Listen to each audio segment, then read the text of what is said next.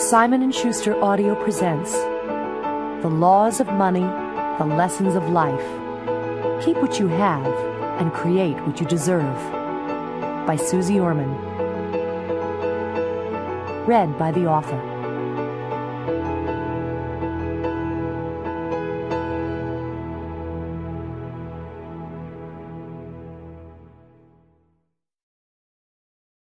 Hi, everybody. I'm Suze Orman, and we're about to embark on a journey on the laws of money and the lessons of life.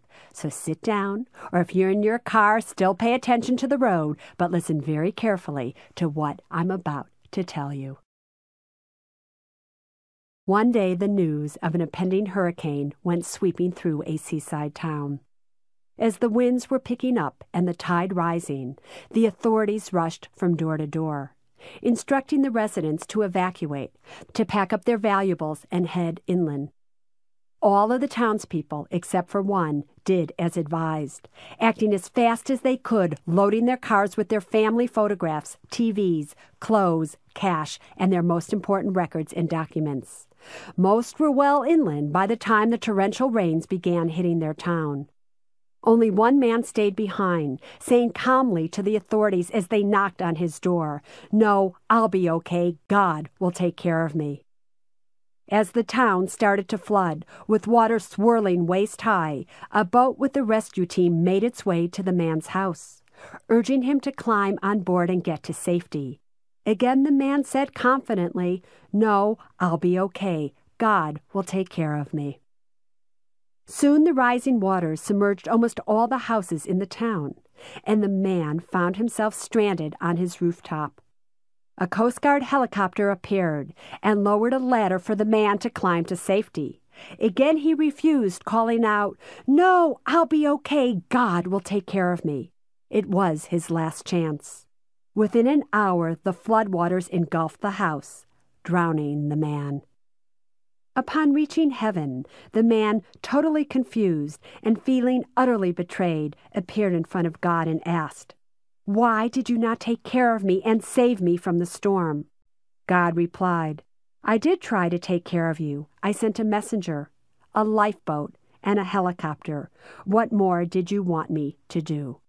What more, indeed?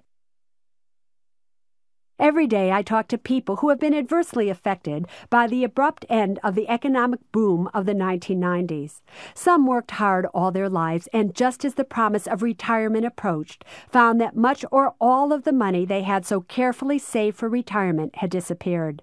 Some are young people who had invested time and money in what they thought were no lose propositions, but who did lose big time. They may need years to recover their losses and years more to get ahead. Others, thanks in part to the aggressive lending practices of financial institutions, purchased homes or cars they could not afford and have now lost their purchases and their money, along with the chance of obtaining further credit. And many people, way too many, are so overburdened with debt, credit card debt or student loans, that they don't see a way ever to get above water. Their financial stance is why even try? But personal financial storms can arrive in every season.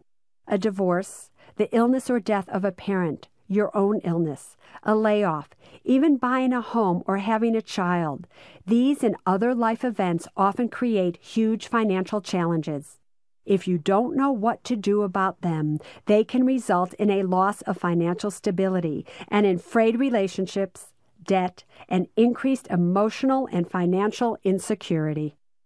Yet the fascinating and ultimately empowering truth is that you can almost always sense when financial trouble is coming. Like the man in the parable I just told, you often receive multiple warnings. You see the gathering clouds, perhaps in your shrinking mutual fund balances or in an announcement of future layoffs at your company. You hear alarming stock market reports on the nightly financial news. You have inklings that both your circumstances and your actions, or lack of actions, are putting you in harm's way. When you ignore what the signs and your own senses are telling you, you are not a victim. In a sense, you are a volunteer. I travel the country, sometimes talking with dozens of people a week about their money. I often ask someone, What keeps you from doing that which you know you should do with your money? What I hear back frequently is, I don't know who to go to for the right advice. I don't even know what questions to ask, and I'm afraid of making a mistake with my money.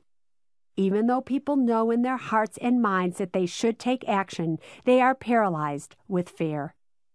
And now let me ask you the same question. What keeps you from doing that which you know you should do with your money? I don't want you to be hampered by lack of knowledge of what to do. Of course, there will be many times in your life when you look back and say, if I only knew then what I know now.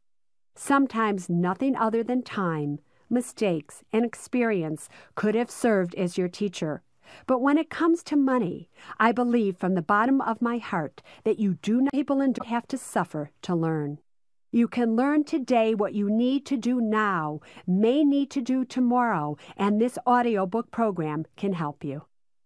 Some people prosper when times are challenging, and some people never do, even in good times. Some people endure serious personal financial storms and come out stronger than ever before. Others get swept away.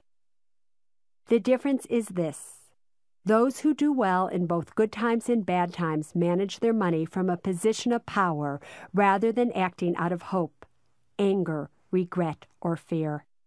They know how to take risks and they know when to take shelter because they instinctively understand the laws of money. The laws of money in this program are simple truths that will help you to be okay no matter what happens in your financial life. They are your guide to financial reason. Even more than that, they are your true financial well being in good times and bad. They are supremely rational, and their purpose is to give you the reins to control your irrational emotions when they arise. Let's look at an example. One of the laws of money is always remember money has no power of its own. All its power flows through you. Let's imagine for a moment that the man in the parable had a similar law to guide him, for example, that God has no power to act directly, that he can act only through human beings. If the man had kept this law in mind, he might have ignored storm warnings given by the town's authorities, but he would certainly not have failed to hop aboard the boat or the helicopter that offered him a route to safety. In the same way, when you keep a law of money in mind, it will guide you to the safest route to your financial future. The laws of money are protective, practical, and essential. They transcend the ups and downs of the economy, and they transcend age and your current financial situation.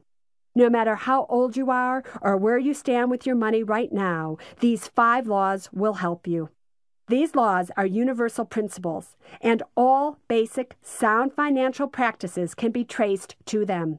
They are all that you need in order to work effectively with your money. In fact, these laws of money encompass the other laws which I have written about in my previous books. With these five laws, you can grasp your financial destiny and take control of your present and future finances.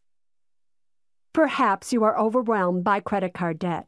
Or perhaps you want a larger house but don't know if you can afford one without risking your future security. Maybe you are afraid to buy or sell a stock in the current financial climate. The laws I talk about are here for you to follow so that you will be able to keep your money safe and invest it with the power to grow. They will help you weather what happens in the economy or your personal life. You will be less likely to lose what you have because you didn't know what to do with it, and you will be better able to keep yourself and your loved ones safe and sound. Isn't this what you want most from your money? The security of knowing that you will always have at least enough to pay for your home and support your family, acquire the necessities of life, educate your children, and retire in relative comfort? Yes, I'm sure it is. It is what most of us want. But I want you to have even more than that. I want you to have all that you feel you deserve. If you follow these laws and take action, you can. Here are a few of the things you will learn. Why actions based on uncontrolled fear will never make you rich. Why transforming the unknown into the known is a major key to wealth. How always telling the truth increases the flow of money into your life. Why, depending on your age, your level of fear, and your financial situation, there are times when you must act and times when you must do nothing. Money itself is a teacher. You learn the lessons that tell you who you are in many ways through relationships, through school and work, through what gives you pleasure and pain, by trying to make your dreams come true. But one of the primary ways you learn who you are is through your money how you make it, spend it, share it, save it, open your hands to it, or block its flow. If you adhere to the five simple laws, the lessons you learn from your money will be life affirming ones. After all, money's laws are not here to restrict you. They are here to make you safe, to keep you from causing financial harm to yourself or others, and to bring you profound financial, emotional, and spiritual rewards. In short, they allow you to live the life you deserve. Be more, have more, create more. That's the sequence. You can do it. It's not an empty promise, it's a law.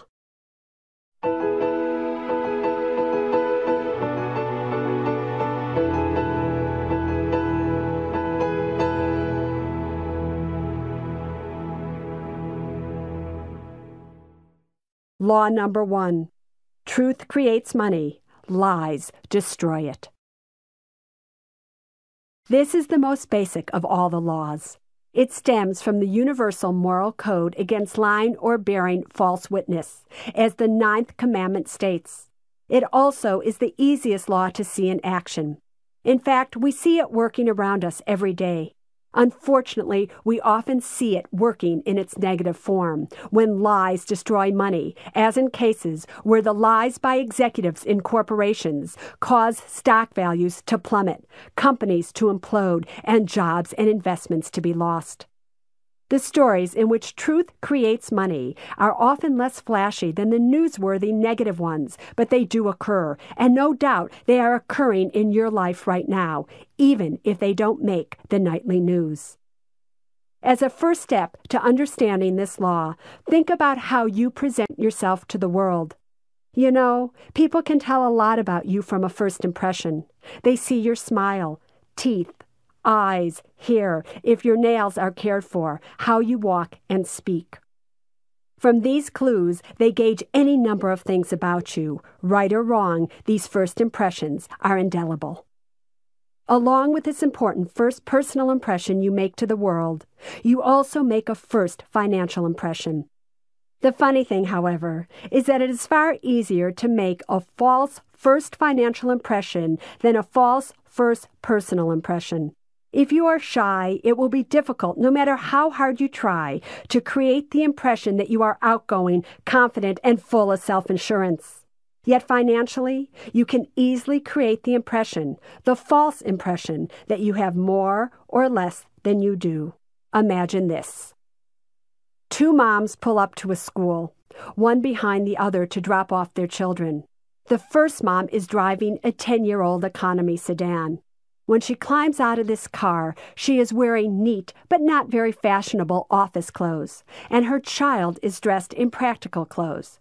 The second mom drives up. Her car is shiny and seemingly very expensive, a brand new car that still has that new car look.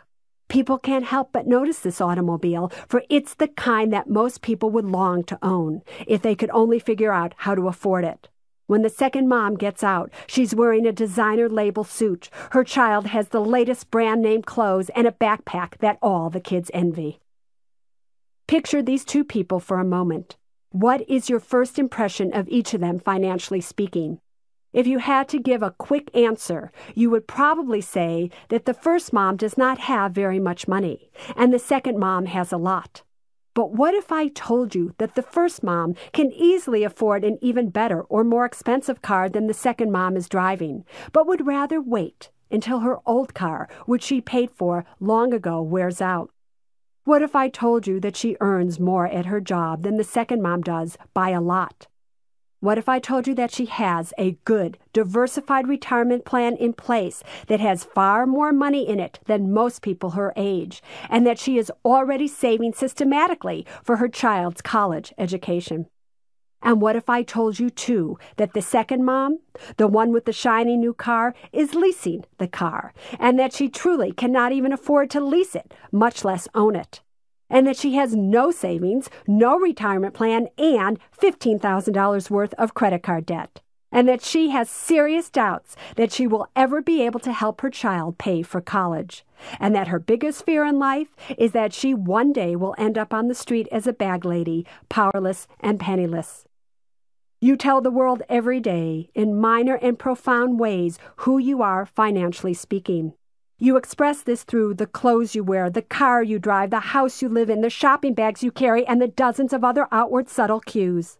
But are you telling the truth? More important, every day you also tell yourself who you are by the choices you make with your money and the effect these choices have on your life and future. Again, how truthful are you to yourself? When lies are woven into the fabric of your financial life, that fabric will inevitably fray. Over the years, I've come to learn that to one extent or another, most people tend to lie about who they are when it comes to their money. I have learned the hard way that financial lies destroy financial lives, and that telling the truth about yourself and your money is the only way to keep what you have and create what you deserve. After leaving college in 1973, I worked for seven years as a waitress at the Buttercup Bakery in Berkeley, California. From there, as the result of a fluke set of circumstances, I became a stockbroker trainee at Merrill Lynch. When I arrived at this job, I knew how to make a great cheese omelet, but I knew nothing about money and nothing about stocks. So why did they hire me? Well, I don't know for sure, although I have always suspected that in 1980, big companies like Merrill Lynch were feeling pressure to hire women. I will never forget that when I was hired, the office manager told me that he thought women belonged barefoot and pregnant. He predicted I would be out of there in just six months. That didn't deter me, however. I was thrilled to have this job. I learned the trade very well, began to make money, and three years later was lured away by an offer I could not refuse to become a vice president of investments for Prudential Bache Securities. From the minute it was moment I became a stockbroker, I loved the money I was making. It was the first real money I had ever known. My greatest joy was to send copies of my checks to my mom, who couldn't believe that I was making $3,000 to $10,000 a month. I began to meet more sophisticated people, and it was fun to buy nice clothes and eat regularly in the kinds of restaurants I had been to before only as a rare treat. It was fun to earn that kind of money, and it was fun to spend it. It was as if the money I could now spend was a badge of my success. After a time at Prudential Bache, I realized that my clients needed more from a financial advisor than just someone who could buy and sell stocks, bonds, and mutual funds for them. I wanted to serve them a full plate of financial choices, just as I had wanted to serve my customers at the Buttercup Bakery not only a side of two eggs over easy, but a full meal. Say a cheese omelet made with three different cheeses, onion, tomatoes, peppers, and topped off with toast and jam, hash browns with sour cream and chives, crispy bacon, and a fresh cup of coffee.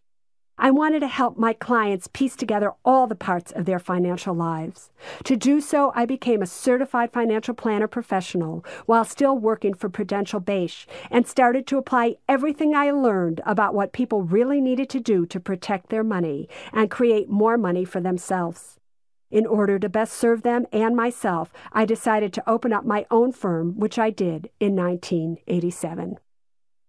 In its very first few weeks, my business just took off. In a short time, I was earning more money than ever before. For a while, with my checkbook leading the way, I became one of the happiest people I knew. But my happiness didn't last. Soon after my firm was established, I was nearly destroyed by one of the most devastating things that ever happened to me, or so it seemed taught me at the time. I know now, though, that what happened was a blessing, for it taught me one of the most important lessons of my life. To this day, what happened remains vivid to me. An assistant who had worked for me at one of my previous jobs, a woman who I had brought with me to help me start my firm, snuck into my office at 1:30 a.m. and made copies of all my clients' files and other records. The next day, she started making accusations about me that were utterly untrue, and in my opinion, were meant to try to destroy me so that she could take over all my clients.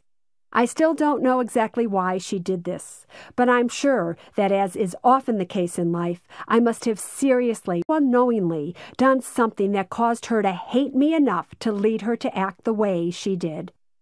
At the time, however, I was heartbroken and angry, and I wanted revenge. The thing that confused me most was that I had no understanding of how someone I'd brought into my life voluntarily and wanted to help could want to hurt me in this way. But that story is about someone else's lives. This story is about my own. There was an investigation, in the course of which it was discovered that I had not filed certain paperwork correctly, documents I needed in order to have my licenses in place. I basically was given a wrist slap and exonerated very quickly. Nonetheless, the legal victory did not help to heal my heart. During the investigation and even afterwards, I just did not feel up to seeing my clients again. I put my business on hold. Still, instead of living as cautiously and frugally as I could, I continued to spend money like it was going out of style. Now that I look back, it seems curious that even though I knew I should steer the course I would have advised my clients to take when their financial lives were threatened, I did not do so. Instead, I chose to continue to live what I now see as a financial cover up. I told almost no one what was truly going on in my life. For all my inner turmoil, outwardly I made light of my situation, behaving as if I had not a care, financial or otherwise, in the world.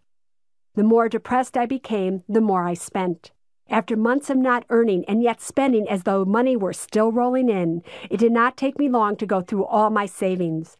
I began to rack up serious credit card debt, which was easy to do since by then I had built up a large line of credit that I had not previously taken advantage of. Every month, my credit card bills were huge and were getting huger. I could barely afford to make the minimum payments on them all. I would go out to dinner with a group of friends, for example, and insist on paying the check. I wanted to keep up my image as a successful financial advisor.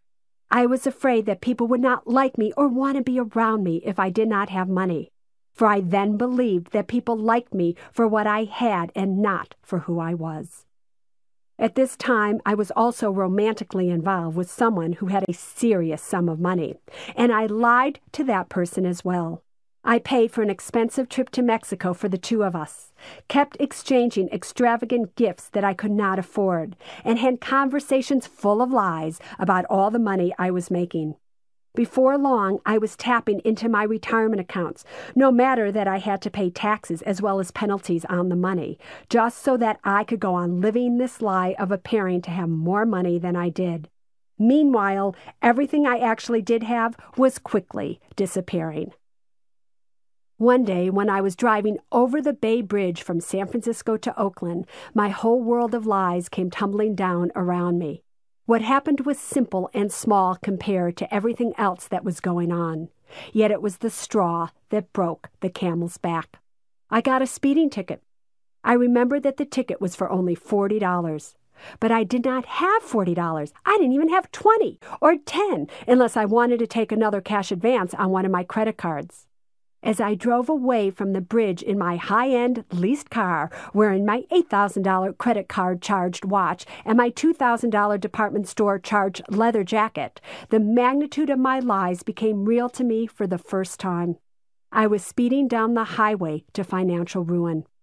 When I got home that day, the truth started to pour out of me in the form of uncontrollable tears. I just couldn't stop crying. Then I remembered something a wise teacher had once told me. Tears are God's way of forgiving you. I realized that the only way I could forgive myself was to start to tell the truth right then and there. And as the words were flowing out of me, the most important listener was me. I needed to say it. I needed to hear it. I needed to start living it. For even though I had been lying to the world, the person I had been destroying was me. It was amazing what happened when I began to live the truth. I stopped having the desire to give a false financial impression to others and started to show people who I really was. As soon as I did this, I started to feel better about myself. I began to feel more powerful, and when I felt more powerful, I had more energy. When I had more energy, I was able to make more of an effort to create what I wanted, which was to get beyond the hurt of what had happened and to get on with my life and my business. If I hadn't had the experience on the bridge, I might have been financially devastated. But I learned a life lesson that was even more valuable and enduring than just how to survive rough financial times. I came to understand something very basic about the nature of truth and lies.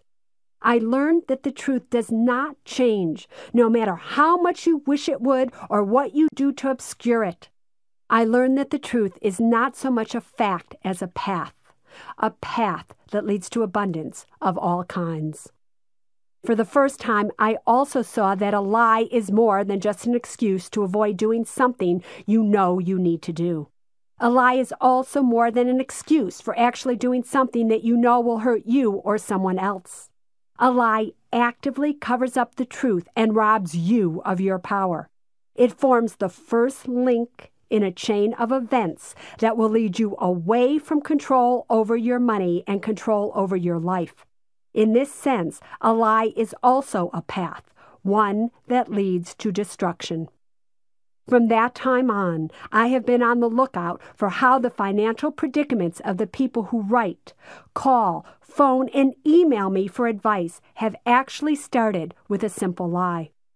Here's what I discovered from my many thousands of observations. When it comes to your money, almost every hour of every day presents a choice about whether to tell a lie or to tell the truth. For example, when your sister asks you for a loan you don't want to give her, will you tell her you can't afford it? Or will you tell her that even though you can afford it, you are choosing not to give it to her? Or when all your friends are going on vacation and ask you to come along, but you don't have the money. Will you lie and tell them there is no way your boss will give you the time off, even though you are owed three weeks of vacation, and that would be the perfect time to take it? Or will you tell the truth, explaining that you currently have credit card debt and don't have the money to go on vacation? Each decision you make with your money puts you at a crossroads between truth and lies. One road leads to creating what you want, the other to destroying what you have. In varying layers and levels, most people lie about money. Do you exaggerate what you have in order to exaggerate who you are? Always remember that no matter how good any financial situation may look at the moment, if it is not grounded in the truth, the foundation it has been built upon will eventually crumble. Lies destroy money and truth creates it. Why is this? It's because lies destroy trust, and the loss of trust results in the loss of power. And when you are powerless, you make the wrong decisions with your money. I am asking you to remember always the corporate scandals at Enron, WorldCom, and Arthur Andersen. Think of those chief executive officers and chief financial officers. Their lies propelled them to huge wealth. For a while, they were the envy of their peers, rich, powerful masters of their own financial fate, or so it seemed. Even you envied them.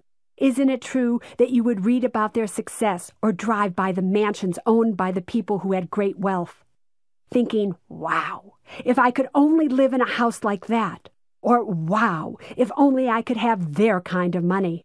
Yet think about what happened when their lies finally emerged. They were utterly destroyed emotionally and financially, and the house that many of them most likely will reside in has no key, contains only four walls, and is known as jail.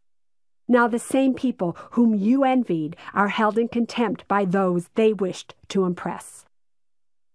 It is important to recognize that all of these people once stood at a crossroads where they had to make a choice about whether to take the path of a lie or the path of the truth. Do you think that if they could turn back the hands of time, that they might possibly, just maybe, choose the path of truth? Theirs are grand scale morality tales, but the actions they took created the consequences that followed. This is true in all our lives, regardless of how large or small our actions or our fortunes are. If you lie about who you are with your money, you will tend to spend more than you have, buy a house without knowing whether or not you can afford it, act on impulse rather than rational knowledge, and take tragic actions with your own money that could easily destroy your own financial life. So here's what I want you to do. I want you to trace the history of a current financial situation that you do not like and want to change. Perhaps you're standing on a mountain of debt that you are afraid will topple you. Or perhaps you're in a relationship that makes you miserable, but you are afraid to leave it because you're worried about money. Or perhaps you feel you cannot find a job that will pay you enough to live. Trace it back and let's do it now. Let me give you a few more examples to help you. Perhaps you lent a friend $5,000 four years ago to help her when she had a heart attack, and to this day she hasn't repaid you one penny, and you don't have the nerve to say anything to her.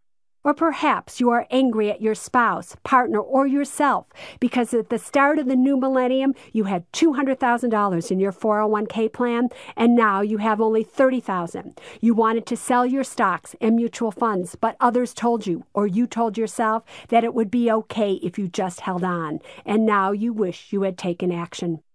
Whatever your situation is, think about it as truthfully as you can. Next, I want you to ask yourself why this happened to you. Walk yourself mentally backwards, step by step, right to the beginning of the situation. Please heed this note of caution. As you do this exercise, you are not, do you hear me? You are not to blame others for your situation. I want you to see how it was you and no one else who created the situation you are in. This is usually the hardest part of the exercise because we all tend to want to blame others, don't we, for an uncomfortable situation we happen to be experiencing? It's human to think, I have debt because my sister or my friend didn't pay me back. I have no money to retire because my financial advisor lost it all for me. I once had all my money invested in Enron or WorldCom. Now I have nothing left because the people who ran the company were crooks. At the time of the events in my story, even I blame my financial demise on my assistant. But she wasn't the one to blame. It was what I did to myself, not what she did to me, that caused my financial devastation, and it all started with a lie. You see, I knew after working with this woman prior to starting my own business that I did not really like or trust her. But I was afraid to tell her the truth about what I really thought of her. So I continued to lie to myself about who she was. I continued to lie to her about wanting to support her. And continued to lie to my clients about how great she was. All because I didn't have the courage to tell the truth. I brought her with me because it was easier to do so than to tell her the truth about why I did not want to have her around me. Do you see what happened as a consequence? Do you see how I did this to myself? It started with a lie. If I had simply told her the truth, who knows what direction my life might have taken? What lie have you told yourself that created the financial situation that you are currently in and want to change? What lie has rendered you powerless and sucked up your financial energy and therefore your money? Think about these questions. Remember, all destruction starts with a lie, personal or financial. Take Patrick's story. When he came to me, this is the way he was talking. I wish they would just stop calling me. Every time the phone rings, I'm afraid to answer because I know it's a debt collector trying to get money from me. Right now, I have $33,000 in credit card debt and I'm unemployed, and I don't have the money to send in even the minimum payments on my cards. I wish I did. How did he get into this situation? What lie did he tell to himself, and how would the truth have changed the situation? Let's trace the steps. Patrick's story starts about a year and a half ago. One day, while he was at the office, where he worked as a designer full time but on a freelance basis, his best friend from college called. Guess what? the buddy said. Brad, Joe, Arthur, and I, and the rest of our old fraternity gang, are signing up to go on a three week river rafting trip in South America. The trip is next September. It costs $5,000 each, including airfare, but we only have to put down $1,000 now. We can pay the rest before we go. It will be awesome. Want to come? Patrick hesitated. He didn't have a thousand dollars, let alone five thousand, and he'd been hearing that freelancers at his company were going to be laid off. He knew he shouldn't risk it. On the other hand, he had five credit cards, one of them brand new. None had charges on them, and together they gave him a credit limit of $33,000. He didn't want to miss a trip with the guys, and he sure didn't want to tell his friends that he couldn't afford to go, for in his eyes they were all doing so much better than he was. He said he'd go and charge the thousand dollars to one of his cards. He told himself he'd save up the extra money he needed by September.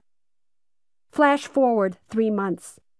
Patrick and the other freelancers at his company have been laid off having the time and discipline to save only $800 of the money he needs for the trip, he is now using those funds to meet his current expenses, supplementing the small checks he is getting for the few freelance projects he's able to find. When September rolls around, Patrick is afraid to tell his friends that he doesn't have the money to go. So he charges the additional $4,000 for the trip and heads off to South America for three weeks with his buddies. He talks himself into feeling okay about it, telling himself that he deserves a vacation, even though he knows that what he really wants and needs to be doing is looking for work and not spending money he does not have. As soon as Patrick returns home, his physical and financial world is upside down. While he was gone, a torrential rainstorm came through his town, and a small leak in his roof, which Patrick had known about but had not gotten around to fixing, proved to be his greatest nightmare. He walks into his home to find that the ceiling, walls, carpeting, and furnishings in his bedroom have been destroyed. He gets in his car to drive to the hardware store for plastic to cover the ceiling, but his car won't start. It hasn't been driven in three weeks, and the battery, which was old to begin with, well, it's now completely dead. The next day, he learns that his insurance company won't pay to repair the roof or structural damage and will pay only part of the cost of replacing his furniture. Cost to Patrick? Oh, a mere $5,000 to fix the roof. $1,500 for repairs to the walls and ceiling, $300 for cleanup supplies, $1,500 for a new bed, dresser, carpet, and TV, and $150 for a new car battery. Plus, let's not forget the $5,000 for his rafting vacation, $400 for additional meals he charged, and $200 for clothes and equipment he bought before he left on his trip. Total $14,050 in credit card debt. But the damage does not stop here.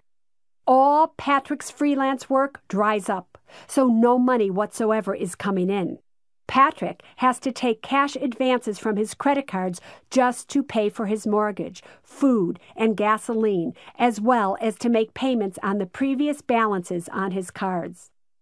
Here he is now, just about a half a year after he got back from what, in his mind, was a well deserved vacation, and he has $33,000 in credit card debt. He has maxed his cards to the limit and cannot afford to make even the minimum payments on any of them. He has no idea what to do. The real tragedy, however, is that while Patrick was on vacation, he missed a call from his boss at his old company asking him to come back to work. When he returned his boss's call, he was heartbroken to learn that this boss, who really wanted Patrick to work for him more than anyone else, had thought, when Patrick did not return the call promptly, that he had found himself another job. The company had decided to add just one full time job to its roster, so the call Patrick missed would have given him a permanent staff position. With no work and no way to pay his credit card bills, the calls from creditors begin. Where did Patrick's troubles start? They started when he lied to himself and his best buddy by saying that it was okay to take a trip he knew he couldn't afford. Let's see what might have happened if Patrick had chosen the path of the truth rather than the path of the lie. The story starts about a year and a half ago. One day, while Patrick was at the office where he worked as a freelance designer, his best friend from college called. Guess what? the buddy said. Brad, Joe, Arthur, and I, and the rest of our old fraternity gang are signing up to go on a three week river rafting trip in South America. The trip is next September, 10 months from now.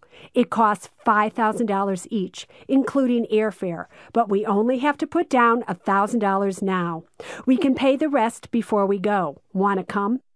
Patrick hesitated. He didn't have a $1,000, let alone 5000 and he had been hearing that freelancers at his company were going to be laid off. He knew he shouldn't risk it. So he said to his college buddy, Hey, I'd give my right arm to go on this rafting trip with you guys, but I don't have the money right now. Make sure you take some great pictures for me. If Patrick had taken this path, he would not have eventually charged $5,600 for the trip, the basic fee of $5,000 plus $400 in meals and $200 in clothing and equipment. He would have been at home when the news was broadcast that a brutal storm was on its way. When he heard the news, he could have acted to get his roof fixed, or at least patched, in time to save his bedroom ceiling, walls, and furniture. Eventually, he would still have needed to spend $5,000 to fix his roof, and that $5,000 would have gone on his credit cards. But he would not be out of pocket all the money he spent to clean up the mess and replace his furniture. His car battery, well, that wouldn't have died because he would have been driving the car the whole time and the battery would have remained charged. And the biggest change that would have taken place in Patrick's financial future, of course, is that he would have been home to get the call from his old boss. He would be back at work full time, earning more than ever, and able to make payments on the $5,000 he put on his credit card to fix the roof, and all would be just fine. Patrick's lies led to financial destruction. The truth would have led to financial creation. It happens every day. Now think again about your own situation, the one I asked you to trace back. How is your situation based on a lie, conscious or unconscious? At the same time, I want you to think about what the truth really is in your situation and how, if you had just acted from the truth, your situation would be different right now. Here are some examples. If you are facing serious debt, did you lie by telling yourself that you would soon get a raise at work and be able to pay off your debt, knowing all the while that in truth, the more money you made, the more you spent? As you look back over the years, is it true that even as you made more money, you also had more debt? If you are afraid to leave a bad relationship, are you telling yourself that you cannot take care of yourself on your own when the truth is that you have been taking care of yourself and the person with whom you are in the relationship from day one? If others owe you money and have not paid you back, what is the lie that started this off? Did you say, okay, I will lend you the money and I feel great about it when the truth was I do not want to lend you money. I can't afford it and it just doesn't feel right. If you lost most of your money in the stock market, was the lie that you kept telling yourself that you did not have to watch over your money because someone else was doing it for you? Or that you did not need to diversify a portfolio made up entirely of technology stocks? Or that your stocks or mutual funds were immune to the decline that the rest of the market suffered, or that your stocks would surely come back over time, and that therefore you did not have to pay attention to them. The truth is that of course you must keep watch over your money, for what happens to your money directly affects the quality of your life, not your financial advisor's life, not your banker's life, not my life. Of course, you must diversify your holdings, for that is one of the basic truths about investing. Of course, you cannot blindly believe that your stocks are exempt from the general direction of the market, for as you now may know, that is not true. I am sure that one of the hardest aspects of this law will be for you to accept the role that you yourself have had in any serious investment losses you experienced as the stock market plummeted in the first few years of the new century. You may even have lost 50% of your money. But I ask you right here and now to address this situation in the exercise you just finished. Ask yourself who forced you to stay invested.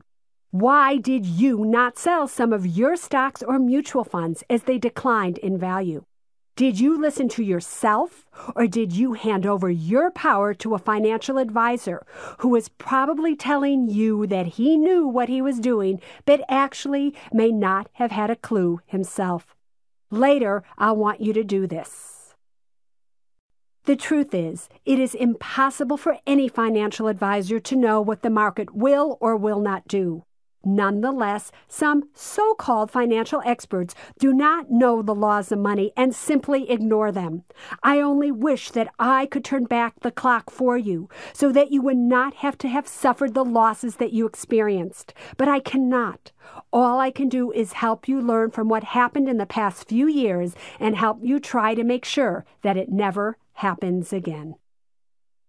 Which leads me to another important point about truth and lies. It is not only the lies that you tell yourself that will affect your money. The lies that other people tell you will also affect your money. Another person's truth will become a lie for you if it is not the truth for your life. Even unintentional lies, such as sales pitches, lies that others attempt to get you to believe, can have a devastating impact. Here's what you have to understand Many of the people from whom you are getting your financial information, analysts on TV, financial advisors, personal bankers, and insurance agents, do not really know what is best for you. They may believe what they are telling you is true, but if it is not true for you, it is as good as a lie. Some of these people may not even have your best interests at heart. They may be thinking about their own best interests, about making a sale or a commission. If that is the case, then they may tell you what they think you want to hear, or what will convince you to let them continue to do what they have been hired to do. First and foremost, to make money for their firms. Secondly, to make money for themselves. Well, and then, if all goes well, to make money for you. The recommendations they make on investments are sometimes truly the best investments, but sometimes they are among the biggest financial mistakes that you could make. Please do not misunderstand me here. Many, probably most, financial advisors are really good people. Remember, I used to be one, and in my own way, I still am. Many advisors innocently sell you investments, having themselves believed the sales pitches their firms supply to them. But in a strange way, you choose whether to believe what other people are telling you or to believe what you yourself deeply feel and know. And you usually know when someone is not giving you the information that is best for you. When you don't act on that knowledge, it is often because you do not trust your own truth enough to tell the other person that you don't want to act on his or her advice, and then you lose. We'll see more about this with Law 2. Now, it's one thing to hear Law 1, and it's another thing to live it. The question you now have to answer is How do you act from a place of truth from this day on so that you do not continue to sabotage your financial life with lies? Earlier, you did an exercise. Do you remember this? Where you identified a financial situation that you would like to change. You traced the roots of that situation back to a lie and explored how it would have been different if you had acted from the truth. Now is the time that you have to put that truth into action because it is not just enough to know the truth, you yourself have to become the truth. I have a favorite saying that helps me always stay on the course of the truth, to change direction whenever I start to take an inappropriate course that may just happen to lead to a path of the lie versus the path of the truth. And it goes like this. If you are heading the wrong way, remember that God permits U turns. When I first heard these words, I thought, that's great, but I'm not sure how to do that. Then I got it, and so can you. You see, even though God permits U turns, it is you and only you who can change the direction of your financial vehicle. You must grab hold of that steering wheel, turn it, and drive yourself in the right financial direction. So, how do we make that U turn? The first and most essential step is to forgive yourself for any lies you told or mistakes you made. Just as I don't want you to blame others for your situation, I do not want you to blame yourself either. Taking responsibility and blaming yourself are not the same thing. When you look at what you did to get to this point, it is so that you can learn your life lesson and move on from there guilt and blame are of no help in moving forward. Change in direction also involves making that U turn and actually going back over every inch of the bumpy financial road you've followed. As you review where you've been, you need to stop at every point along the way where you have told a financial lie. When you arrive at one of these points, you have to make an effort, no matter what it takes, to correct your lie. You have to face what got you to where you are right now. This, my friends, is not going to be easy, but it must be done. Think of the friend to whom you lent money and who has still not paid you back. You must set the record straight by either telling her in person, over the phone, or in a letter about how you felt when you made the loan, exactly how you feel now, and what action you want to take to close that chapter of your financial life.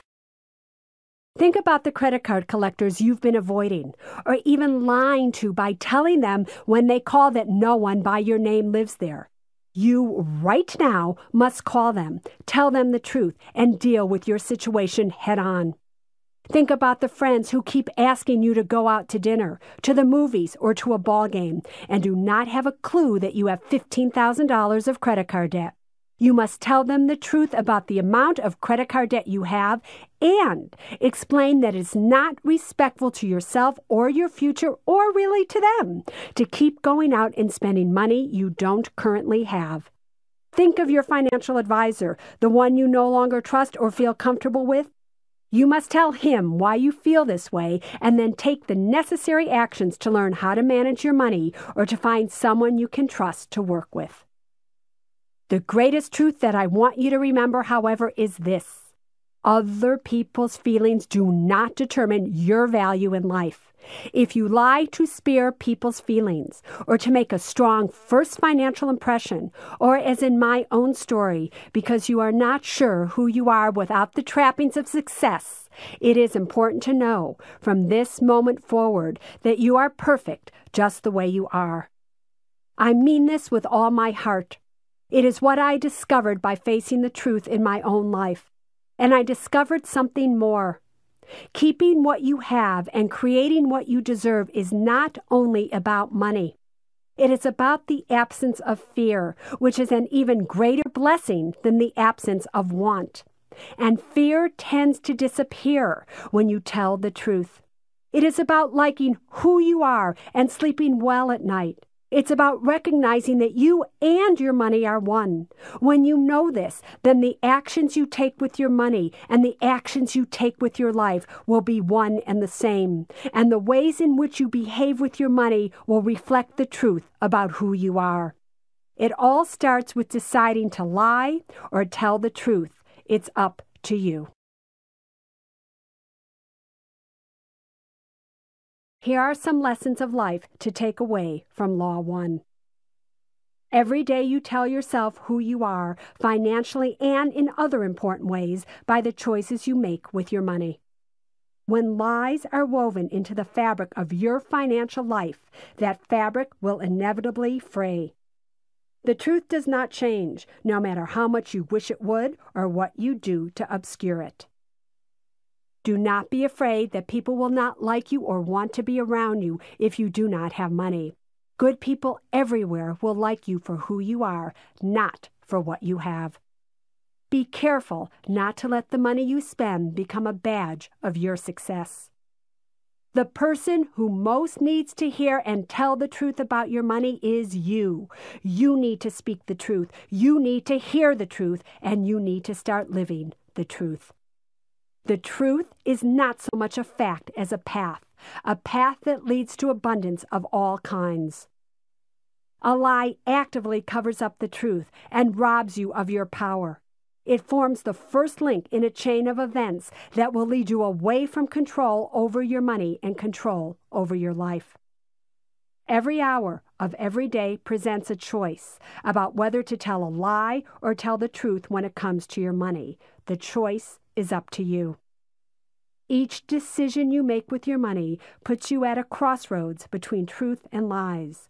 One road leads to creating what you want, the other to destroying what you have. Keeping what you have and creating what you deserve is not only about money, it is about the absence of fear, which is even a greater blessing than the absence of want. Financial lies destroy financial lives. Telling the truth about yourself and your money is the only way to keep what you have and create what you deserve. It is important to know that you are perfect just the way you are.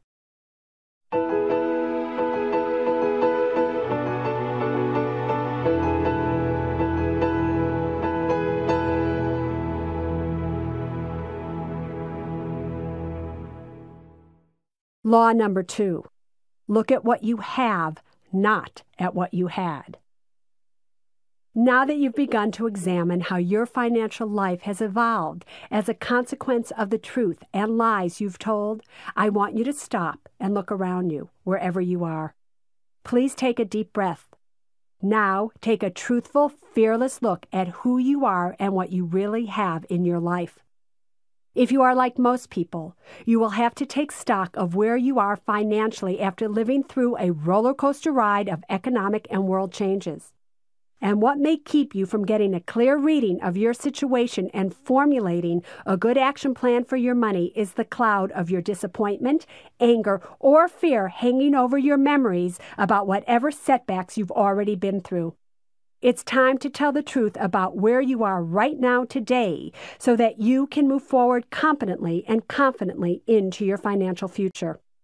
The principle behind this law ties into the 10th commandment about not coveting anyone else's belongings or relationships, life situation, or talents.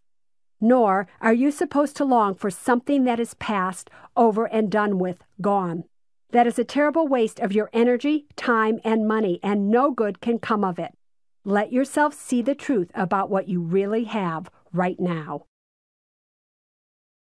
Have you ever known someone who lost the love of his life? Maybe his fiancee left him for someone else, or his parents insisted that he go to college instead of getting married. In such cases, it sometimes happens that this person lives his life always thinking, if only.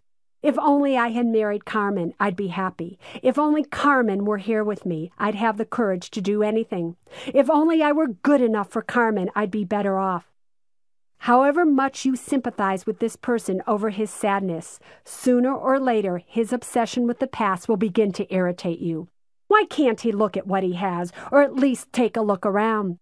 If he did, you think he might notice that two great possible catches, Kathy and Mary, are standing right in front of him and seem to be trying to catch his eye.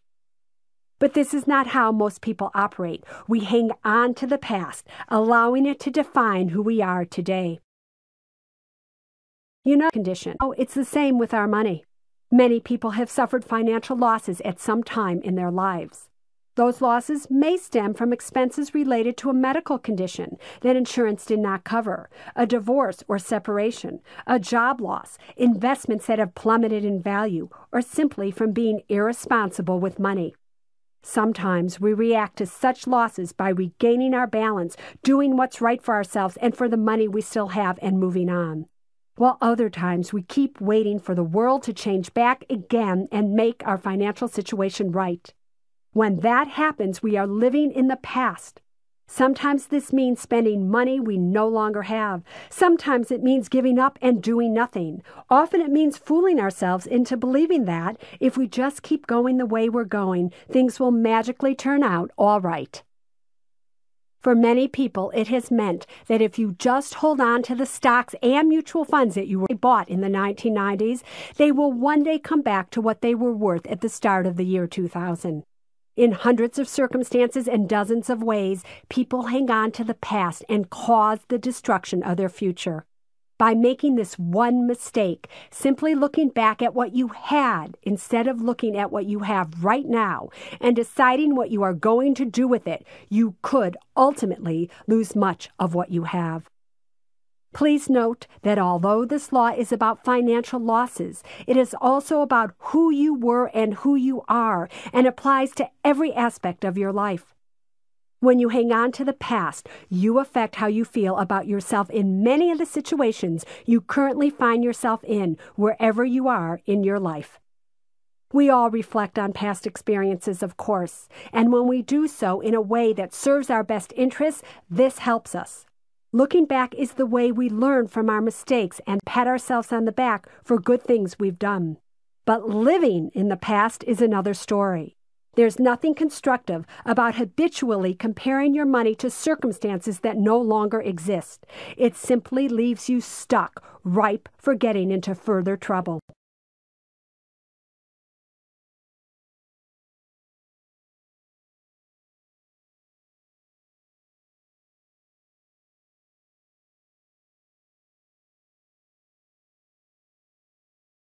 Here's Lee's story. See if it reminds you of anyone you know or of how you've responded to situations in your own life. I really can't understand myself. I'm a grown woman. I'm smart. I've had a career and earned money all my life, and yet I simply cannot bring myself to talk to my husband about money. I was 41 when I married Walter, three years ago.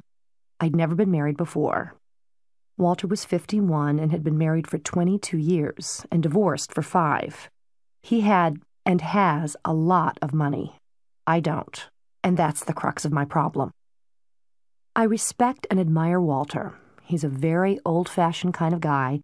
He wears three piece suits. He works hard. He made every dollar he has by starting and running small computer companies. His father supported his mother, and Walter supported his first wife and children, still does. He once mentioned that he sends his ex wife, who never worked, a lot of alimony, and that's after they divided everything equally between them at the time of the divorce. His 25 and 28 year old sons call and write for money. He sends it, except for thinking that they might be better off learning to support themselves, like I did. I don't mind. You see, Walter supports me too, although it might not look that way. I work, I earn a respectable amount of money and put most of that money in the bank. Meanwhile, he pays all the bills, buys our dinners in the city's best restaurants, picks out and pays for the vacations we take, buys the furniture, even pays for many of my clothes. When we go out to dinner with his friends or my friends, unless someone grabs the check away from him, he pays. Sometimes he grabs it back. He's incredibly generous and responsible. I never worry that he's overspending.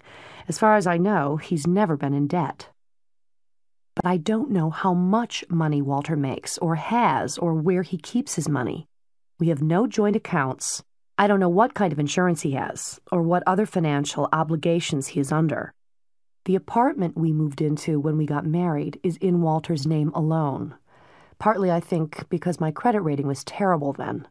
I had tax arrears. He paid them. When we first moved into the apartment, I tried to get him to let me pay a proportionate share of the mortgage and maintenance based on my income and my wild guess about what his income might be.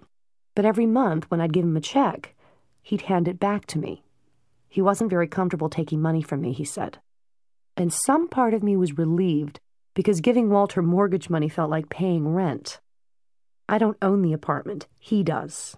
And it's a little weird to be paying your husband rent. Until I met Walter, I lived on a shoestring and wasn't exactly a beacon of financial responsibility. But I supported myself and never received a dime of help from anybody. Now, financially speaking, I feel like a mistress or a child. I'm being totally taken care of. The child in me adores it. But even after three years, it all feels half real, as if it could go away at any moment. And what I'd be left with is what I had before a struggle to pay rent every month on an apartment I didn't own, a big tax debt, monthly bills I hated to open, a faint, constant sense of bewilderment at and envy of others' financial success, and a fear of financial insecurity that kept me working night and day at jobs I sometimes hated and was afraid to quit. Today, I don't have that envy or fear, but I think I must be afraid of looking at this new reality of mine too closely for fear that it will turn out to be made of smoke and mirrors, or perhaps because I might have to insist on actually growing up and paying my rightful share. I know that Walter would talk to me about his money if I asked. I don't want to ask. I'm afraid. That's the size of it. Lee's story is fascinating because she is better off in every way than she used to be, but she still clings to her past. She's in a fortunate situation that many women would not be able to keep themselves from wishing they had, but she's not happy or secure. The problem is that Lee gives herself no credit whatsoever for the change in her financial situation or her life. She tells herself that if she had not found Walter, she would still be in tax arrears, struggling to pay the rent and living from hand to mouth. I don't think so. What I think is that while Walter may have helped her get started on a new financial path, he didn't rescue her. No one rescues us except ourselves. Let's look at Lee's current situation. Who keeps working for the money she earns? She does. Who saves it instead of spending it on luxuries as she could easily do? She does who is building a strong financial foundation for herself in spite of what Walter has or doesn't have. She is, for since she and Walter are still essentially leading separate financial lives, Lee could easily lie about her money, but she does not. Just the same, she continues to hold on to the memories and emotions of a past in which she had less, and she half expects to go back to having less because she still feels that she is less. The feeling is familiar to her. The problem is not so much that Lee fears she will lose what she has or thinks she might not be able to create more. The problem is that she doesn't think more of herself.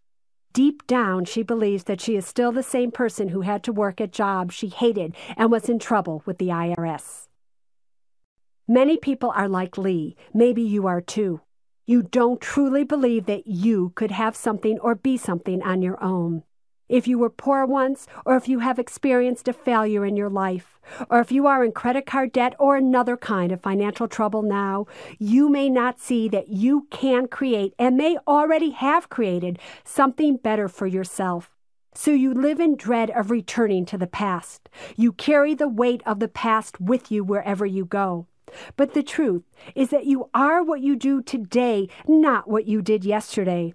To keep thinking otherwise is as misguided and wrong as my still thinking of myself as the person who earned $3.50 an hour at the Buttercup Bakery. Even if I found myself in that position again, do you think that I would do the same things I did then? I would not, for I have changed. So has Lee, and so have you. Law 2 says, in effect, that it's time to recognize who you have become, not dwell on who you were. To look at this law from another perspective, let's consider what you now have in your closet. Do you have your old size 6 jeans, even though you are a size 14? If so, why? The answer is simple. It's not that you would not be able to afford another pair of size 6 jeans if you ever lost the weight you have gained, but that by throwing away the past or the profile you had when you were a size 6, you would be forced to own up to the fact and live in the reality of what you do have now, which is a size 14 body. As it is, even though you know you are a size 14, you don't have to realize your gain, so to speak, as long as those old jeans are in the closet. Do you understand that hanging on to the jeans allows you to hold on to what you were and what you had and not embrace who you are and what you have now? What good does this do you? If you are a size 14 and want to fit into size 6 jeans, holding on to the jeans does you no good at all. If only you could look at what you have to work with today, you might come to understand what you had back then was different.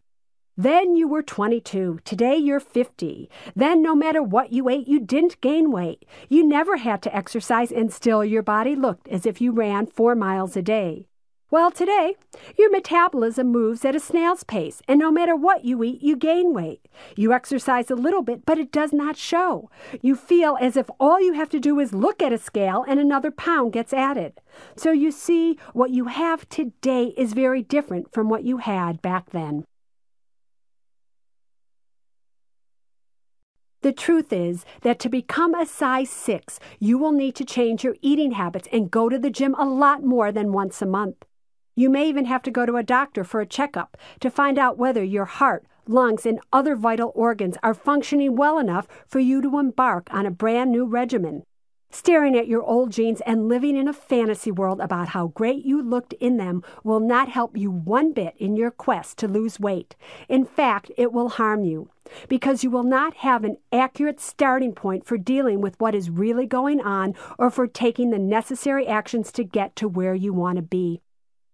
If you are clinging to an outdated view of yourself based on the past, it is imperative that you wake up, do a reality check, and see who you really are today and how to get from your new starting point to where you want to be tomorrow. Remember, the past doesn't have any power over you, not unless you give it power. With Law 2, you are learning how the inability to accept loss, any loss of what you had, is what keeps you from moving on and recognizing the gains that you have already made and can make. When you hold on mentally and emotionally to what you had, there is no way to create and recognize the greater wealth that you may already have. In Lee's case, that wealth includes a full understanding of how competent and responsible she is today. When it comes to your money, looking at what you have, not at what you had, is essential. Whether you have thousands in your own personal investment accounts or just a few hundred dollars in your 401k or Roth IRA, many people are living in their financial past. As I travel the country, I constantly hear things like, Suze, I had $300,000 in my 401k and now it's worth only $120,000. Or Suze, I had an investment portfolio worth $25,000 and now it has only $8,000 in it. Or Suze, two years ago I had $1,400 in a mutual fund and now it has gone down to $80. When will it go back up to what I had? Isn't it true? How many times a day do you think back to how much money you had at the start of the new millennium compared with how much money you have today? Maybe you don't even know how much you have today. Many people are in such shock that they cannot even bear to open up their statements anymore. If this is the case with you, what actions are you taking to face the fact or correct the situation that you no longer have a size 6 financial figure? Well, in most cases, absolutely none.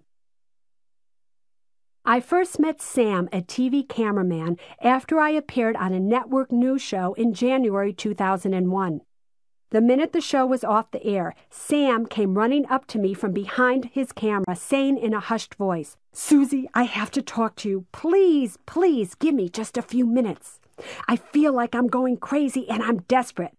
Sam was pale. He was shaking. He was sweating. He looked like he was withdrawing from drugs. But drugs were not Sam's problem. His problem was he was being drugged by his own financial acid trip and was suffering flashbacks of what he had once had financially.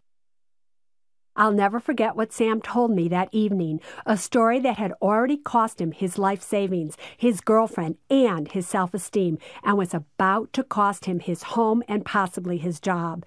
And yet, he told me, I know it's going to turn around, Suze. I just have to figure out how to get through these next few weeks, and then everything will be okay again. When he said this, he looked like he was going to throw up. I knew he didn't believe it any more than I did. Here's how, by holding on to the past, Sam nearly destroyed his life. A few years ago, a bunch of guys I worked with here at the TV studio began buying technology stocks, especially one particular stock by the name of Cisco.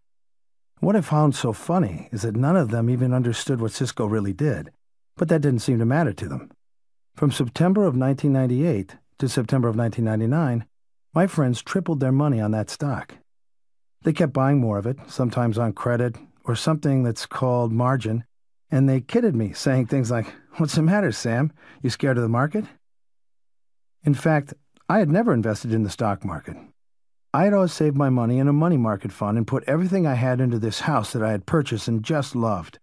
It was a fabulous investment for me. Real estate in California was skyrocketing. But what I loved, even more than the rising value, was the appreciation I felt for the fact that this was my house and that I was working hard to own it outright.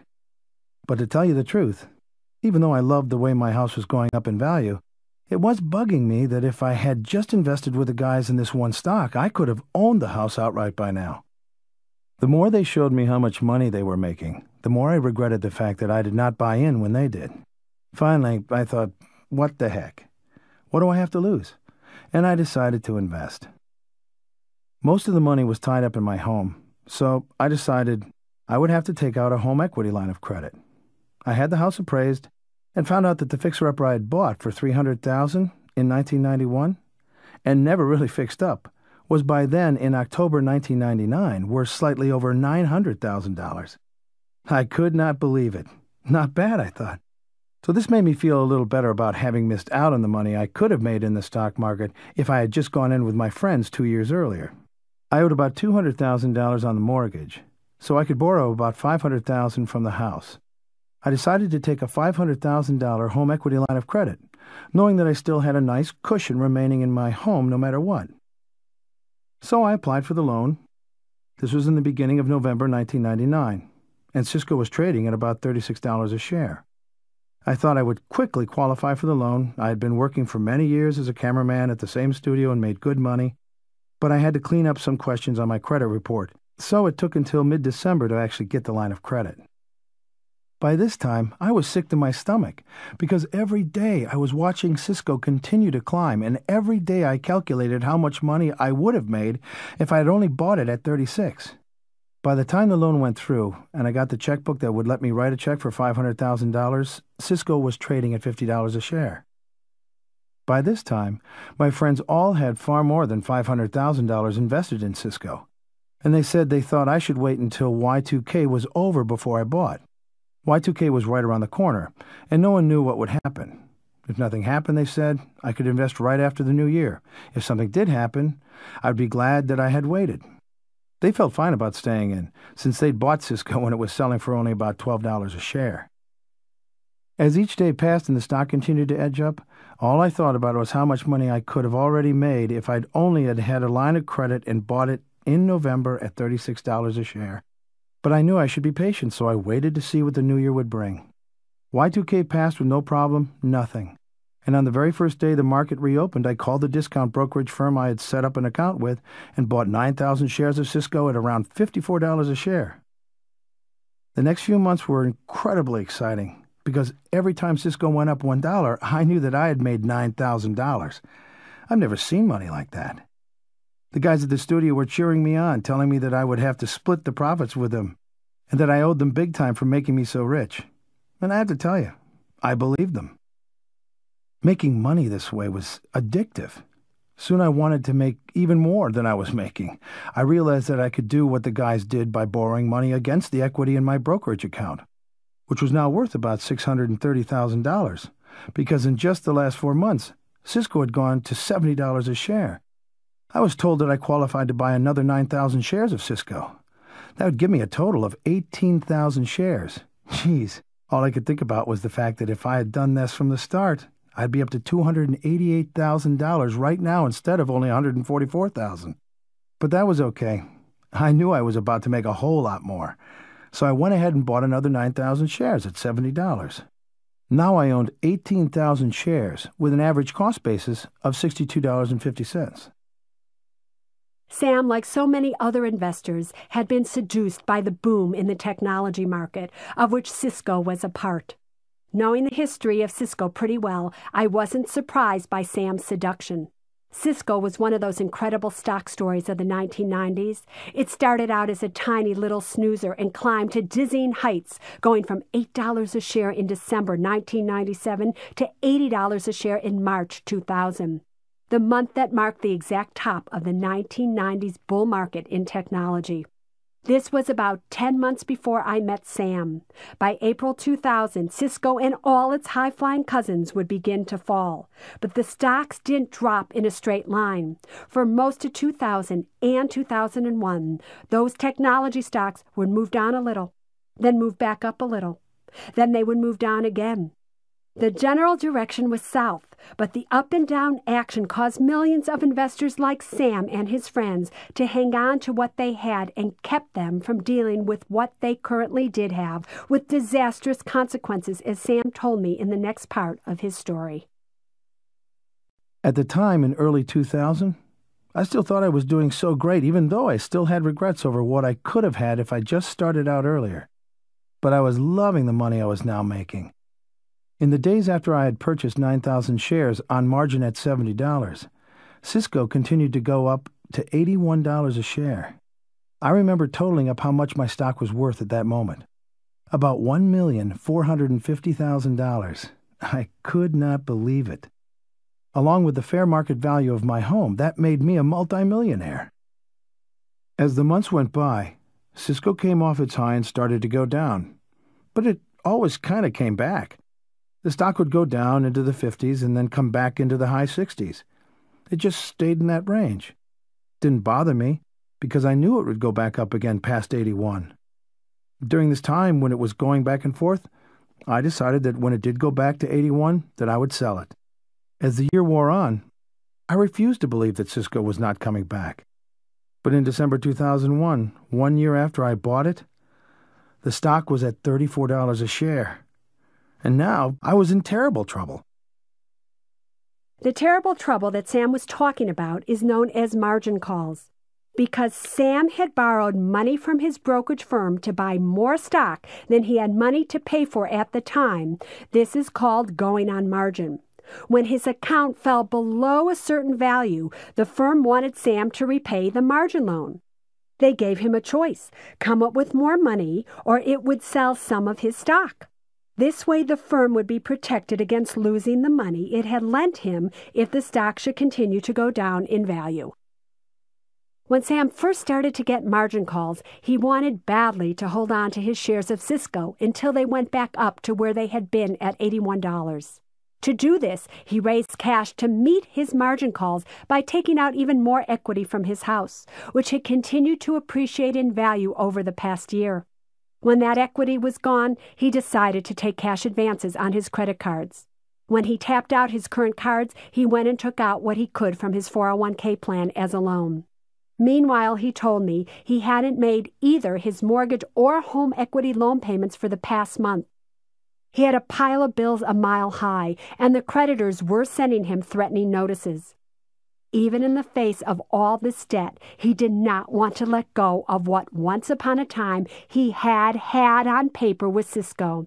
Having lost almost everything to keep what he thought he had, Sam was such a wreck that his job put him on warning, and his girlfriend, who hadn't approved of any of this brinkmanship financing, couldn't stand it any more and left him. Looking at him that day, frantic, sweaty, scared, defiant, and still holding on to every share of his plummeting Cisco stock, I could understand why his girlfriend had done this. It would take something earth shaking to wake Sam up to the state of his money and the state of his life. I begged Sam to sell everything right then and there and told him what the probable consequences would be if he did not. He seemed to get it and said he would sell everything the next morning. I called the next evening to see if he had done this. He had not. The problem was that earlier in the day, Alan Greenspan and the Federal Reserve Board had unexpectedly lowered the Fed interest rate and the market had started to take off. Cisco had moved up and closed that day at about $41 a share, and that gave Sam hope that all would go back to what he had. Sam told me that he had decided not to sell. No matter what I said to him, he did not want to listen. Last time I heard from Sam was on April Fool's Day 2001. Cisco was trading at $15 a share. He was still hanging on to the shares that the brokerage firm had not made him sell, but he did tell me that he had just sold his home to help pay the bills and was about to move into a small apartment. One thing that gave me hope that maybe, just maybe, he was starting to get it was when he asked me, Do you think that they named April Fool's Day after me? By the way, you might be wondering what happened to Sam's friends. All he would say when I asked was, What friends? Sam's example is extreme but instructive. He was so intent on looking back at what he once briefly had, on paper at least, that he was paralyzed when it came to taking any steps at all to protect what he still did have in his life, including his home, his job, and his relationship with his girlfriend. The fear of loss causes greater losses. That's why denial of your present day financial reality, your reality right now, is one of the biggest obstacles to financial wealth and emotional well being. You may not be as extreme as Sam. Let's hope not. But are you really all that different from him? Did you buy shares of a stock at $25 back in 1999? Maybe in your IRA or 401k? Did you watch that stock go up to 50, then to $100, then to 150, and finally to $220 a share? Why didn't you sell all or even some of your shares during the spectacular climb to $220? Probably because, like Sam, you were focused on a financial fantasy about what you would do with the money if the stock went all the way up to $275. And since you were distracted by a fantasy, you were not paying attention to the financial reality that you had already more than quadrupled your money. You were not thinking about the money you could have had right there in the palm of your hand. You were filled with hope that you would have even more money if your stock continued to climb. Then came the year 2000, and you watched your stock plunge back down to 150, then to 100, then to 75, and finally to $15. And as the stock fell, you kept thinking some of the things that Sam thought. But I had $220 a share, you said. I can't have lost all that money. The stock has to go back up, right? Wrong. This was the voice of your past speaking to you. It told you that if you sold, you would realize your losses and then they would be real. Remember the example of being a size 14 and holding on to your size 6 jeans?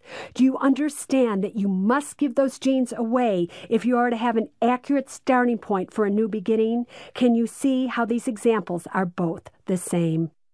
If Sam had been able to look at what he actually did have, he might have seen that his dreams for his life had already come true.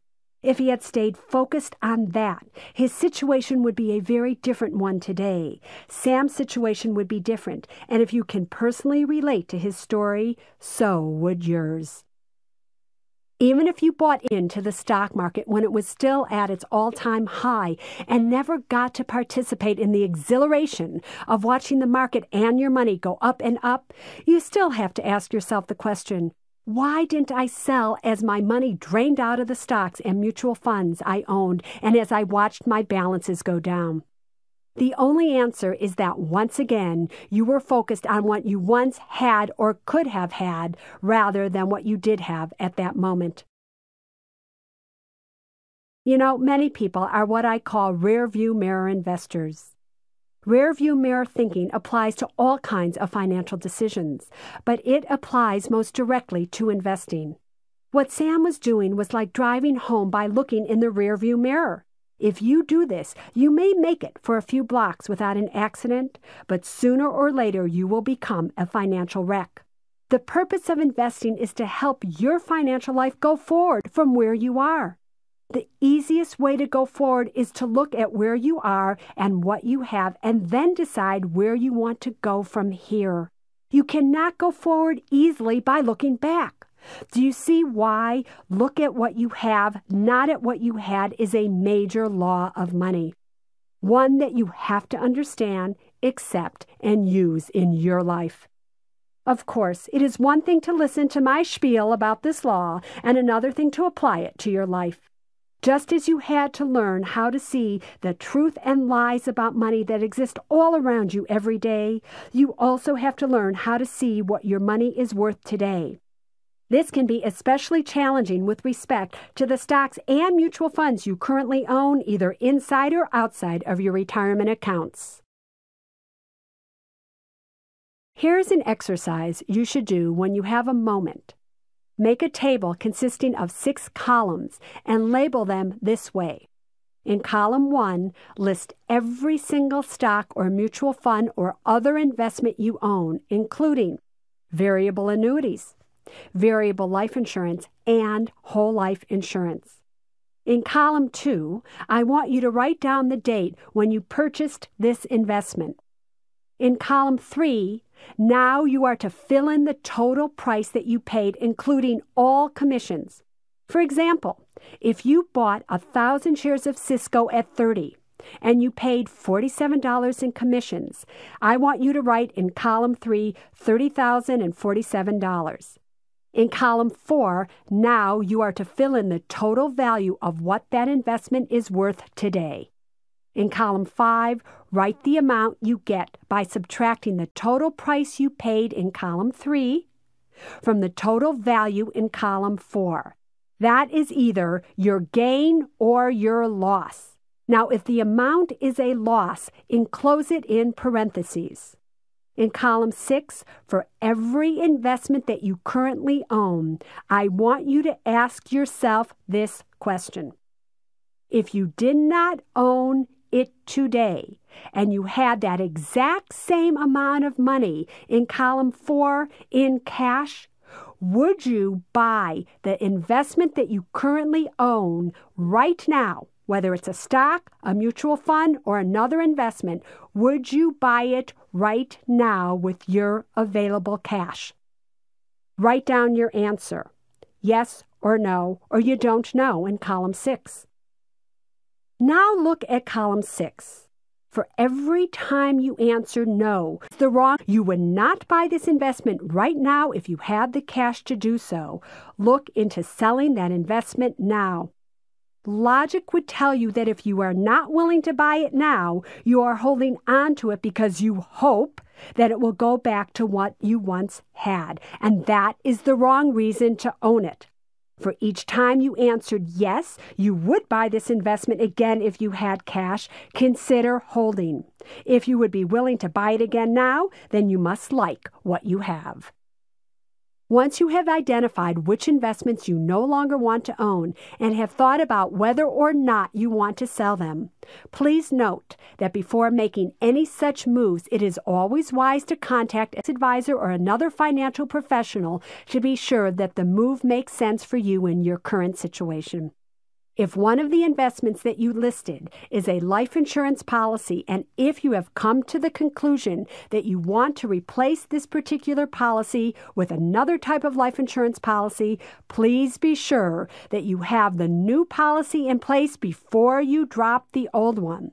If you are simply dropping a policy because you are sure that you do not need insurance at all, you listen to me now. You do not do anything until you have had a medical checkup to make sure that you are in perfect health. Once you have done that, you then can drop the policy if you feel safe in doing so. Again, the law of looking at what you have applies to more than your money. It applies to every aspect of your life. It does not matter if you were once in love with the man or woman of your dreams, that man or woman is gone, and action must go on from here. It does not matter if you used to weigh 120, you now weigh 170 and must decide what to do about it from here. It doesn't matter that you were once debt free and now have $15,000 worth of credit card debt. You need to take action from here. And don't worry, because in Law 4, I'm going to tell you the exact actions you need to take to get rid of this credit card debt.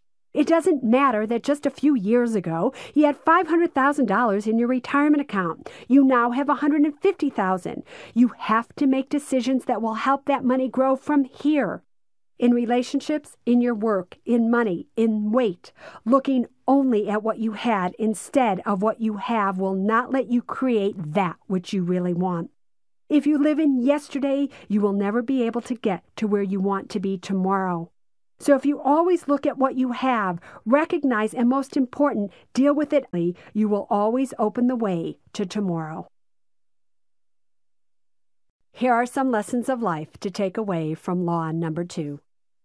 There's nothing constructive about habitually comparing yourself and your money to something that no longer exists.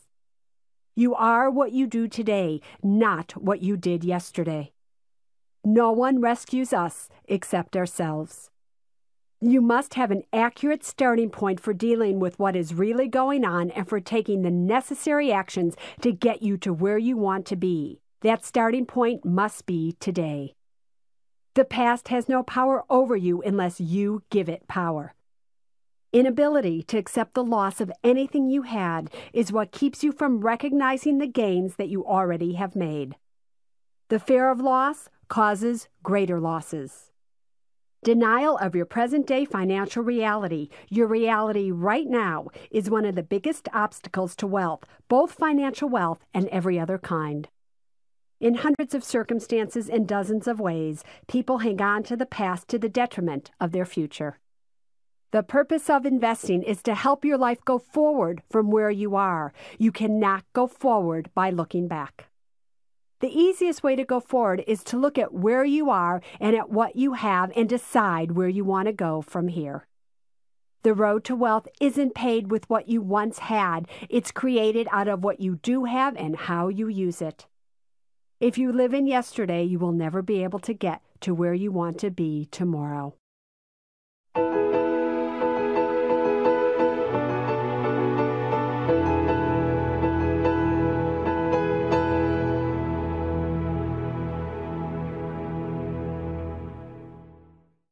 Law number three do what is right for you before you do what is right for your money. This particular law can really be shortened to people first, then money. The principle at its heart is tied with the second commandment, which forbids us from putting graven images or idols or love of money before our consideration of a power of greater importance. In a similar way, your spirit and your happiness are, in my opinion, far more important than your money. I'm sure you would agree with this. In fact, this law helps you realize that the true goal of money is not simply to make more with the money you have, but to help you feel financially secure, safe, protected, and happy. Your money should guard and take care of you. Your primary job is not to guard and tend your money. And you know how fervently I believe that you must pay attention to your money and take care of it. So you see what an important law this is to understand. Since you've learned to tell the truth about your money, and now you know to look only at what you have, you're ready to learn to do what's right for you before you do what's right for your money. Remember, you first, your spirit first, people first, before money. Law 3 is also the most personal law. Everyone has different tastes and styles of dress and investing. You have your own emotional threshold for financial risk, reward, safety, uncertainty, and satisfaction. If you always count on others to tell you what is best for you to do in your life and with your money, you may very likely live a life in which you have been left out of the equation. In the previous two laws, we saw that when it comes to the actions you take with your money, there are cut and dried guidelines. Is it true or false? Are you living in the past or the present? Here, however, the thought processes and the actions that result from following this law will be unique to you. For though this is a universal truth, the solution to your own particular money problems or questions will be highly individual. Over the course of your lifetime, you will meet many different people and you will also become many different people. Most likely, you will find that your individual circumstances, income, desires, and goals will change. As they do, you will need to make financial decisions from new and different perspectives. If you are young and ambitious, for example, you may want to take on student loans to help you pursue your dreams, even though the idea of beginning your adult life with that much debt is daunting. If you take a partner in life and you want that partnership to succeed and be harmonious, you will have to make many of your financial decisions according to what is best for both of you. If you have children, they will become a priority in financial planning for 20 years or more. As you get older, your financial timetable will change too. You will still need to make choices out of a realistic understanding of today's circumstances, see the truth about your present, and keep an eye out for the future. You will also need to plan for your or your partner's death. Who are you financially speaking? Well, that is a difficult question because the answer depends on your age, assets, goals, earnings, tax brackets, and financial obligations. Who are you non financially? That question can be difficult to answer as well because it involves your character, dreams, and emotions. Yet this answer plays a crucial, perhaps the most crucial role in the financial decisions that you make. The best way to let you see how strongly I believe in Law 3 is to share with you some of the profound experiences I have had with it. To me, these prove the truth of this universal principle. My last book tour ended on the night of September 10, 2001. I had been all over the country for two months, talking to thousands and thousands of people about the stock market, the economy, and what we could expect next. I had not been back to my apartment in New York City for at least seven weeks and was looking forward to it more than I can say. I was to leave on September 11th to fly back to the city from West Chester, Pennsylvania via helicopter. I was excited about taking the helicopter ride because it provided one of the most beautiful scenes in the world as it flew past the World Trade Center, over all the other buildings, and landed on 34th Street right next to the East River. God, what a sight that was! Yet that morning, as I was packing to leave, the first plane hit the World Trade Center and the world stopped in its tracks. The next day, I managed to drive back to New York, seeing in the distance the terrible cloud of smoke towering over the city. I had been called by friends at CNBC to appear on some of their talk shows to talk about what we could expect to happen to our money and what we should do.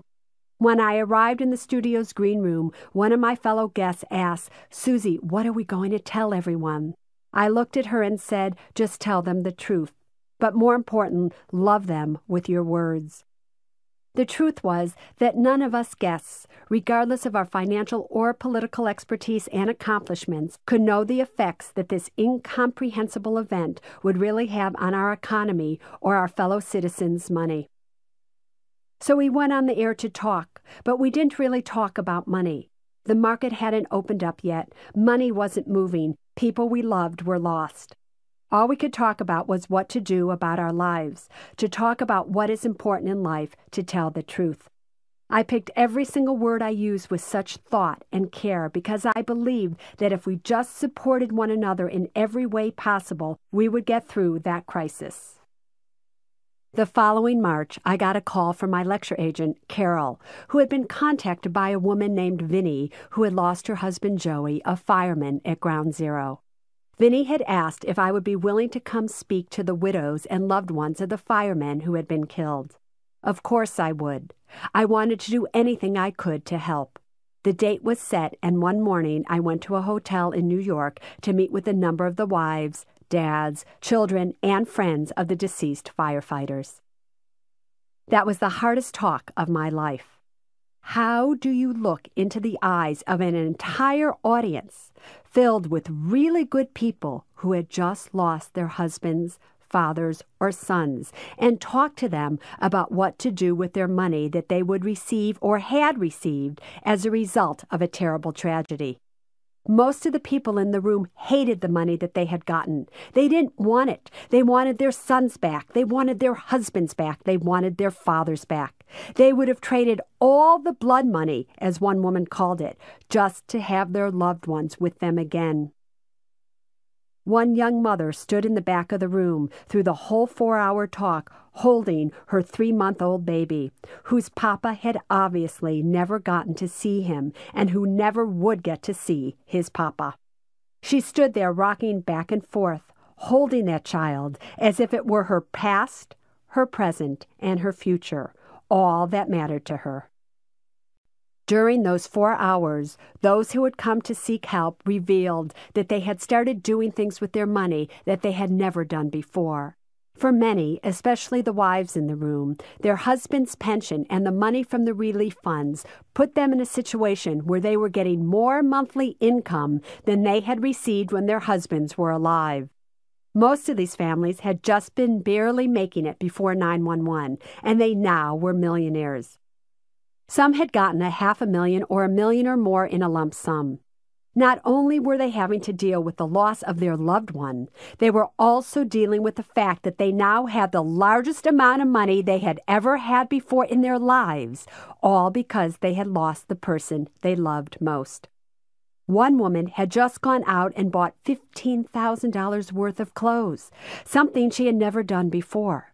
She didn't even need them and didn't know why she bought them.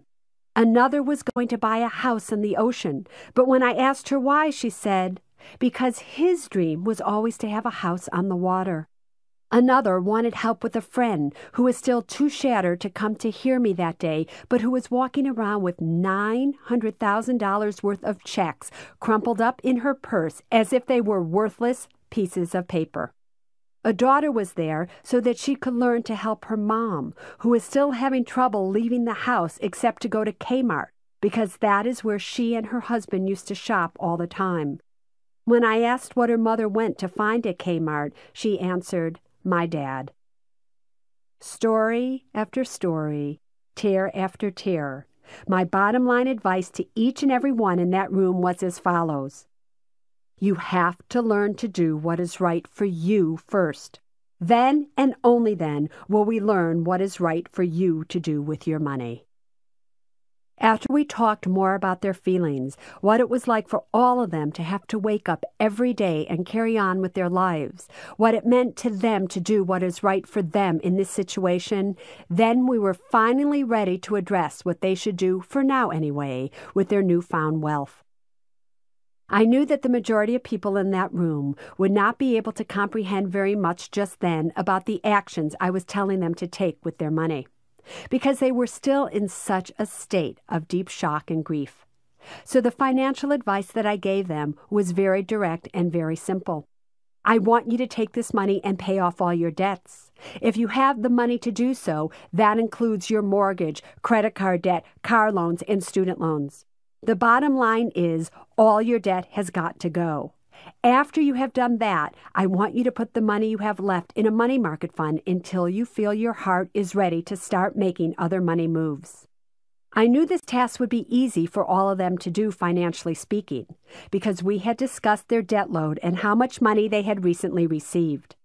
When I asked if anyone in the room felt it would be a financial strain to do this, no one raised a hand.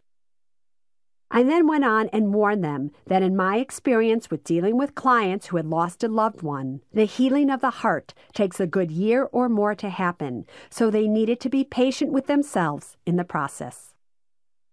They were not to worry about letting their money sit in a place that was safe and sound, such as a money market fund or a federally insured savings account.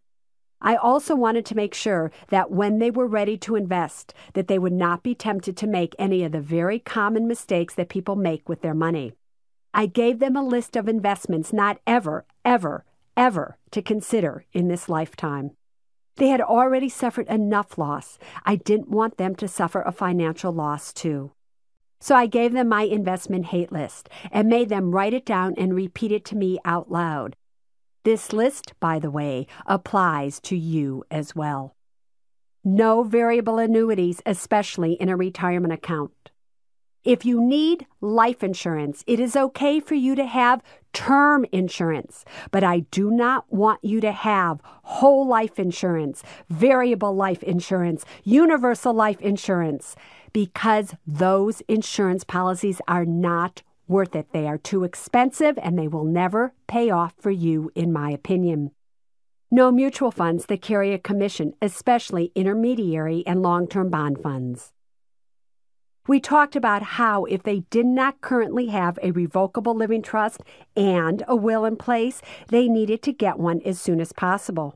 They needed this now more than ever because many of them had become single parents and had to take steps to make sure that they were protecting their kids and then, of course, their money. Without a will and trust, on their own death, the state might get a good chunk of their money. I had to ask them hard questions such as Who would take care of your kids if something happened to you? Who would take care of your kids' money? Here you are at the age of 20, 30, 40, and you don't have a clue about what to do with the money you just got. What do you think your kids would do with it? I explained that if they did not have the right documents in place, not only were they jeopardizing their kids' financial future, but a good portion of this money might also be lost unnecessarily. So again, they had to do what was right for them, for their kids, and then for their money. In the aftermath of 9 11, my focus and the focus of many other financial advisors has been on people first, then money. It should not have taken two buildings to come down in the middle of New York City to get us back in touch with this natural law. Please understand, as much as I love to teach about money and talk about the laws of money, none of that would even matter if you were not here. So let's take care of you first, then take care of those you love. We must never forget that a human life is the most important thing in this world. Without you in your world, nothing else would exist. Over the years, I have continually examined what Law 3 really means and tried to answer questions about how you know what is right for you, especially when you are talking about money. Is buying a stock only right if you buy a stock and it goes up? How do you know if it's right for you to go into a money market fund instead of a good diversified stock portfolio? Is it right to keep the house that you love even if you do not have the money to pay for it or any of your other bills? Is it right for you to follow your dreams, even if that means living on much less than you expected? Maybe yes, maybe no. In a nutshell, what I have learned is that this law means that before you look at financial decisions, at stocks, homes, cars, college education. You have to know and do what feels right to you, what feels safe for you, what empowers you, what helps you grow, and what works for you emotionally and mentally. After all that, then you really do have the ability to make intelligent moves with your money. If you know what you feel about yourself and your money in this moment, then you tend not to buy stocks or sell stocks at the wrong time. You are not tempted to purchase something that would get you further into debt, and you rarely make financial decisions that would jeopardize your financial future. When you know what is right for you, the answers to your money questions, stocks, mutual funds, new purchases, are all obvious and correct for you. Sure, you may get scared and uncertain and be tempted to sell quickly. Or you may feel desperate because of losses and thus be tempted by a tip that promises a sure thing. But if you follow the guidelines I've mentioned, you will be better able to quell those emotions so that you do what's right for you. Each person has a set of financial priorities that are right just for him. Just as no one has your fingerprints, no one else has your particular way of living life, handling money, or making decisions. Everyone is different. When we stop comparing ourselves to others, we can really accept who we are and who others are much more easily. And once we accept who we are, we can make decisions about our money based on our makeup, our need for safety, our tolerance for fear and risk, the amount of worry we generate, our optimism, and our pessimism. It's all the part of the you that we are talking about in Do What Is Right for You. Doing what is right is easy once you know who you are. But if you don't know who you are, nothing you do with your money will ever feel right. Imagine that you are sitting by yourself in a restaurant. In the next booth, two women are in such a heated conversation about money that you cannot help overhearing every word that they say. I just can't stand it anymore. Every time I open my retirement account statement and look at my investments, I want to run screaming out the door. There isn't a single stock that has gone up from where I purchased it, and over the last year, I have lost more than $100,000 of what I had. I can't afford to lose this money. What if something happened to the business? What am I going to do? Lately, I can't even look at the statements.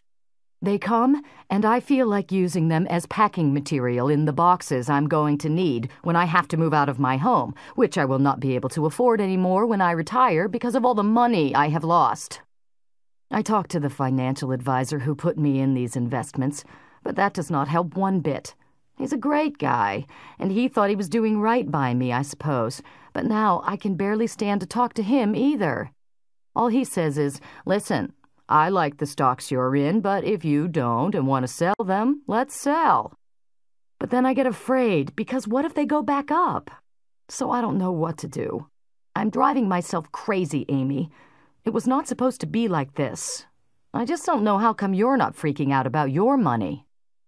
I don't know, Chris, but I'm not. Listen, just like yours are, my investments are down too.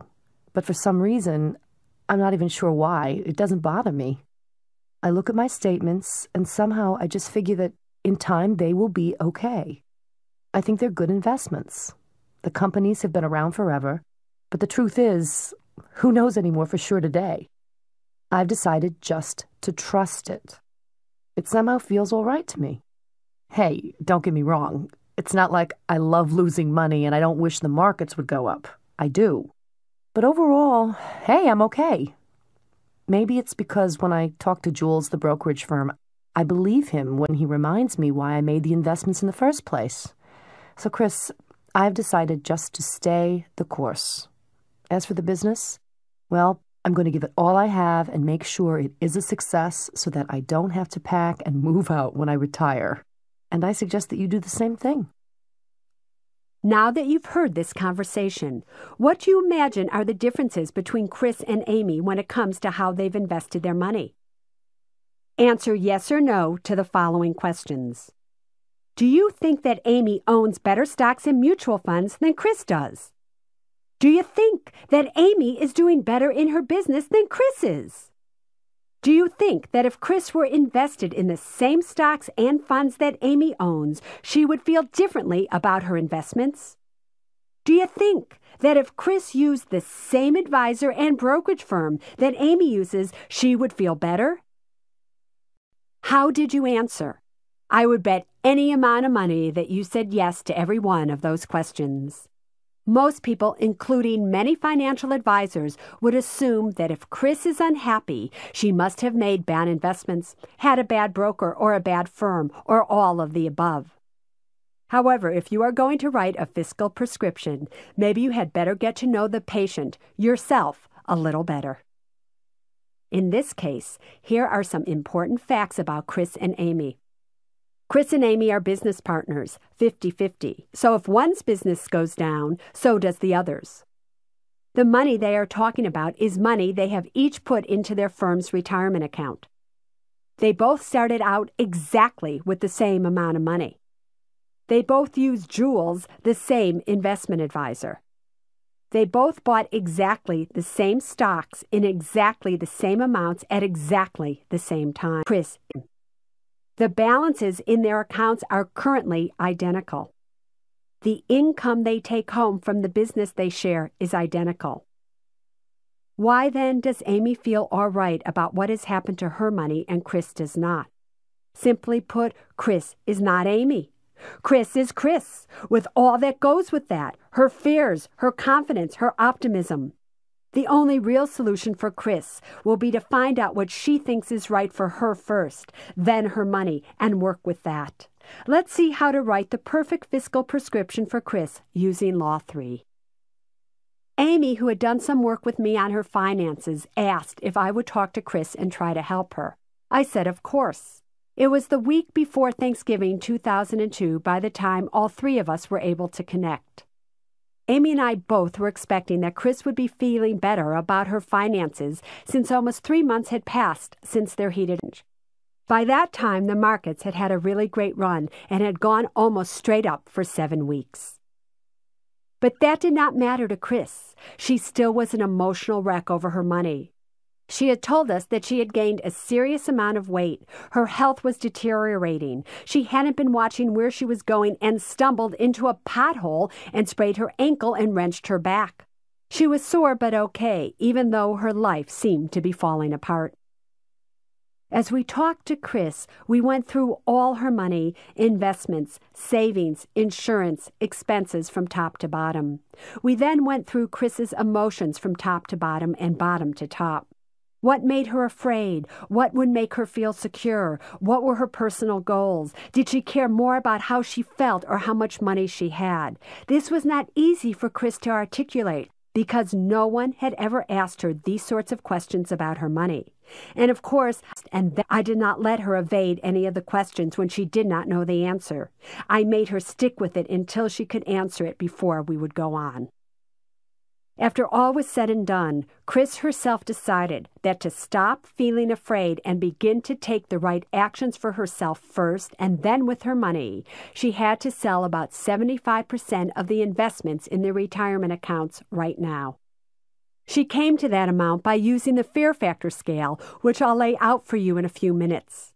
By selling 75% of what she had that day, she knew she would be okay financially speaking, no matter what happened with the 25% that remained invested in the stock market.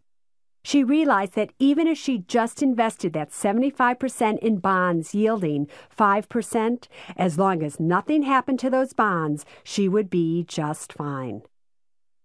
As soon as she made that decision, we made a conference call to Amy and Chris's Jules and told him of her decisions. Jules did not try to talk her out of it, but agreed with her all the way.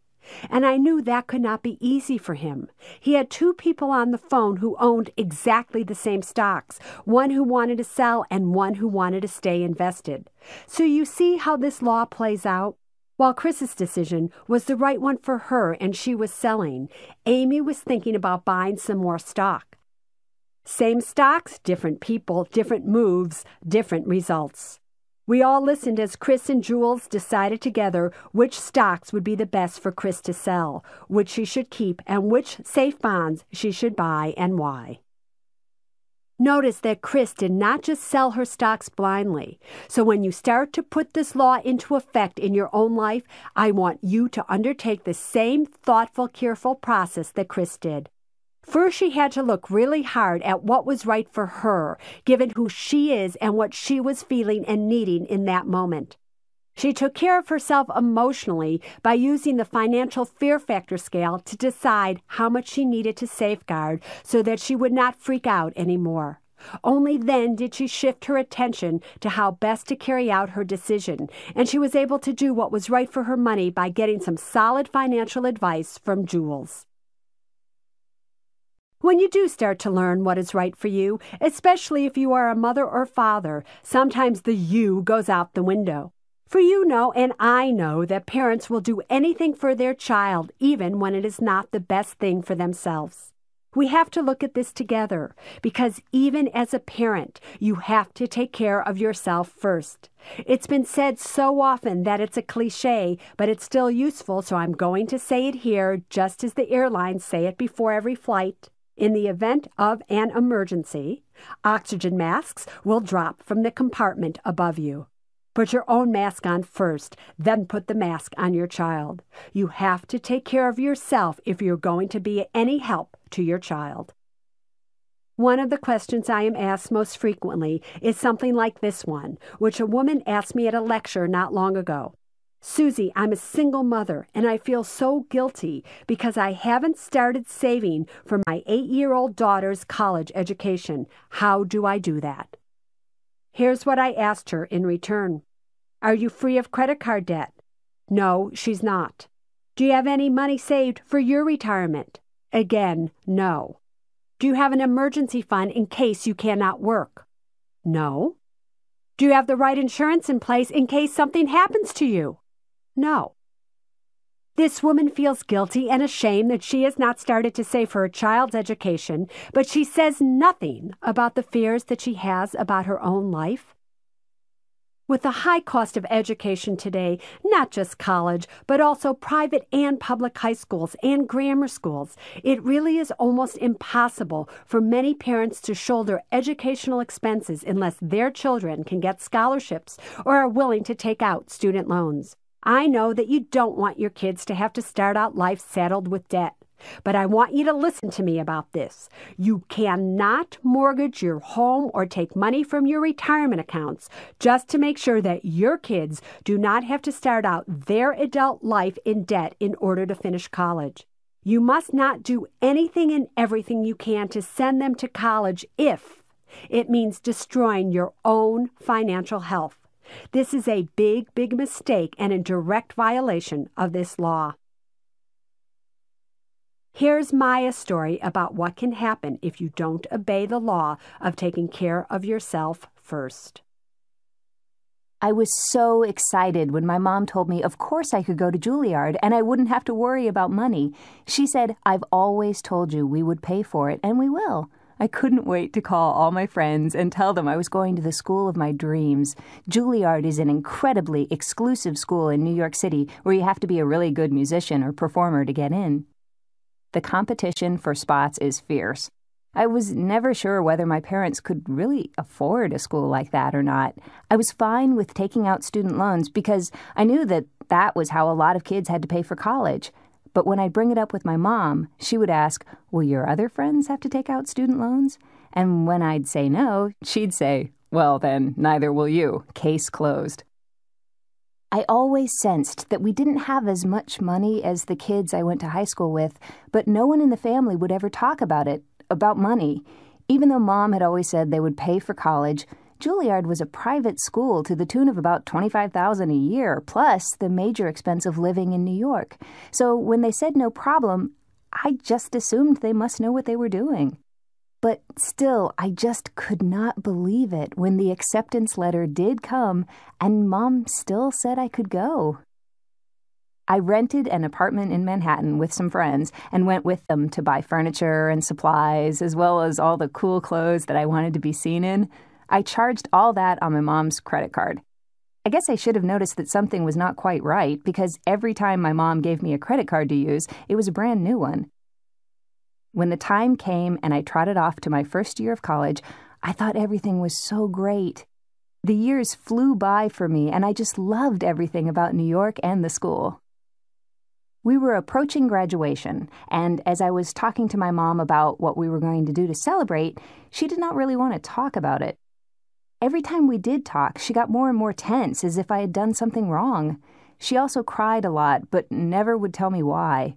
When my dad would come into New York to visit me, he would tell me not to worry about mom, that she was just going through a phase. It wasn't until my parents came to my graduation that I finally got that something was really wrong. We had the greatest day, and I was so proud to go up there and get my degree.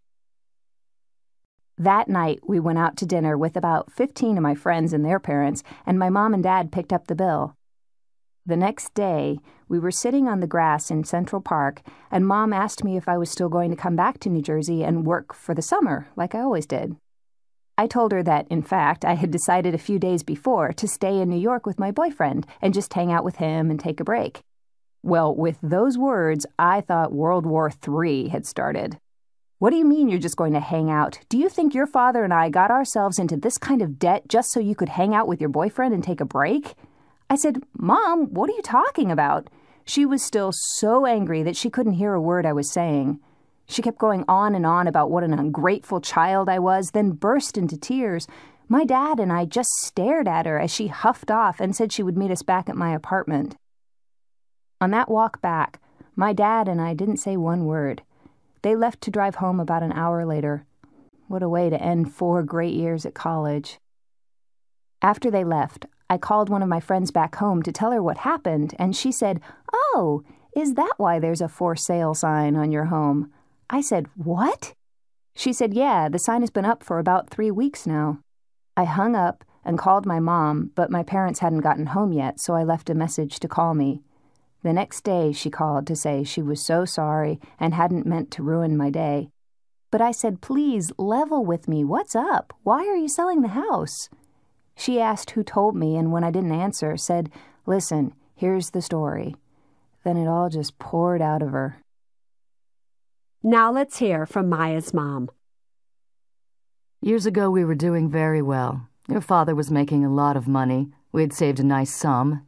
And then everything seemed to go wrong. When we moved to the new neighborhood, we thought we would eventually start to make more money so that we could afford this house as well as the vacation home we still had. But that didn't happen. Your father's business started to get in trouble, so to keep it going, we used up our savings. You were the most important thing in the world to us, and we wanted to give you the best. So we did, always thinking that things would turn around for us. We just kept spending money like everything was okay, but it never did turn around. Remember how we tried to sell the vacation home and how I started teaching those art classes? That is because we had no sources of money left. I had been robbing Peter to pay Paul, and here we are ten years later, and there is no one left to rob. Your father and I are in serious financial trouble. We're over $70,000 in credit card debt. We've borrowed everything we already could over all these years from Dad's parents, we're three months behind in our mortgage payments. Our car just broke down and we have no money to fix it. We've maxed out on our credit cards and we can't even afford to pay the minimum on most of them. The vacation home still hasn't sold, and we've already taken out all the equity from it, as well as from the house, and can't make the payments on them either. We just got hit with a tax bill saying we owed back taxes. With penalties, that bill comes to over $100,000. Your father has been out of work for almost five years, and finally he's had to take a job paying $8 an hour at a collection agency. We have $17,000 a month in bills because of all the creditors we owe money to, and all we have coming in is about $2,500 a month between the two of us. We're about to lose this house, our vacation home, and we have nothing at all to fall back on. So, here we are, at the age of 50, in such hot water that our only option is to put this house up for sale to give us some money to live on. We found a small one bedroom apartment we can take when our house sells, and we'll just try to take it one day at a time.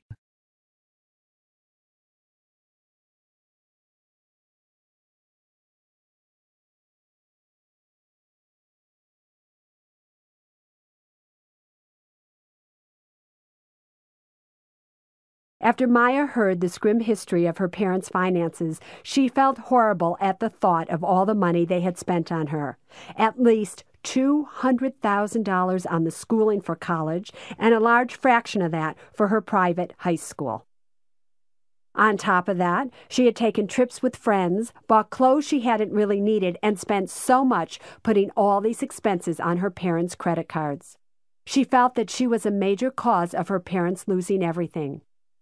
She would have gladly gone out and gotten student loans, and perhaps would have thought twice about going to Juilliard to get her degree if she had known the real state of her family's finances. She felt betrayed and that they hadn't had the faith in her to tell her the truth about their financial situation. But mainly, she just felt stupid that she had not seen all the financial warning signs which looked so obvious as she thought back on them. I am sure as you heard Maya speaking, you were wondering whether all that could happen to just one couple. In fact, while the names and sometimes the locations are different, the stories I'm telling you, including Maya's, are true. This program is about the lessons we learn in life that money somehow seems always to teach us. Maya's situation is not that unusual. Her parents and many other mothers and fathers around the world are living in direct violation of all the laws of money, especially Law 3. As you may have started to notice, when you are in violation of one law, you usually are in violation of all of them. Let's look at these first three laws for example. Maya's parents were not telling Maya or the world the truth about who they really were. Law 1. Maya's parents were spending money as if they still had it and not in accordance with what they currently have. Law 2. Maya's parents were not doing what was right for them on any level, and their money was showing it. Law 3. How could it have been different if Maya's parents had been abiding by the laws of money? They would have chosen from the start to tell Maya the truth.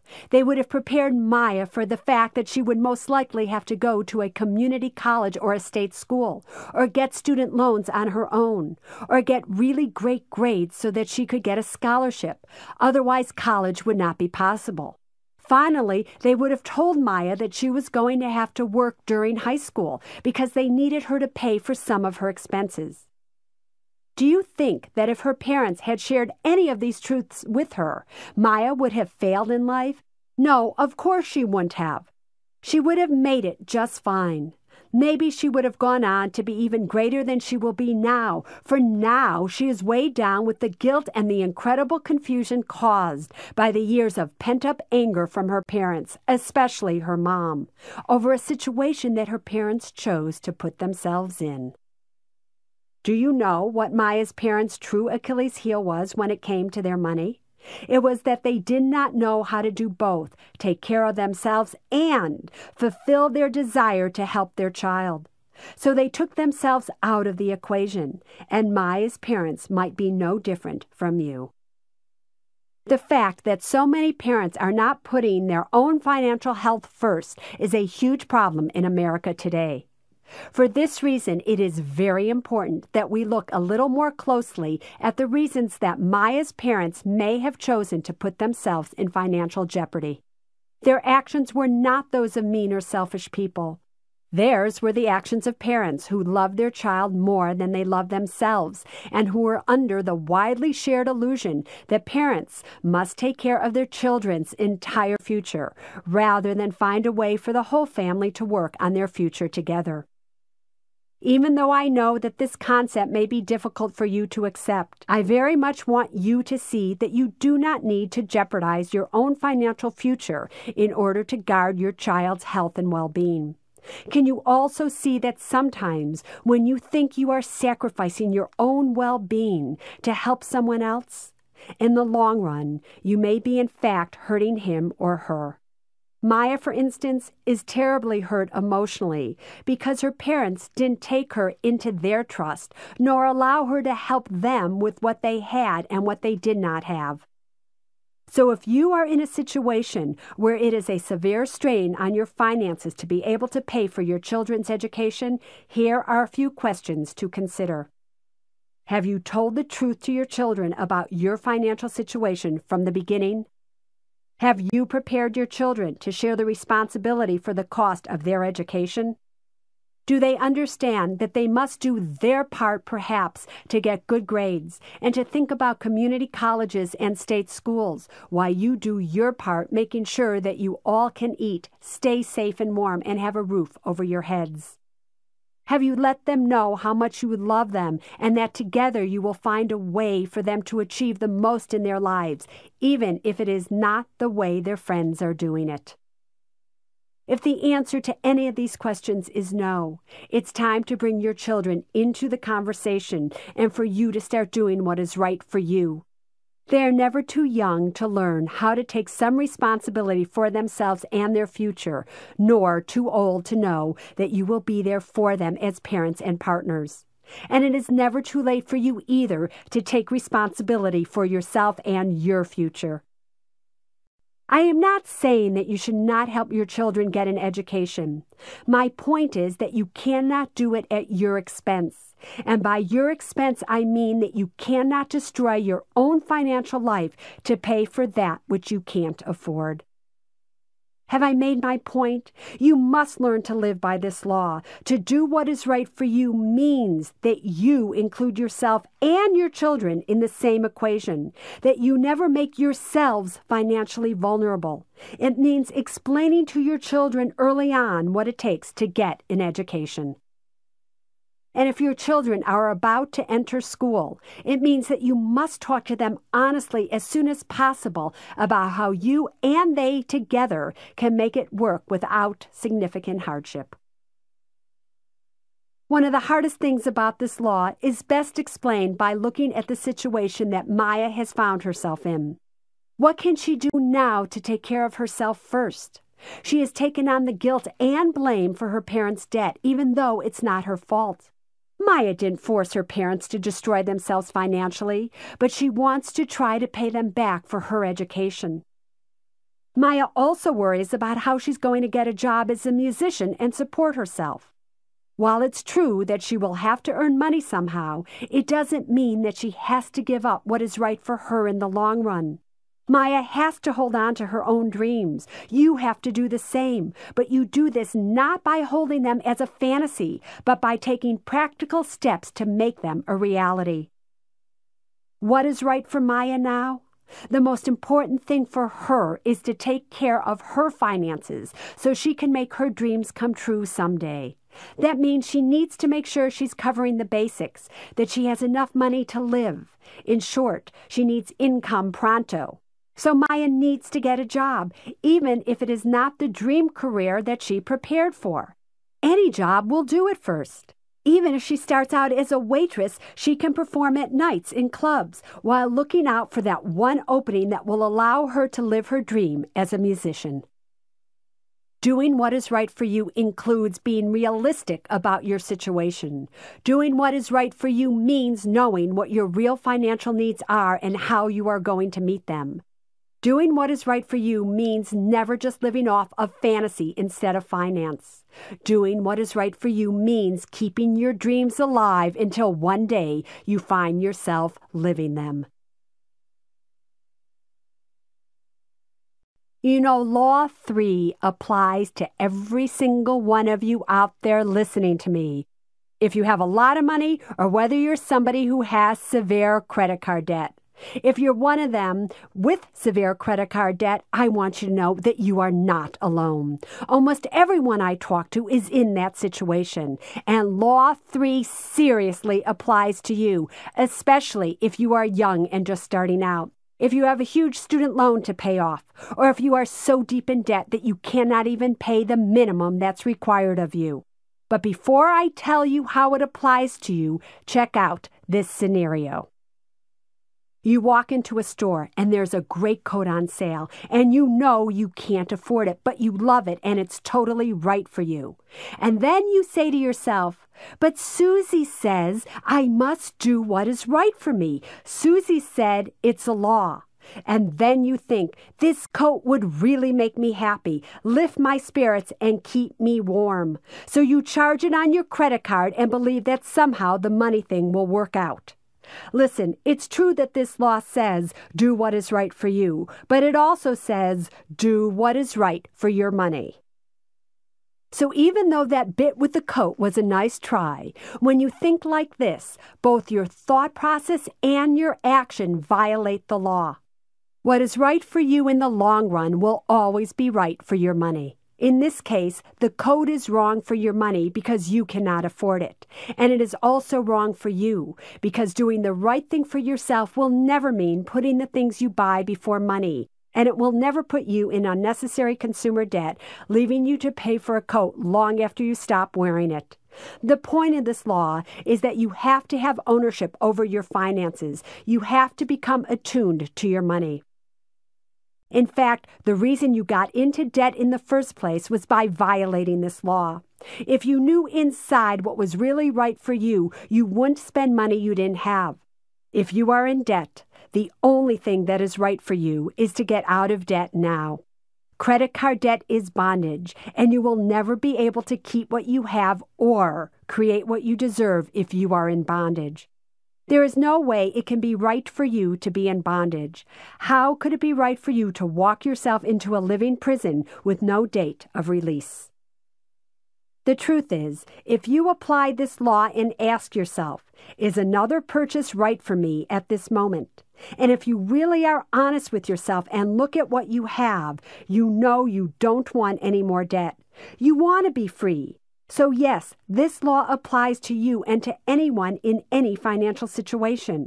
I go into greater detail about the financial actions you can take to get out of debt in the next section on Law 4.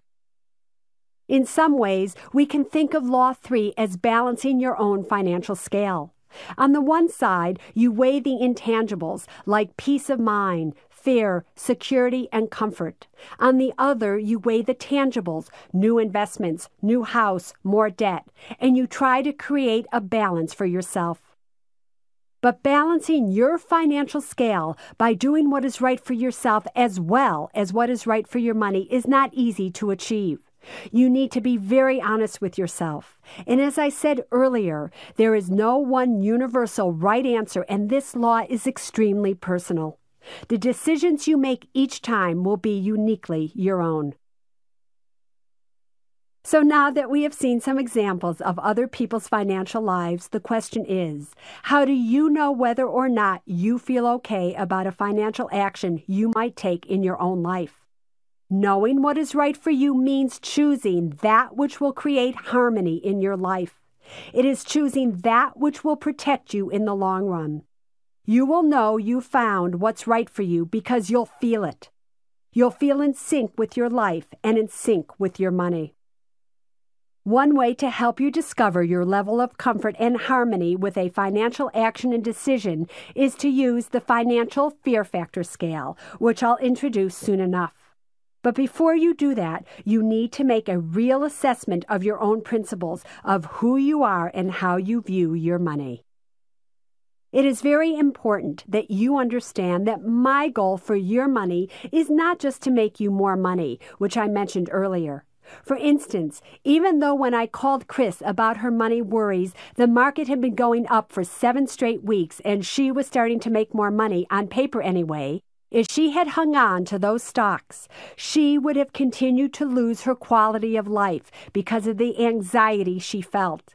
It's not that she was right and Amy was wrong. Finding what is right for you is not about making someone else out to be wrong. It's a highly personal process. I think the goal of money is to make you feel more secure, to give you more freedom, and to let you have more control over your life. And that is exactly what started to happen to Chris as soon as she sold. So, what you need to know is what makes you secure, what makes you insecure.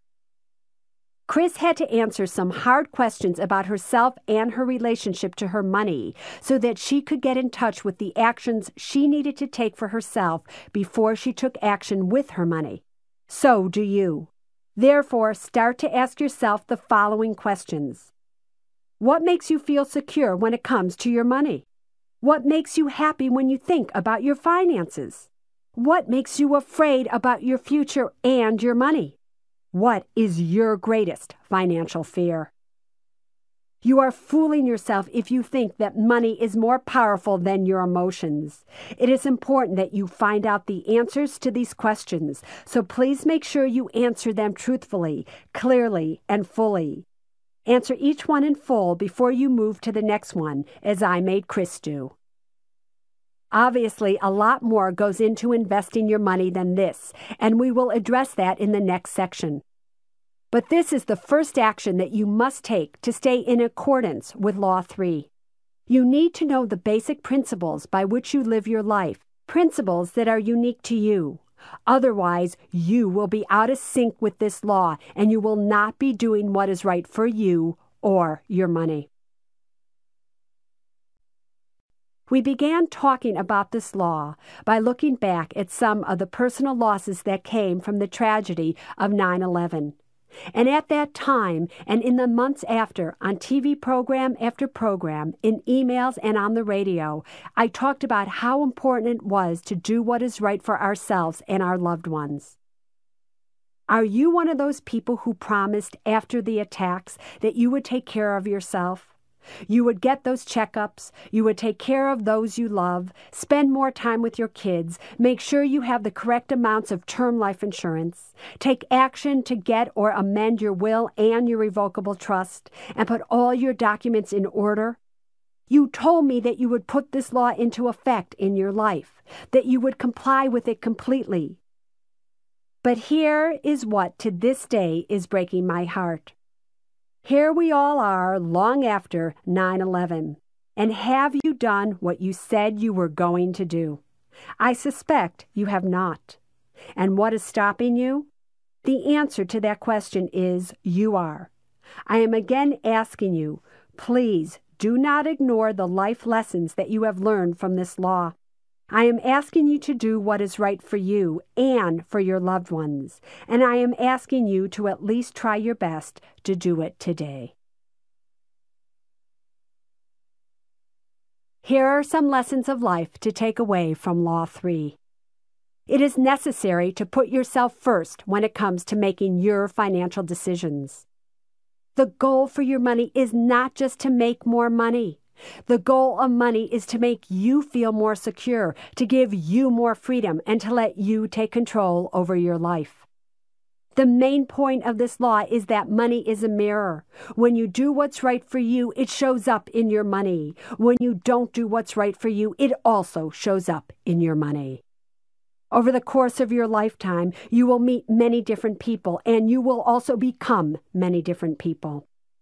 You must never forget a human life is the most important thing in this world. Without you in your world, nothing else would exist. Each person has his or her own set of financial priorities that are right just for him or her. Just as no one has your fingerprints, no one has your particular way of living life, handling money, or making decisions. Everyone is different. When you stop comparing yourself to others, you can really accept who you are and who others are much more easily. And once you accept who you are, you can make decisions about your money based on your makeup, your need for safety, your tolerance for fear and risk, the amount of worry you generate, your optimism, and your pessimism. Doing what is right is easy once you know who you are. But if you don't know who you are, nothing you do with your money will ever feel right. And here are some special lessons of life for parents.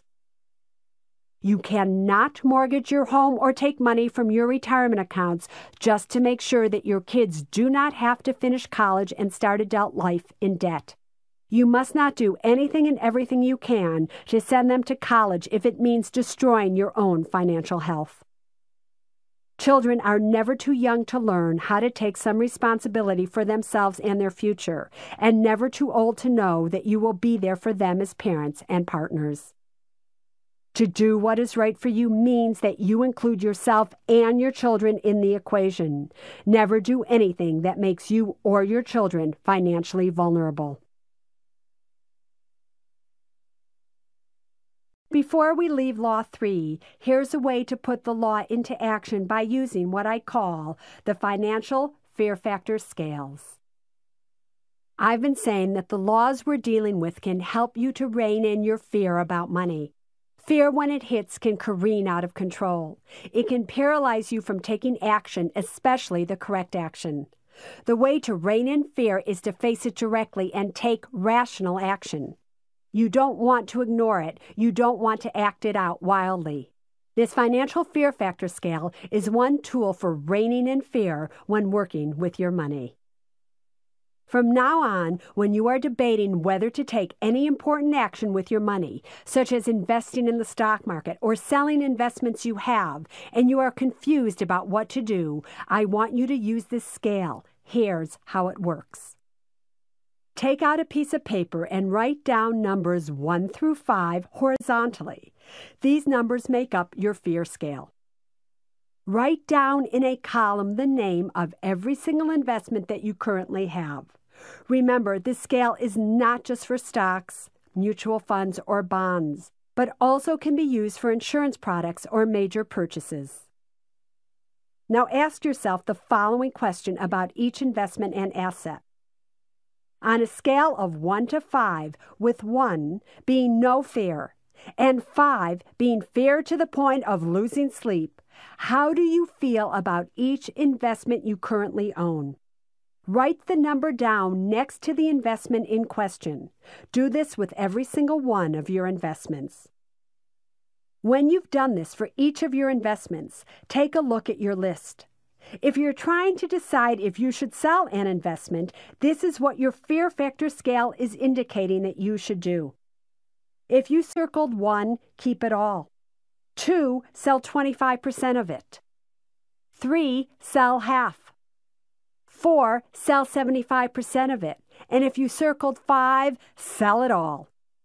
Do the same thing with any new investment or purchase you are considering making.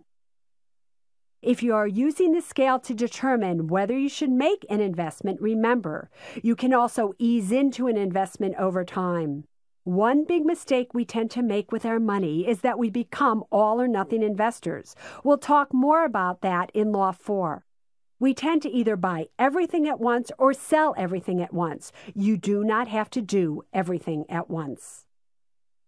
If you use the financial fear factor scale to purchase an investment, this is how it will work. Decide on the investment and the amount of money that you are thinking about investing it in. Let's say, for example, that your financial advisor has called you and told you about a great mutual fund. Please use any amount in the following example. Let's say that $10,000 of your money has been safe and sound in a money market fund. But since interest rates are so low on money market funds, he is suggesting that you take that $10,000 and invest all $10,000 in the stock market via a mutual fund he recommends. It sounds good, but you are not exactly sure this is what you want to do with all your money. Even though you have hesitations, you tell yourself that he must know what is good for your money, right? Maybe he does, but maybe he doesn't. As Law 3 says, all that matters is whether it is right for you, how it will make you feel. If you invest and are scared to death and start losing sleep, then you are putting money before you and you are breaking this law. If you are confused about what to do when making such an investment, please ask yourself the following question if you were to take all $10,000 and put it in this investment right here and now, how would it make you feel? Again, using the scale from 1 to 5, with 1 being very little or no fear and 5 being fear to the point of terror, how do you feel about this potential investment? This is what the financial fear factor scale tells you. If you circled 1, you feel safe in buying.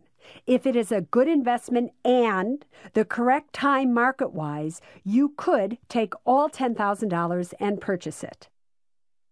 If two, hold back 25% of the money that you were going to invest.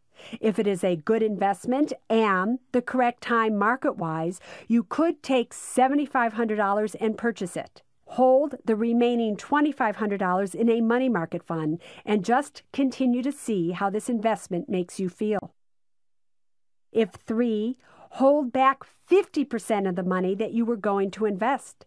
If it is a good investment and the correct time market wise, you could take $5,000 and purchase it. Hold the remaining $5,000 in a money market fund and just continue to see how this investment makes you feel.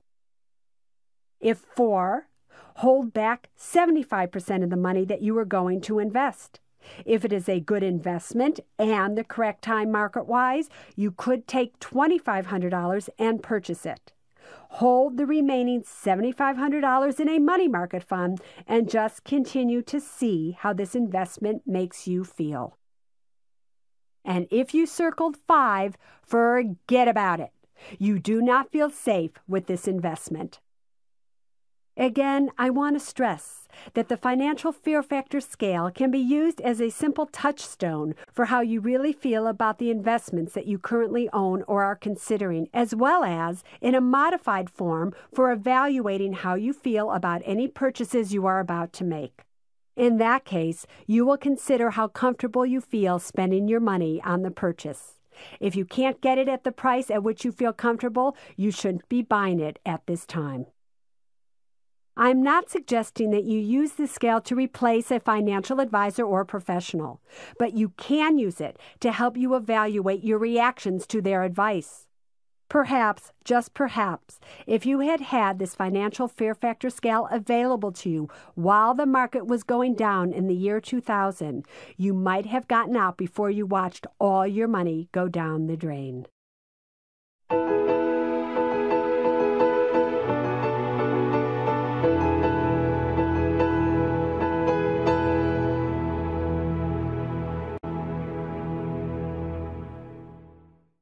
Law number four invest in the known before the unknown. Starting in 2001, I found myself hearing the same questions and problems from my readers and my radio and television audience over and over again. Here's a sample. I don't know what to do. I've lost all my money and I'm 65 years old. I don't know what to do. I just got laid off from my job and no one is hiring. Soon I'm going to be totally out of money. I don't know what to do. I want to buy a home, but the prices just keep going up. I don't know what to do because interest rates are so low that my interest income will not pay my bills anymore. I don't know what to do about the creditors who keep calling. They're threatening to sue me if I don't pay them, but I don't have the money. I don't know what to do. Should I sell my stocks or just hold on? It was as if those words, I don't know what to do, became a kind of desperate refrain, a bad, out of control financial mantra. But then, why would anyone know what to do when almost none of the financial experts agreed with one another and were giving conflicting advice? If the experts were confused, how were you supposed to know what to do?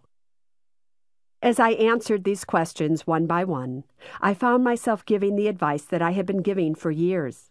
But even though the advice was the same, I realized I needed to restate it clearly and simply so that you could really understand that when it comes to your money today, you confront more economic uncertainty, or what I call unknowns, than at any other time that I can remember.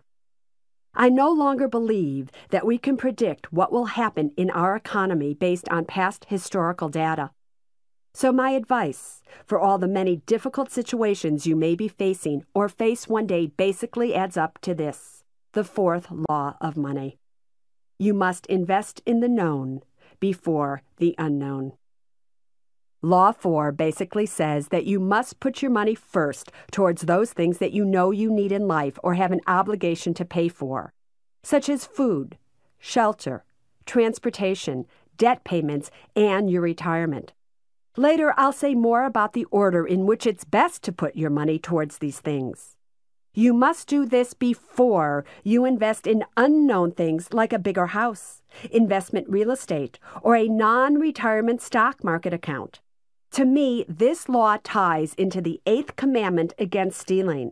Why? Because I want you to see that when you invest in the unknown before you invest in the known, you are really stealing from yourself. You're stealing from your safety, your well being, and your future. You're probably also stealing from your family's safety and well being.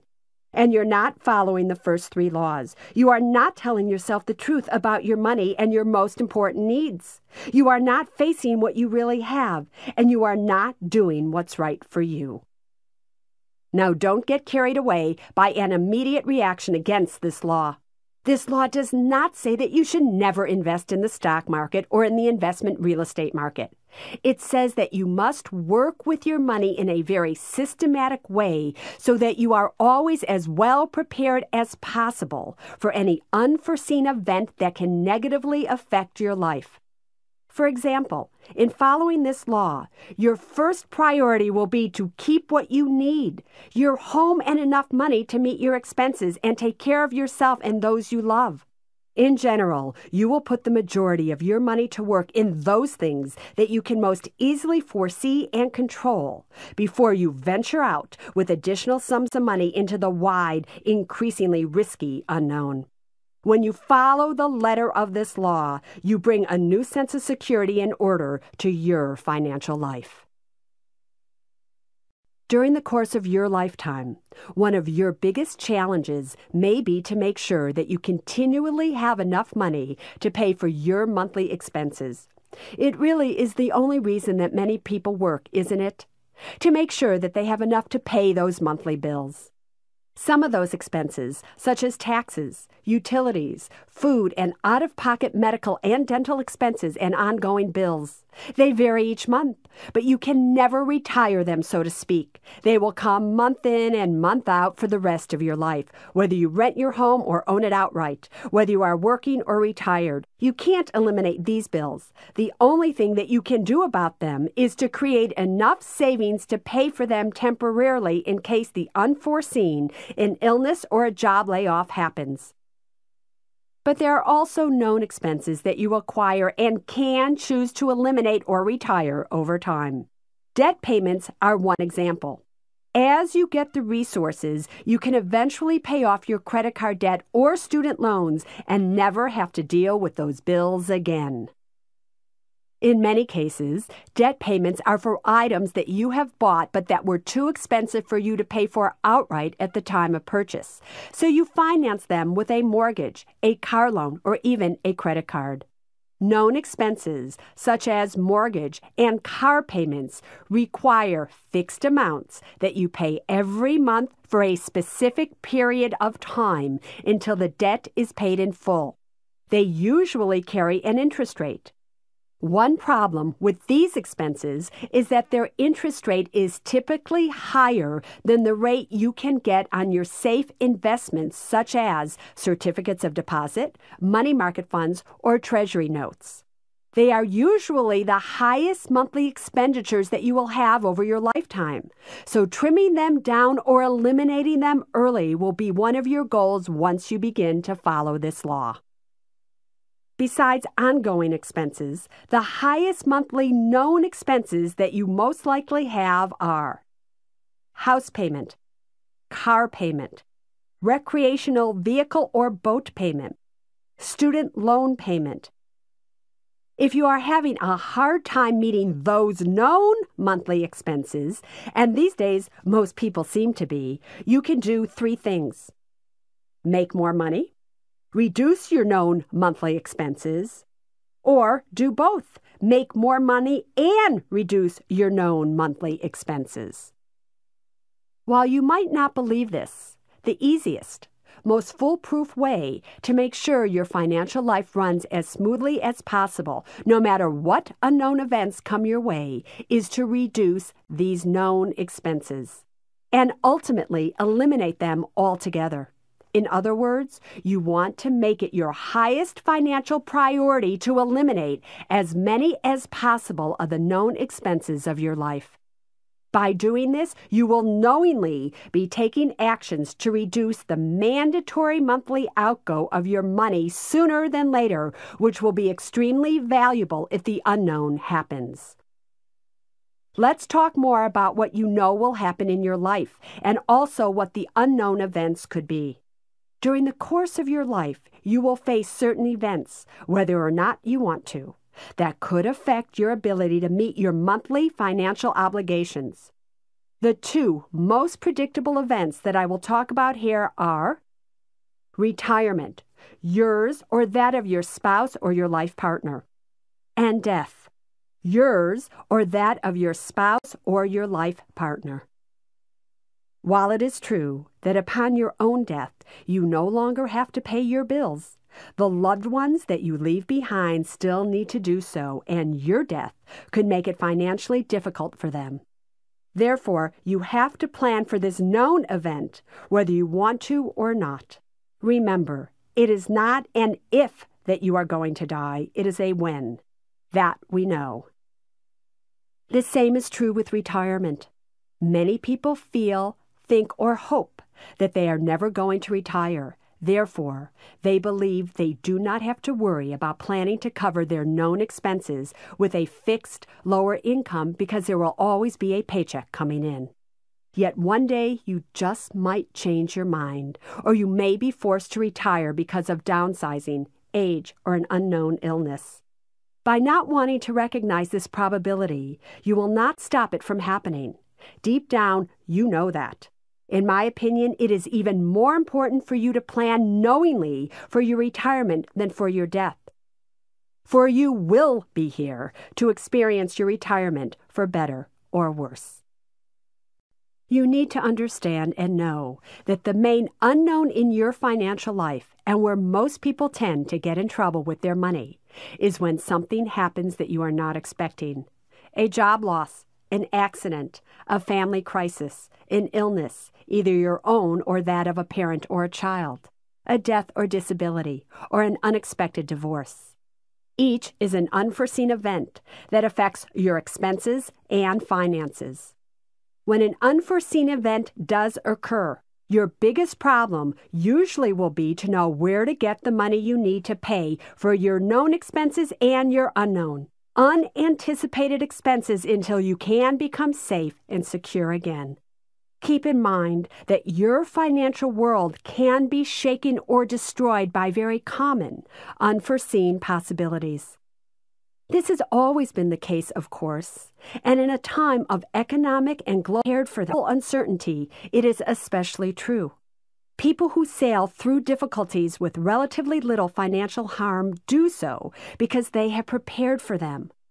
We'll talk more about how to do this because you cannot predict when and where an unforeseen event is going to hit.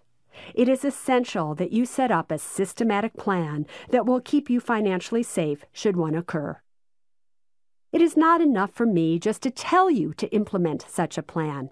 You also need to understand why you should take certain steps, such as setting up an emergency fund, buying rather than leasing a car, and paying off your home mortgage. So I'm going to explain to you why you need to put this law into action so that you are prepared when other financial advisors give you conflicting information. You know, other financial advisors may say, no, no, don't you dare set up an emergency. Invest in the stock market instead. Or buy more investment real estate, lease that new car, continue to get yourself more and more in debt, and buy, buy, buy. I want to show you why, in my opinion, debt is the enemy of the security I want you to have and why it's against the laws of money. In this discussion of Law 4, you'll find few stories about other people. For when it comes to what you actually need to do with your money, you don't need to hear anyone else's story. You just need to use your own life as an example. This law comes after Law 3, the most personal law the law in which you have to do what's right for yourself first and then your money. Law 4, by contrast, is the most impersonal law. It describes the actions that all of us must take. But in order to take action in the rational way you need to, you need to have done the work of telling yourself the truth, of knowing what you have and what you need. Let's start talking about the known dangers of credit card debt. When the unforeseen, such as a layoff or unexpected illness, strikes, we often turn to credit to get us through. But the truth of the matter is that many people who carry large credit card balances have not lost their job or fallen ill. They simply buy things on credit that they cannot afford to pay cash for. You may be one of these people. If so, isn't it true that you just want what you want when you want it, and because of credit cards, you can get what you want? Like Patrick, most of America is in extreme credit card debt. On average, $8,054 per household in 2002. Do you have credit card debt you cannot afford to pay off today? If so, I don't want you to dwell at length on the past, for that could paralyze you, as I explained in Law 2. But I do want you to stop and think about this. Can you remember ever saying to yourself that it's okay to charge an item that you want because next year you will be making more money and will be able to pay for it in full? If you're like most people, the answer is yes. Yet many people are now making more money than the year before and still haven't begun paying off those credit card balances. You may even still be paying just the minimum amount due on your cards each month. The fact is, when most people make more money, their debt doesn't decrease at all. It increases. How about you? Let's be honest. Has your debt actually increased as you've earned more? In order to bring your financial life out of the unknown into the known, the first step in your systematic plan must be to make paying off all debt, but especially credit card debt and other consumer debt, including car loans and personal bank loans, your first priority. Why is getting out of credit card debt so important? Because this kind of debt, in which you are paying for your present day desires at the cost of your future needs, is really a form of bondage to the past. It's a violation of laws 1 and 2 and it also makes it impossible for you to abide by Law 3. For one thing, you are paying for assets that are losing value, typically vacations, meals, electronic equipment, and clothes, which all lose their financial worth as soon as you buy or consume them. And with each payment, you consume more and more of your current and future money. Also, the interest on your credit card debt compounds. So you are robbing yourself of money from many paychecks far into the future. Make no mistake about the seriousness of being debt bound. Credit card debt is an enforceable legal obligation that you carry with you through divorce, illness, and even some kinds of bankruptcy. It says you must pay a specific amount of money on a specific date every month to a specific creditor at a specific interest rate. If the unforeseen happens, not only are you in serious legal and financial trouble, you will also find yourself in psychological bondage. Remember Patrick? Like him, when you can't pay, you will be filled with fear. And fear, like lies, repels money and is an enemy of wealth. We'll discuss this issue of money and power when we get to Law 5. When interest rates are low, as they have been in recent years, if you have any savings in a certificate of deposit or a money market fund outside your retirement accounts, you should seriously consider using some or all of this money to pay off your high interest credit card debt. I know. I know you'll say, but Suze, my savings is all I have. It's my only security. But this is a false sense of security. It is like knowing that you have a rowboat full of holes sitting outside of your house in case a flood comes. This boat probably will not stay afloat long enough to get you to where you may need to go. The same is true when you have money and you owe money. You may feel that you have a safety net, but you do not. What sense does it make to pay more interest on the money that you owe than you are getting on your savings?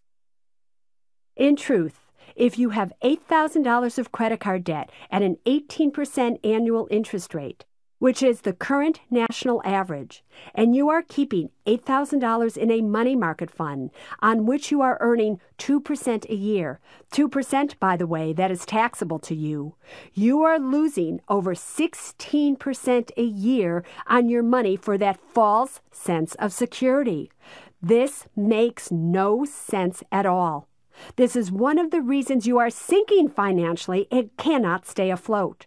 You are saving money, but it may be costing you your financial future. If you are in that situation, if you have the money to pay off your credit cards, here is what I want you to do pay off the cards. Once you've done that, take the entire payment you had been making on your cards each month and put that exact amount back into your money market fund each month. Within a relatively short period of time, you'll have your savings back and more. At the same time, you must stop charging things you don't need. Try to pay cash for any purchases you now make so you don't add to your debt.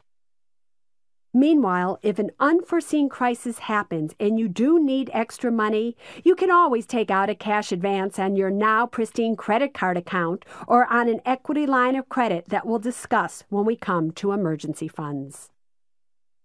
You may have noticed that the interest rate on a cash advance is higher than what you are currently paying on your credit cards.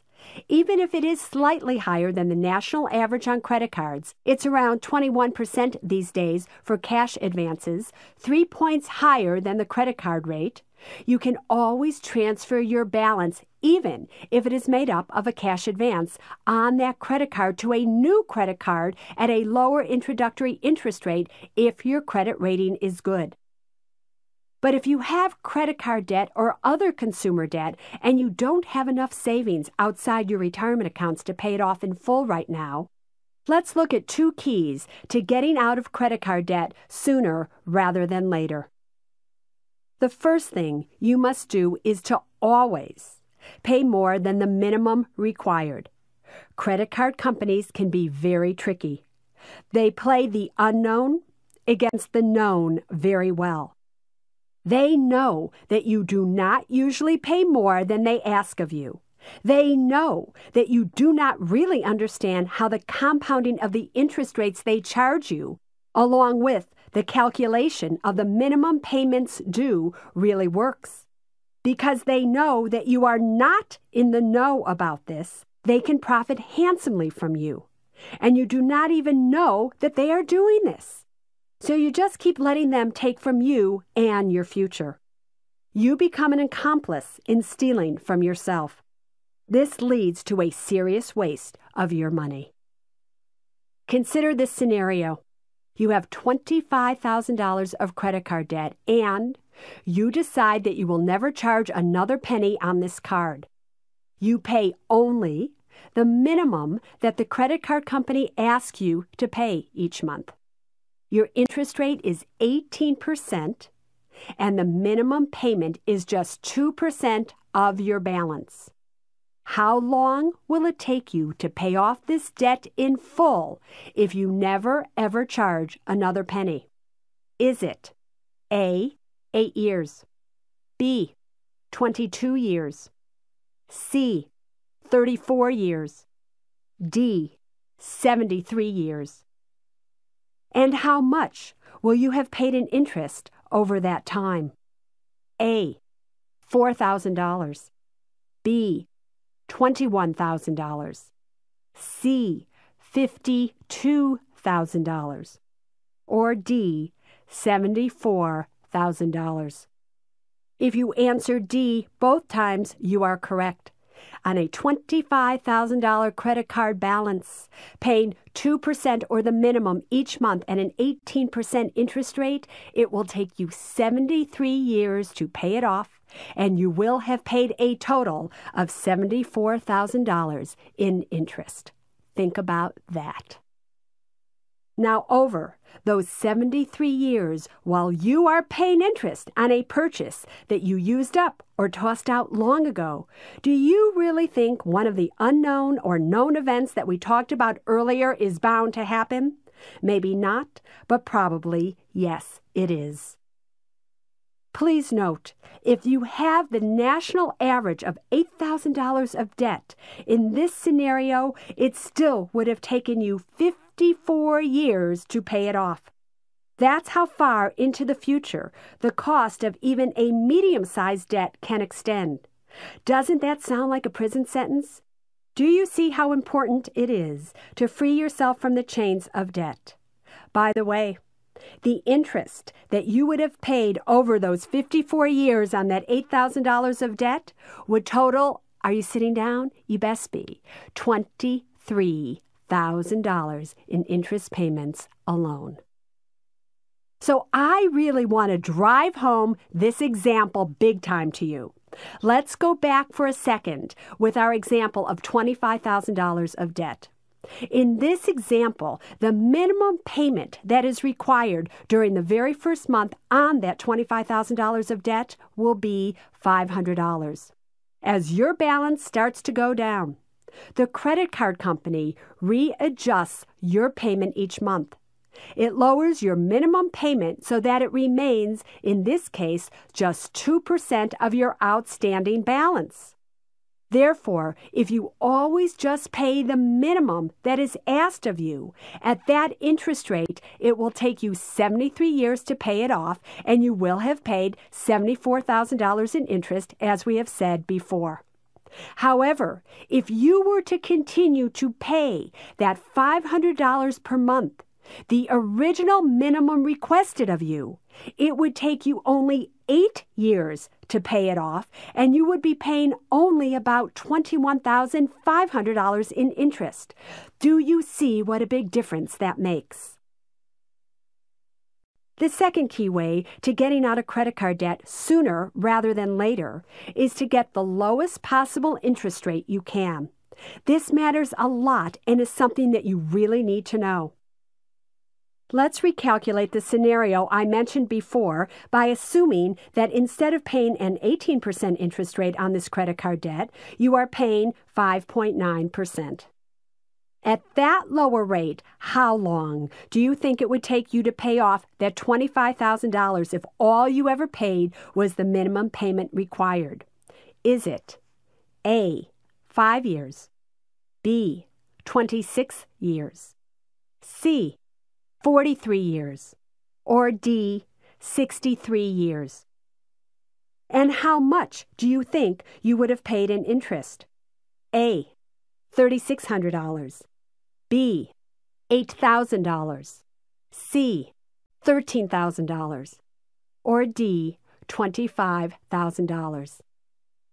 The correct answer in both cases is B, 26 years and $8,000 in interest. As you can see, getting a lower interest rate makes a big difference even if all you can afford is the minimum payment each month. By the way, if you were to continue to pay $500 per month in this scenario, you would pay off this debt in just five years and you would have paid only $3,700 in interest. So it is very important to get the lowest possible interest rate and to always pay more than the minimum. Okay, listen up, my friends, for the key to getting the lowest interest rates possible on your credit cards as well as on your home mortgage and car loan is this you have to fall within the range of the highest FICO scores. You may not even know what a FICO score is, and even if you do know, you probably do not know your actual FICO score. You probably also need to know how you can improve your FICO score and what you have done or are doing that hurts it. A FICO score is a numeric value assigned to your credit habits and history by a company called Fair Isaac and Company. Every American who has ever used credit now has a FICO score, and all creditors now use them. In the last few years, this score has become one of the most important criteria for evaluating you when you apply for credit. The higher your score, the lower the interest rates you pay on credit cards, mortgages, and car loans. Conversely, the lower your score, the higher the rates you will be forced to pay. To find out what your FICO score is, log on to the website www.myfico, that's M-Y-F-I-C-O dot com. It will cost you about $13 to get your score. For other ways to learn your FICO score, log on to my own website, www.suzeorman.com. FICO scores are basically divided into six ranges that correspond with interest rates that are issued by main lenders. Those who fall below the sixth range are in what's called the sublenders category. The six ranges are what you should concentrate on. The FICO score is now also being used by insurers, employers, and landlords to evaluate applications. From it, they can discern your work history and whether you pay rent on time. So it helps them decide if they should take a risk and insure you, hire you, or rent to you. I'll talk to you about this more in detail later in my discussion of mortgages. But for now, what you need to know is that the higher your FICO score, the lower the interest rate you can get, and vice versa. The six ranges are 720 to 850. That is the very highest range they offer. 700 to 719. 675 to 699. 620 to 674. 560 to 619, and 500 to 559. A score between 300 and 499 puts you in the sublenders category. To be eligible for the lowest interest rate on your credit cards as well as other loans, you need to have a FICO score that is in the top range, 720 to 850. If you are below 620, you are, in your lender's mind, in financial trouble and you will be hit with a seriously high interest rate. Therefore, you need to take steps to increase your FICO score. If your FICO score is really good, uh, that means 720 or above, then you should be aware that technically you qualify to get the best or the lowest interest rates available on money you borrow. If this is the case and you are paying a high interest rate on your credit cards, call your credit card company and say that if it does not lower your interest rates, you will be switching your account. You might even want to try to actually get a card with a better rate first, and when you do, make your current credit card company beat that rate. If it does not, transfer your credit card balance to the new account a month. If you doubt that you can tackle your credit card debt on your own and you feel that you need help, contact a credit counseling service, such as the National Foundation for Credit. These people are experienced, helpful, relatively inexpensive to use, about $12 a month, and they may be able to negotiate a lower rate and or a repayment schedule for you. In years past, using a credit counseling service actually hurt your FICO score, but this is not as true today. The wise people at FICO have realized that people who use a credit counselor want to help themselves and are not trying to avoid paying their bills, so they do not mark down your score as they used to. Student loans are what I often call good debt, for they are an investment you make in who you want to become tomorrow. Compared to credit card debt, not only are they good for you, they are also comparatively good for your money.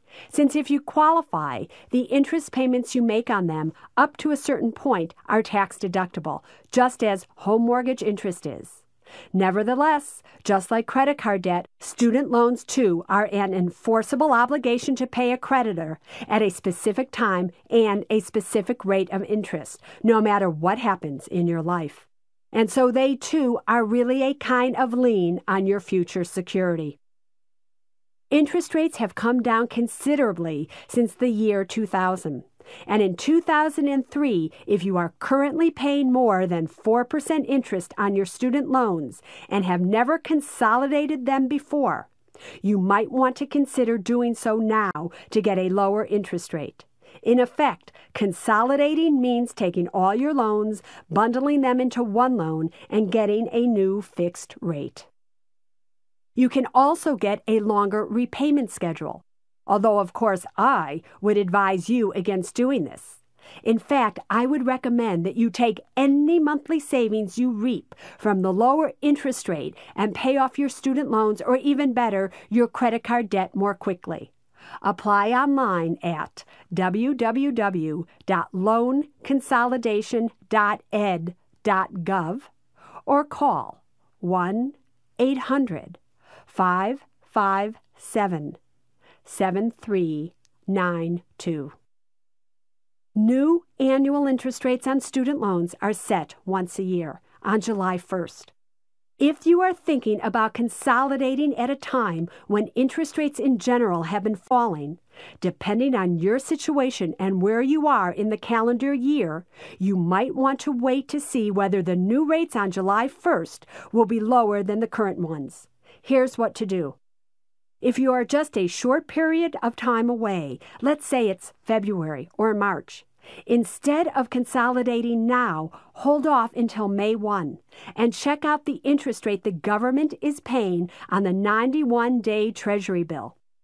That's right. The rate on the 91 day Treasury bill is the rate to which student loan rates are tied. You can check T bill rates by logging on to www.suzeorman.com right on my website, and I will link you to the public debt website for you. There are formulas that govern how loan rates work. In the case of Stafford loans, for example, the new loan rate announced on July 1st will be equal to the May T bill rate plus 2.3%. The new plus loan rate will be equal to the May T bill rate plus 3.1. If doing the math leads you to conclude that the July rates will be lower than the current rates, wait until the new rates are announced, then consolidate. If you think they will stay the same or go higher, don't wait. Check the current rate and consider consolidating now. If you have just graduated and you are still within the grace period, the period during which you do not yet have to pay back the loan, wait until about five weeks before your grace period is up to apply for a loan consolidation. That way, you take full advantage of your grace period, but still consolidate your payments as soon as possible once it has ended. In the beginning of 2003, many economists were saying that the economy was starting to turn around, and I personally hope they are right. But given that you can't be sure what unknowns await you, I want Law 4 to give you a plan of action that will help you this year as well as in years to come. Whether the financial analyst, economist, or advisors are correct or not, wouldn't you like to know that your life will go on with the least possible amount of financial disruption so you can keep what you have and continue to create what you deserve? I can only imagine that the answer to that question is yes. If it is, then your second priority after paying off your credit card debt must be to prepare for the unexpected loss of a job. One of the biggest challenges inherent in many unforeseen financial events is the abrupt, unexpected termination of your primary source of income. To prepare for an unexpected job layoff or illness that does not allow you to work, take these known actions that follow now before the unforeseen occurs. That way, you'll be in a position of power, and I'm going to talk more about that in Law Number 5. To make sure you are always prepared for the unknown, the first thing you need to do after paying off your credit card debt is to establish an emergency fund to pay your monthly living expenses while you're not working. I want you to have at least eight months of cash saved. Yes, that's right, eight whole months of expenses in savings. You see, I no longer believe that the three to six month time frame that has been traditionally recommended for a reserve fund is enough. For one thing, because the economy has changed and job layoffs have become more prevalent, the time it takes to find another job is getting longer and longer. In setting up an emergency fund, the first problem you may encounter is not knowing how much it actually costs you per month to live. Suppose you bring home a paycheck of $3,000. By the end of the month, it's all gone. You may think that is how much you need to live each month, but the truth is you spend far more than that. That is why your credit card debt keeps rising. Another problem you may encounter in preparing for the unknown is that you find it hard to save and can't imagine setting up an account with eight months' worth of expenses in a short amount of time. Well, my friend, if this is the case, the way for you to create an emergency fund is simply to take every extra penny you have, put it into a money market account, and save it there. You have to make a decision right here and now. You have got to ask yourself which means more to you having a Starbucks coffee this afternoon and going to the movies tonight, or knowing that you and your loved ones will be protected even if you lose your job or get sick. Doing what is right for you, including making sure you'll have what you need in any situation, may mean giving up what you want right now to pay for what you could need later on. I hope you decide to do this, for you'll be amazed at how much control over your life you will feel with your emergency fund standing behind you. While you are figuring out how to save for an emergency fund, here are some actions you can take. If you own a home with equity in it, you might want to establish an equity line of credit with the amount that you need to get you through those eight months of expenses just in case. Equity is the value of your home above and beyond what you owe to the mortgage company. If your house has appreciated in value since you purchased it, your equity or cash value in that home has increased as well. You might be able to use that cash as an emergency fund through an equity line of credit that you arranged for with a bank or mortgage company. If you are eligible, the lender of this equity line of credit will provide you with a checkbook that will let you write checks against the equity in your home. You will pay interest on only the portion of the funds that you actually use. Equity credit is a good backup to have as you build up an actual emergency fund. But it must be kept safe and used only for a situation in which you have a loss of income. To do otherwise would put you in jeopardy and break this law of money. If you do not own a home, or if your home currently has no equity in it, or even if it does, I want you to take another step towards having the money you will need in case of an emergency. Here's what to do apply for and take out one or more credit cards with available credit limits that cover the amount that you will need for your eight months of living expenses. If you cannot get credit limits that cover the entire amount, come as close as you can. If the unforeseen happens, if you become ill or lose your job, you can use this credit by taking cash advances. That said, again, please do not use this money to incur debts if you are currently employed. That would be plunging yourself back into the unknown big time. The time to set up both an equity line of credit and credit card line is when you do have a job and income is coming in. If you ever do suffer an unforeseen crisis, like a job layoff or illness, and you are without an income stream, it will be very difficult to set up these lines. So do it now.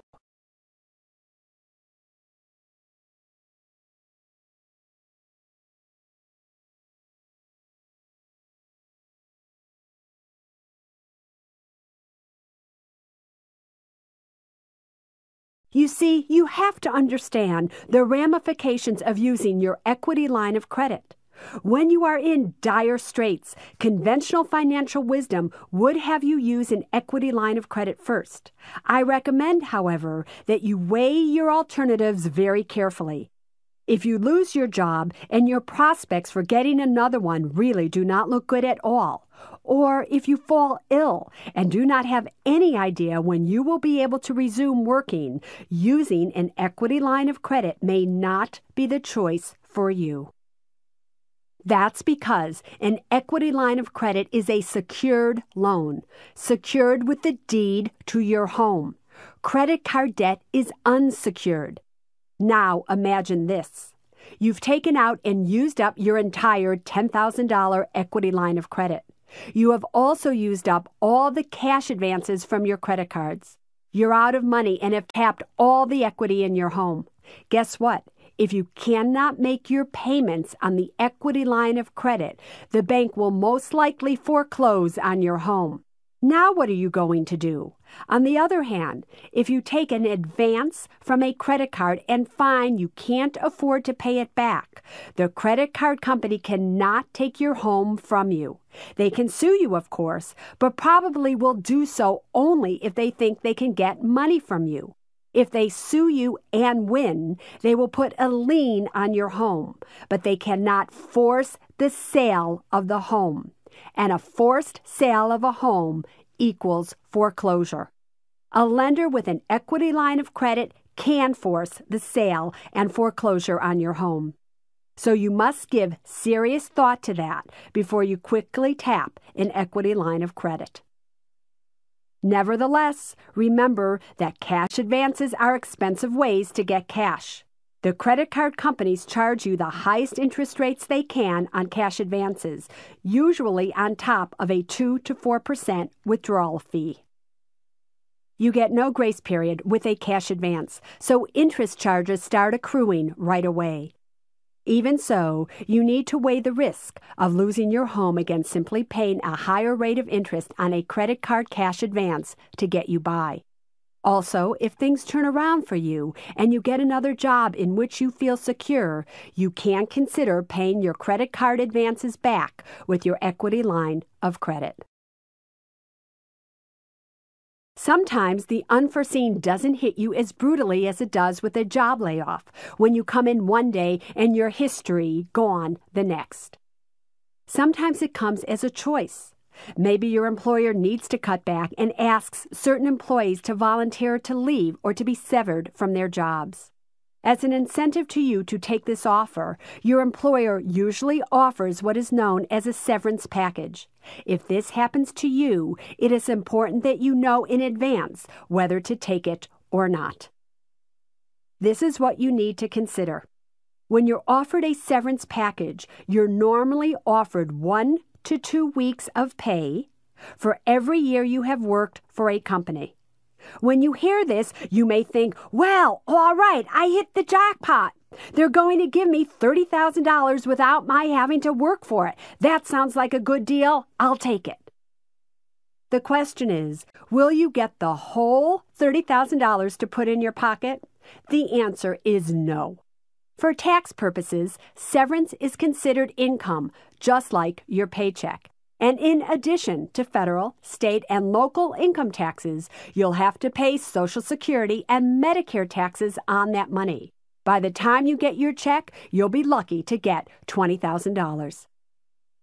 Still, if you think you can quickly find another job, this might look like found money to you. Be careful here. You have to understand that if you are in a recessionary environment or a tight job market in your field, Finding another job might not be as easy as you think. You have to run through these possibilities in your mind along with your financial calculations. What would happen if you could not find another job, an equally good job for eight months, a year, or a year and a half? What would you do for income once the severance runs out? Are you willing to spend your emergency fund if you have it in place? If you're considering taking a voluntary severance package offered by your company, please ask for a complete rundown of everything that's included in the package, especially company paid health insurance and the right to keep your health insurance at your own expense under COBRA laws. COBRA, short for the Consolidated Omnibus Budget Reconciliation Act of 1985, guarantees you the right to continue in your former employer's group health plan for up to 18 months at your own expense, even if you voluntarily leave a job. Also, ask whether you'll be eligible for unemployment insurance should you need it and please test the employment waters before you accept a severance offer. Now, while we are discussing the unknowns of job layoffs and downsizings, I want to urge you to start shopping for health insurance now before you suffer an unforeseen event. This way, you know exactly where to go at that time to get the best deal, and you won't settle under the pressure of a job loss, an illness, or an emergency for whatever you currently have. If you are covered by health insurance at your job, you will almost certainly be offered 18 months of your current health insurance under COBRA, as we recently just said. Yet this insurance can be expensive because you will be paying the whole bill to keep it, as opposed to when you were employed, and your employer most likely picked up part of the tab. You need to find out whether there are better deals out there. Start by checking some of the quoting services that provide instant price quotes on health and other kinds of insurance and can connect you with many major insurers. Even though many people do keep the health insurance their employers offer under COBRA, remember that when you lose your job, you also lose your income, so you have to make every penny count. Knowing the best place to go for the best price on health insurance before the unforeseen happens helps you do that. When you get laid off or can no longer work because of an illness, and if you do not have an emergency fund or available credit line set up, you may be tempted to withdraw the money you need to live on from your retirement plans. While this is not a wise idea in the long run, it is understandable. This is what you need to know about drawing on your retirement funds if you're in a financial predicament. If you do not have emergency funds or credit lines and you need money, the first place you should turn is to your Roth IRA. That's because the Roth IRA has an advantage that many other retirement accounts don't have. No matter why you need the money, you can withdraw any or all of your original contributions from a Roth IRA at any time without owing any taxes or tax penalties whatsoever. This is regardless of your age or how long that money has been in there. What you cannot touch is any growth or interest that your original contributions have earned. These cannot be taken out tax free before five years and before you are 59 and a half years of age. Let's say you are 36 years old. And over the past four years, you have contributed $11,000 to your Roth IRA. And that $11,000 has grown and is now worth $13,000. If you need money desperately, you can take out any or all of the $11,000 without taxes or penalties, and you do not ever have to put it back.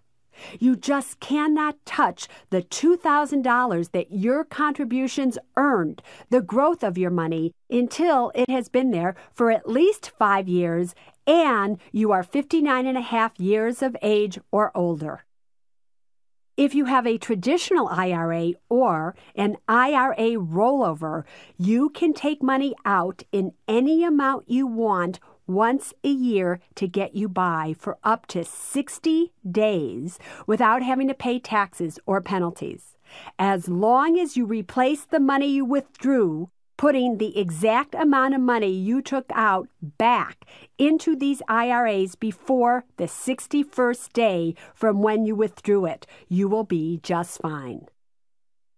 As for any amount that you took out that you do not redeposit by that 60th day, you will owe ordinary income taxes on that amount.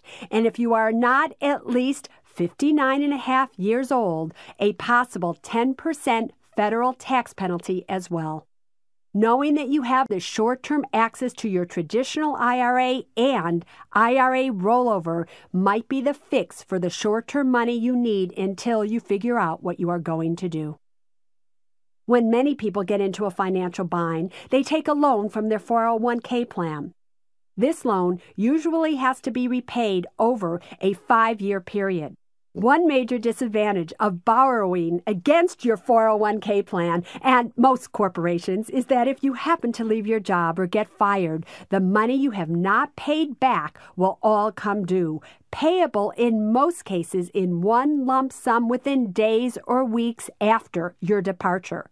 If you do not have the money to repay the balance of this loan at that time, the unpaid loan amount will be taxed as ordinary income that year. Also, if you are under 55 years of age by the end of the year in which you lost your job or you left that job voluntarily, you will also have to pay an additional 10% federal tax penalty. Before you take such a loan, you need to know where you are going to get the money to pay it back if such an unforeseen event were to happen. Given this information, you might decide to make paying back this loan sooner rather than later your number one priority. But knowing that 401k loans are due and payable when you are no longer working for that employer is not the only reason to avoid taking a loan against your 401k, especially when the markets are low. Another little known disadvantage of borrowing from your 401k is that you will be taxed twice on the amount of the loan you take. Say you borrow $4,000 from your 401k to pay off your $4,000 credit card debt. The $4,000 you are borrowing is money you contributed to your retirement account before taxes. The money you use to pay back the loan will be after tax money. Then, when you go to withdraw the same money from your 401k later on in life, you will be taxed on it again.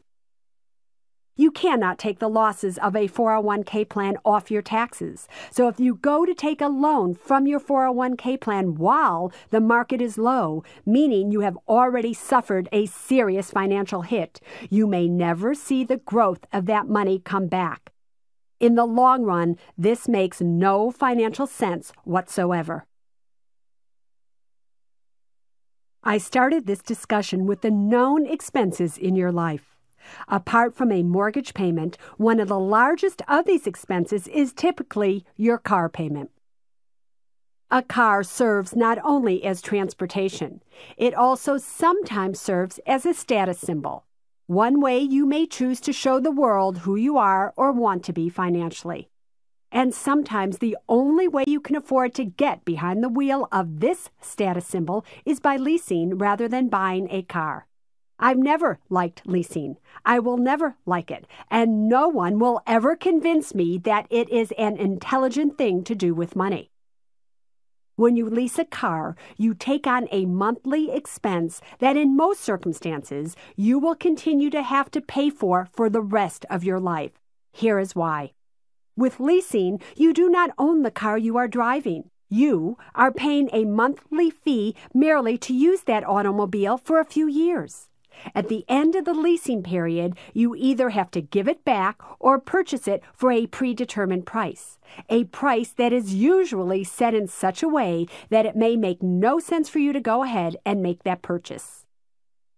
That's because these days the leasing companies entice you with a lower monthly fee to draw you in, and then they make up their profits with an inflated residual price the price you would have to pay to buy the car outright at the end of the lease.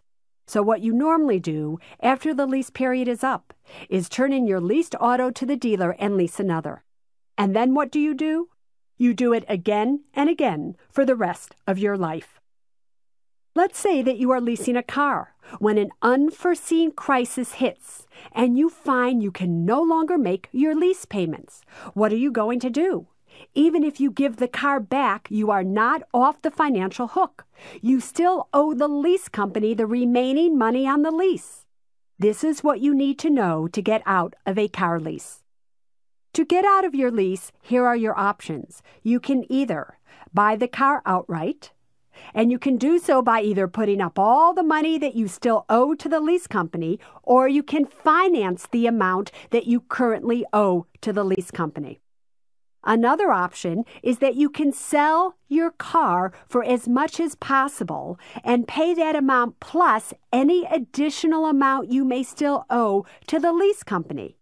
Or you can try to find someone to assume the lease obligations. If you cannot sell your car outright, you may want to try to find someone who will assume your lease payments. However, keep in mind that when a person assumes a lease from you, it still does not mean you are off the hook. If the new leaser does not make the payments, the lending company will come after you. So be careful with whom you make your agreement to assume the lease. If you decide to sell the car on your own, you still have to come up with the difference between what you owe the lease company and what you sold the car for. And what happens if you do not have the money? You're in trouble again. Therefore, to make sure you don't find yourself short, you need to prepare for this unknown when you first consider leasing if money is tight for you at that time. When you have leased your car, see if you can also get approved for what is called a signature loan for about $10,000. If you have been approved for a car lease, you can usually qualify for this other loan. This loan will give you the backup to help you get through an unforeseen crisis. Here's how. Let's say again you have leased a car and an unforeseen problem happens and you can no longer make the car payments. Before you turn back the car to the dealer or lender, see if you can sell it on your own. The way you can do this is to run an ad to sell your car for the payoff only. Do not try to escalate the price to make money, for it will not happen. You want to attract buyers who can solve your problem, not scare them away. When a potential buyer makes an offer on your car, negotiate the best price you can in a nice manner.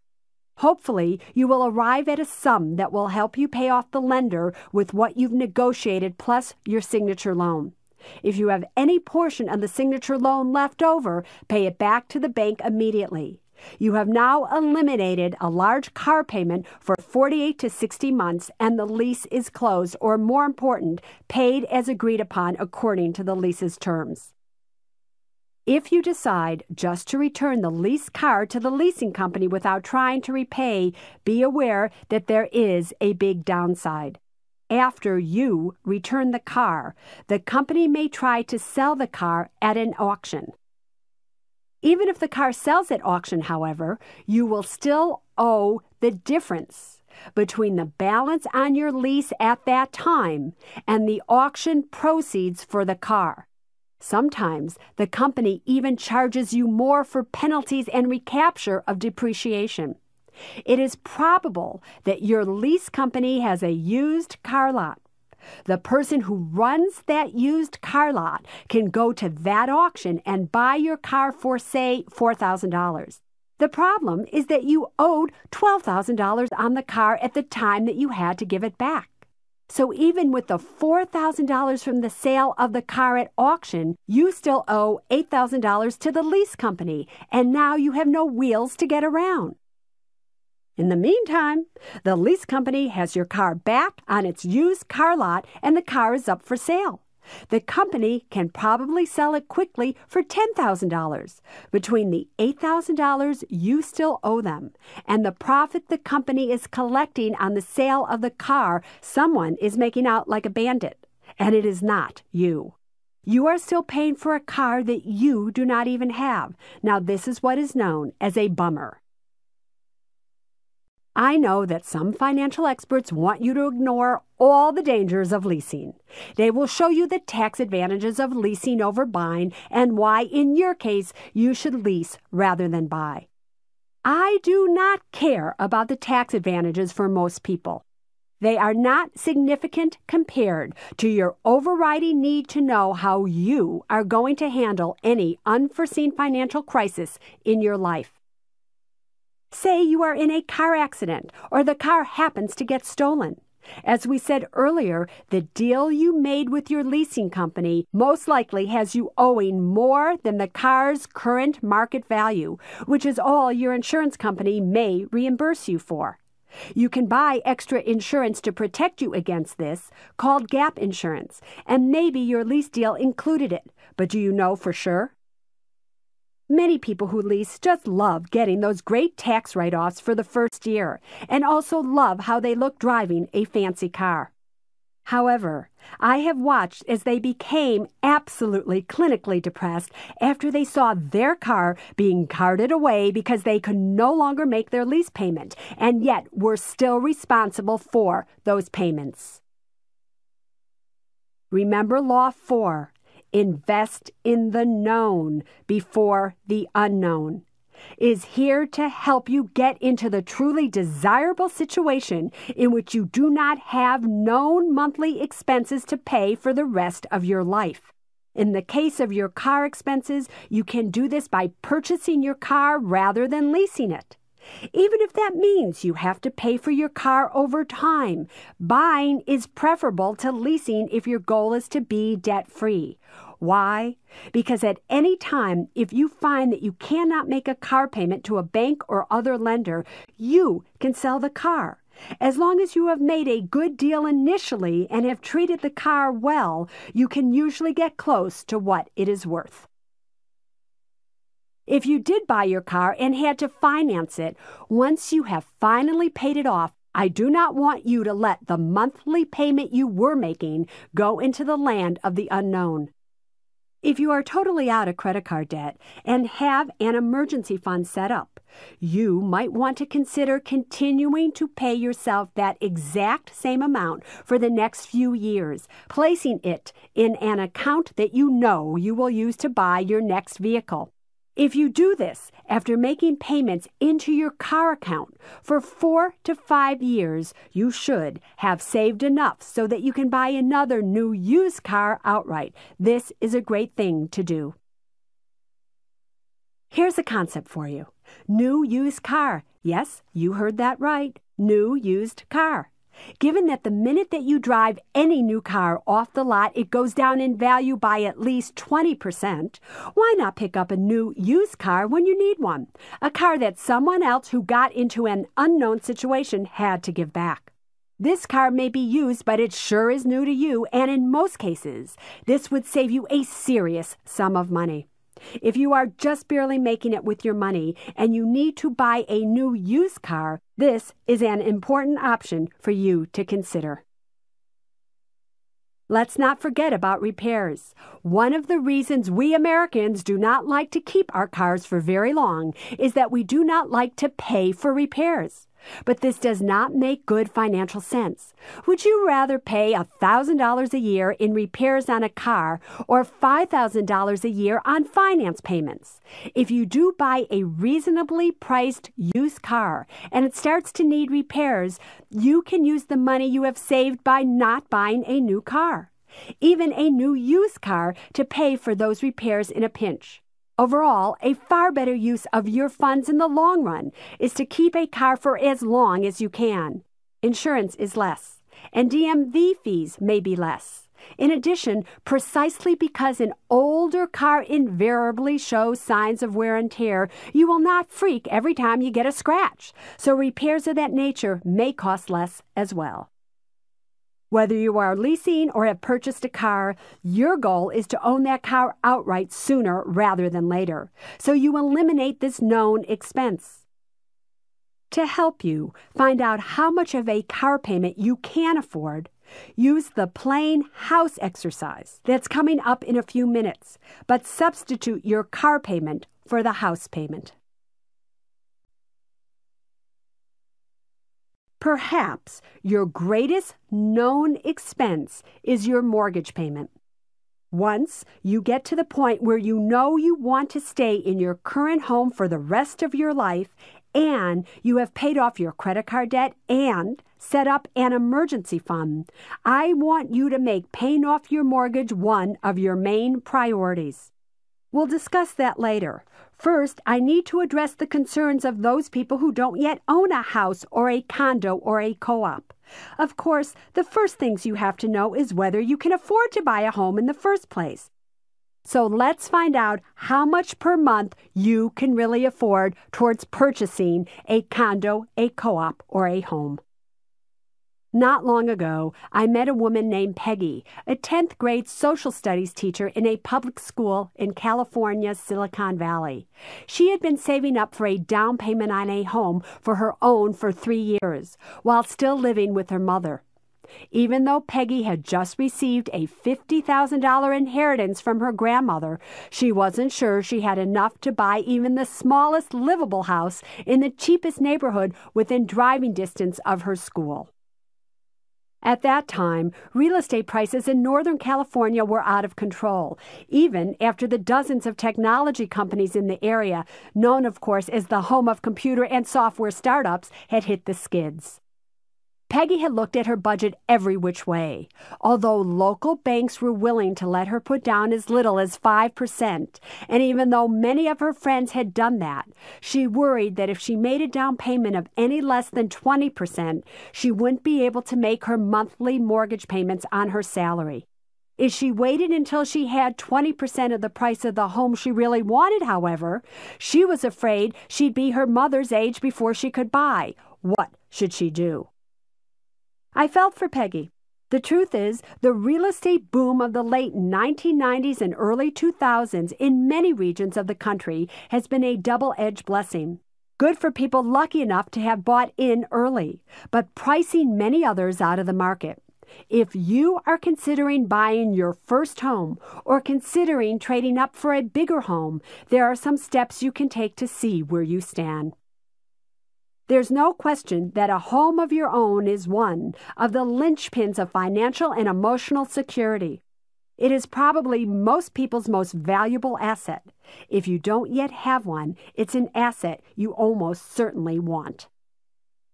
I believe with all my heart and soul that everyone deserves his or her own home.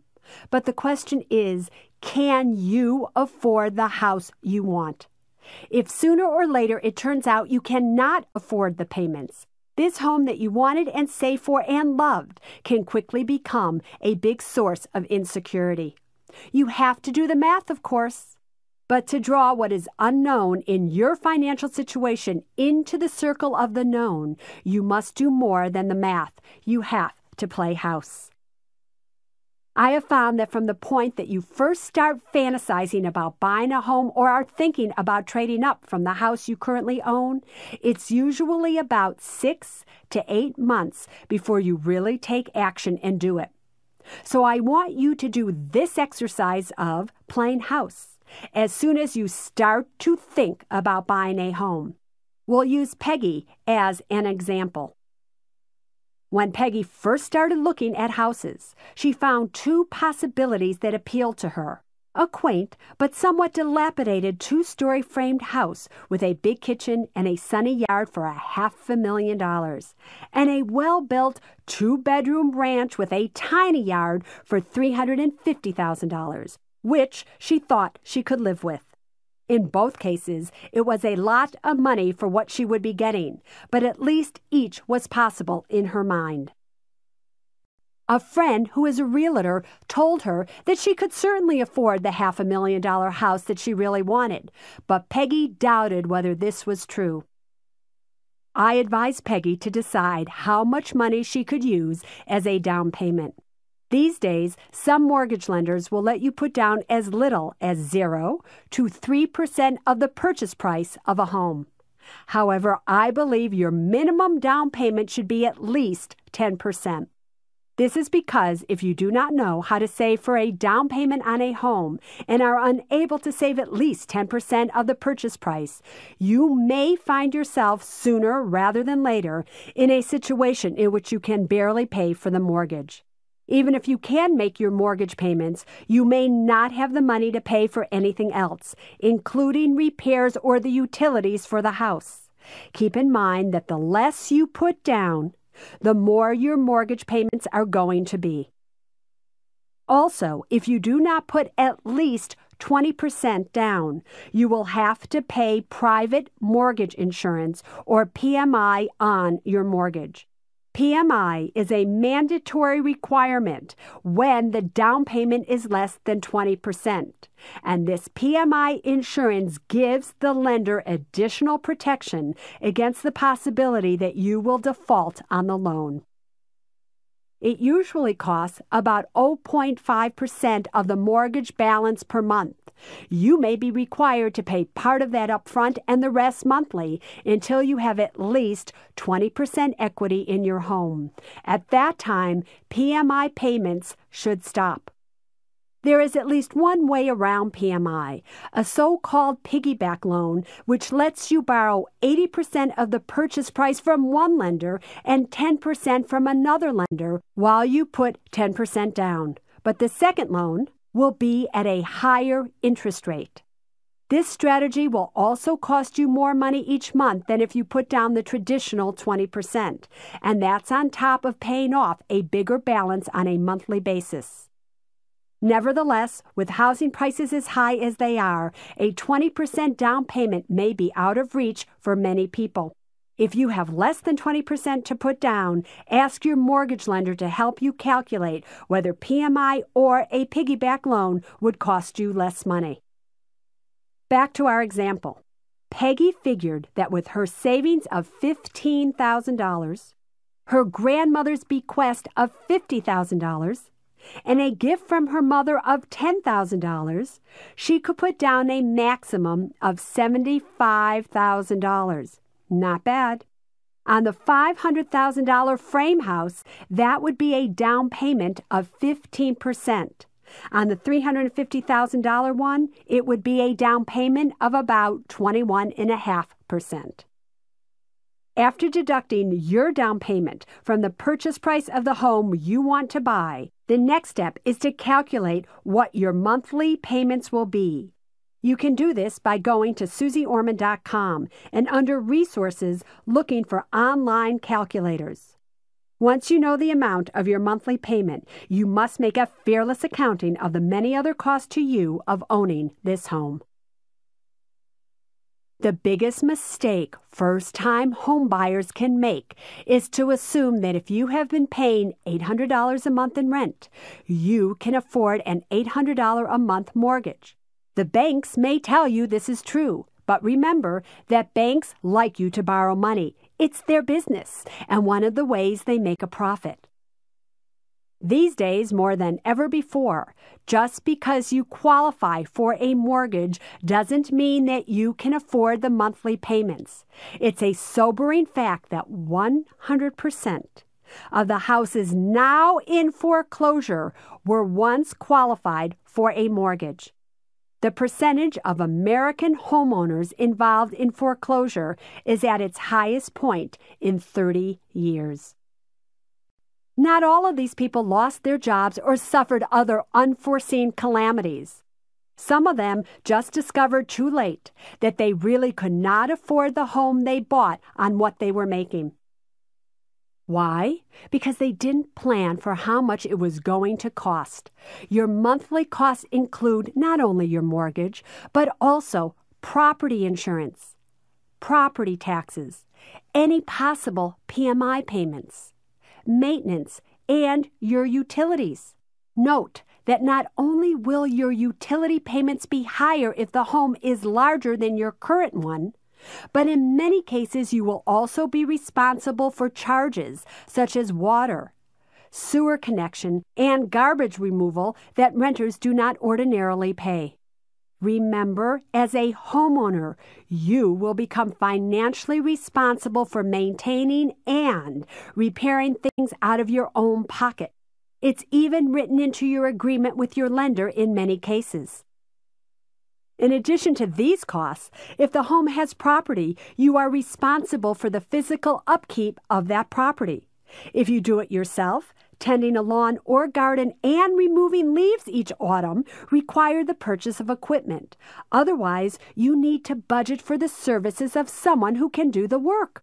Some neighborhoods have regulations about what you can plant and have to plant and some have home associations to which you may owe annual dues for the maintenance and upkeep of anything the association owns in common pools, fences, outbuildings, road signs, and speed bumps, among other things. If you are on a private road, you may even be responsible, possibly along with your neighbors, for paving and snow removal. Even the best maintained homes have appliances that wear out, and many new homeowners discover that there are more repairs than they had expected. If you buy an older house, you could need a new refrigerator, dishwasher, washer, and dryer, air conditioning units or parts, a hot water heater, heating appliances. You could easily spend a couple hundred dollars every weekend as you're just beginning to live in your house, just keeping it up. Even just painting a room costs a bundle, and if you buy a new home, most of its walls will be white. So you may want to add some color when you move in. If you have a fireplace, you have to make sure that the fireplace, flue, and chimney are in good repair, and you'll have to buy any wood that you burn. You're also literally responsible for the roof over your head and may need to replace it or repair it, like Patrick in Law 1. At a bare minimum, you need to sock away a $100 a month for maintenance.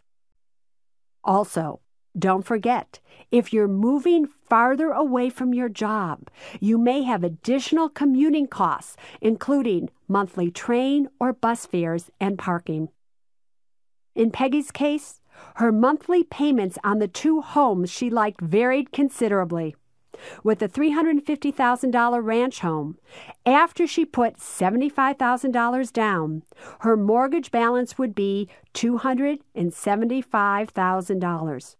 If her mortgage was a 30 year fixed rate at a 6% interest rate, her mortgage payments would be $1,648 a month her property insurance and taxes would come to approximately $600 a month. Since she would be putting more than 20% down, she would not have to pay PMI. With her $100 a month for maintenance and repairs, her total monthly payment would be $2,348 a month.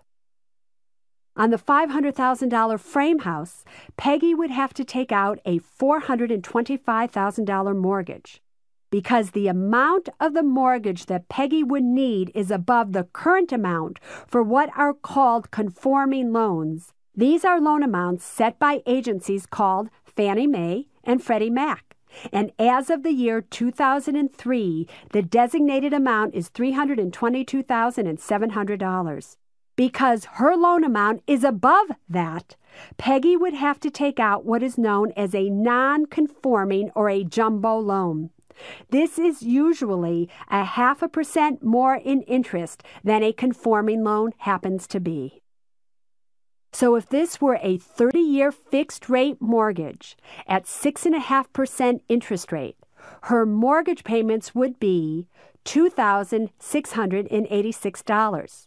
She would also have to pay PMI of $212 a month. That's 0.5% of her mortgage, for she would not be putting 20% down.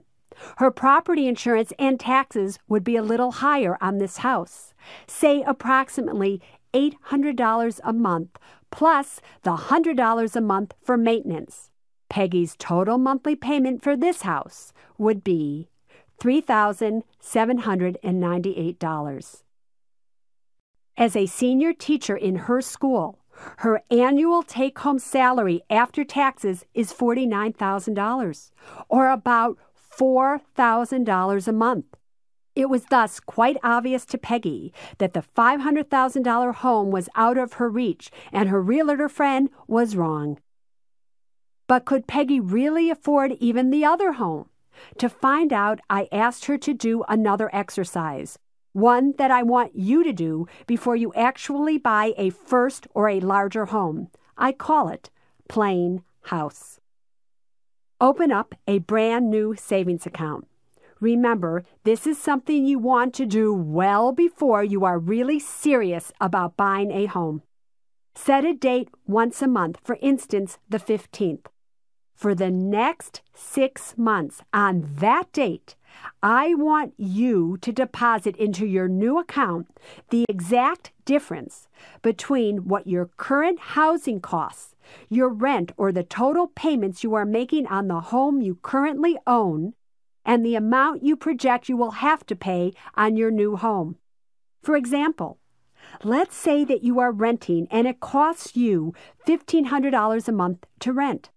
The house you want to buy will cost you $3,500 a month, including mortgage payment, PMI, property insurance, property taxes, utilities, and maintenance. You must deposit the difference between the two the $3,500 you are projected to pay and the $1,500 a month that you are currently paying, or $2,000 a month difference. You have to deposit that $2,000 a month into the new savings account no later than the date you set. Or say that you currently own a home and want to buy a bigger home. Your current total monthly payments come to $3,000, and your new home will cost you $6,200 a month. To play house, you must deposit the difference between the two the 6,200 that you're going to be spending and the $3,000 that you're currently spending or the $3,200 a month into a savings account no later than the date you set. These examples feature the minimum costs. They don't include all the expenses you're likely to encounter, such as lawn maintenance and snow removal. So, if you really want to do a thorough job, you should also figure in basic maintenance and incidental expenses you will have to pay and how much they will cost you. After doing this for six months, evaluate how making those higher payments has affected your lifestyle. If you made all the payments comfortably and on time, you know that you can truly afford this particular home right now. Better yet, you have already accumulated funds to put towards increasing your down payment, helping you with moving costs or closing costs, or even doing a few small renovations on the new home. If, on the other hand, you miss payments, or you were late in making any, you cannot afford the house you were thinking about buying quite yet. Instead, look to see what monthly payment would have been comfortable for you and try that. Maybe the solution is to consider a smaller house or a larger down payment. Nevertheless, you might just have to wait until your finances improve. The good news is that you now know how much you realistically can afford at this time without having lost any money in finding out. You should also have a nice sum of money in your savings account that will help you achieve your future goals. Playing House way of trying new financial situations on for size. You can also use it to help you decide if you can afford a car, a boat, or any large known expense that requires a monthly payment. By the way, Peggy put away the $2,348 she needed for her smaller home every single month on time. She bought it once she knew she could afford it. While you are playing house and long before you apply for a mortgage, be sure to find out your FICO score if you haven't already done so.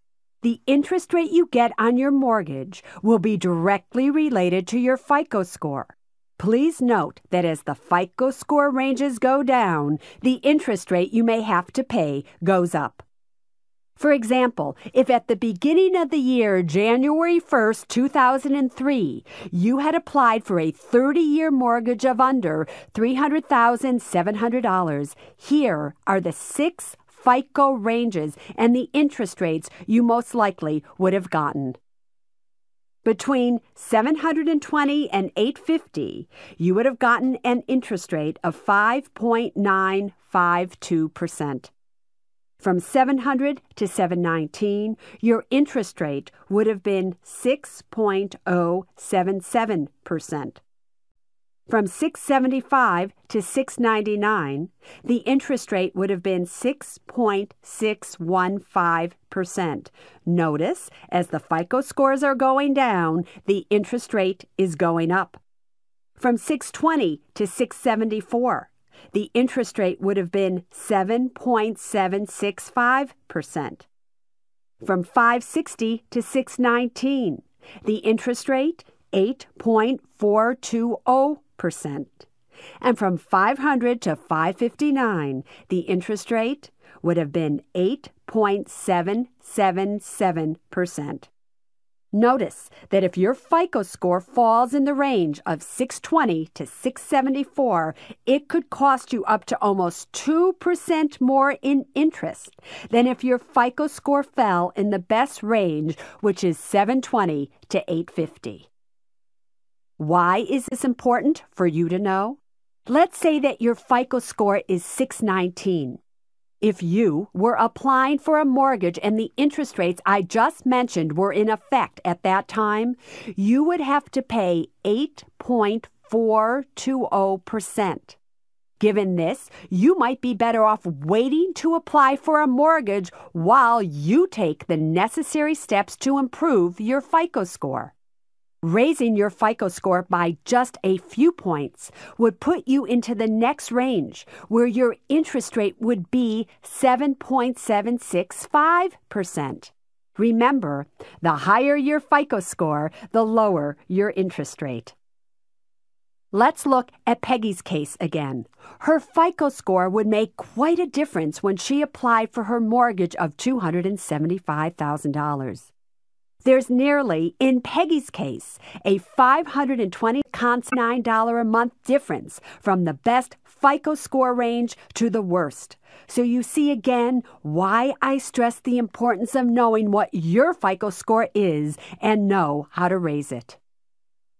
When you play house, you might also want to play with the concept of what raising your FICO score would do to allow you to be able to more easily make those monthly payments, for it's a good thing to know. Real estate can be one of the best investments you ever make, especially if you are looking for a primary residence. Let me show you why, financially speaking. Let's just for an example say that you buy a home for $100,000 and you put down 20% or $20,000.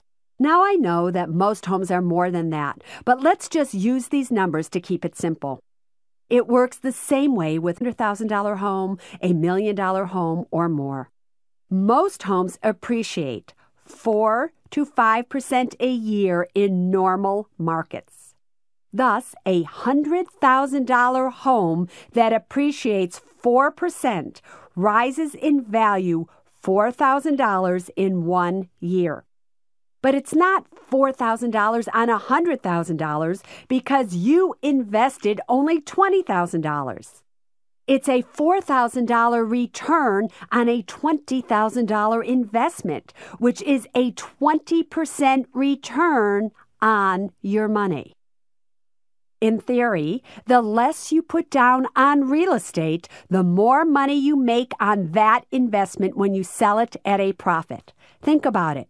If you had just put down only $10,000 on that piece of real estate, you would now have had a 40% return on your money for that year. For $4,000 of appreciation in value is 40% of your $10,000 down payment. That said, however, it is not just about the return you get on your money when you buy real estate. And remember, any investment can go up or down in value. It is also about the fact that a primary residence is your home. This is where you live, which is very hard to put a price tag on.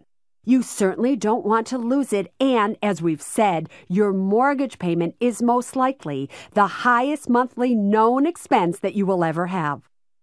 If you know that the home in which you are currently living is where you are going to stay, I want you to pay off your mortgage as soon as possible. Once you have purchased a home you know you can afford and you know you are going to be staying there, I want you to start paying off your mortgage early. Many financial advisors and tax planners will tell you don't pay off your home. That is the only tax write off you have.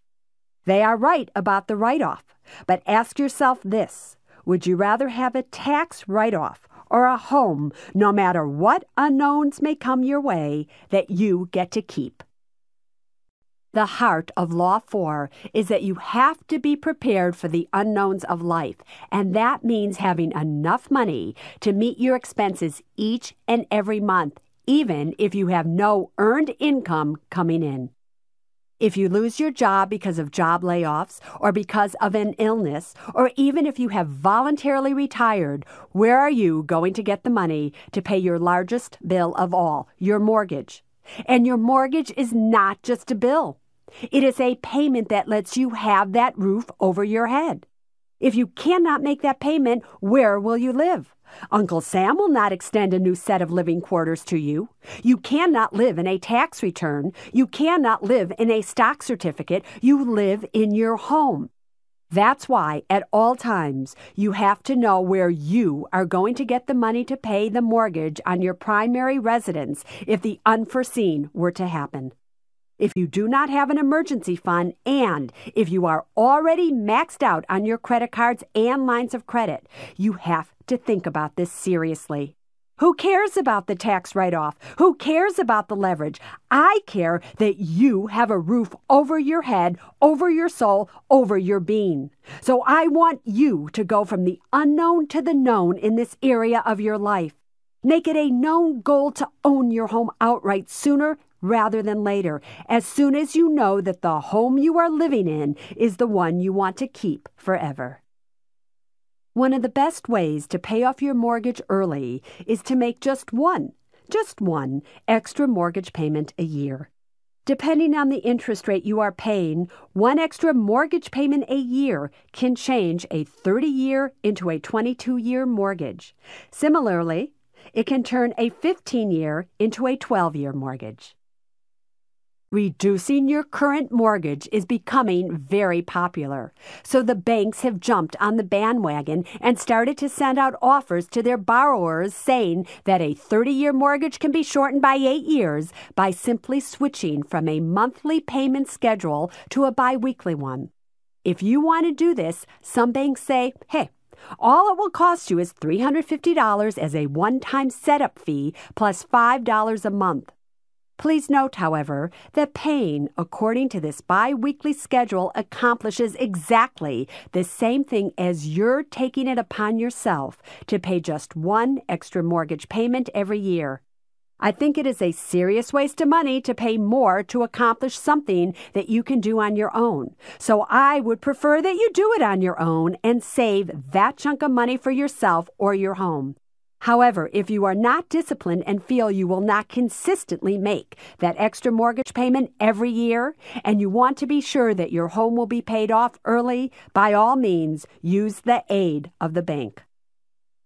If you want to see how long it will take you to pay off your mortgage if you make an extra mortgage payment every year, please go to suzeorman.com and check out the mortgage calculators in the resource section. With interest rates at their recent historical lows, perhaps you are refinancing your home and taking equity out as you do so. This may seem like a great idea, but in the long run, if you are using that money just to buy things that you really do not need, or if this money is just sitting in a money market account or a CD, or if you are also taking equity out and or extending the mortgage term by refinancing, this is not a wise way to use your funds. And it could really backfire on you if an unforeseen crisis happens. The goal is to get rid of your known expenses as quickly as possible so nothing unknown can throw you, not to increase them. You do not want to fall into the very common mistake of making payments on your 30 year mortgage for 5 or 10 years and then, when you refinance at a lower rate, taking more money out and adding 5 or 10 years back into the life of your mortgage. You should be looking to refinance if you can to get a lower rate, but you should also be looking to reduce the number of years you have left on your mortgage. You also want to make sure you will stay in the house long enough to recapture the costs of the closing. You might want to look into a 20 year payback period rather than a 30. For every $100,000 of your mortgage at a 6% rate, a 20 year mortgage is about $120 more per month than a 30 year mortgage. Chances are you may be able to finance the difference in your monthly payments with what you are saving because of your new lower interest rate. That way, you'll own your house 10 years earlier at about the same monthly cost that you are currently paying now. That's a good deal. As I mentioned before, many financial advisors and tax people will tell you that paying off your mortgage early and owning your home outright is the wrong thing for you to do with your money. But I ask you to remember Law 3, which says you must do what is right for you before you do what is right for your money. In the long run, if you are just getting by financially, it does not make sense to listen to tax people about your mortgage payments. When interest rates are low, as they were in 2002 and 2003, it is very hard for people on a fixed income or in retirement to earn enough interest on their savings to pay their known expenses. Low rates may be great for home buyers, but eventually they too will be on fixed incomes.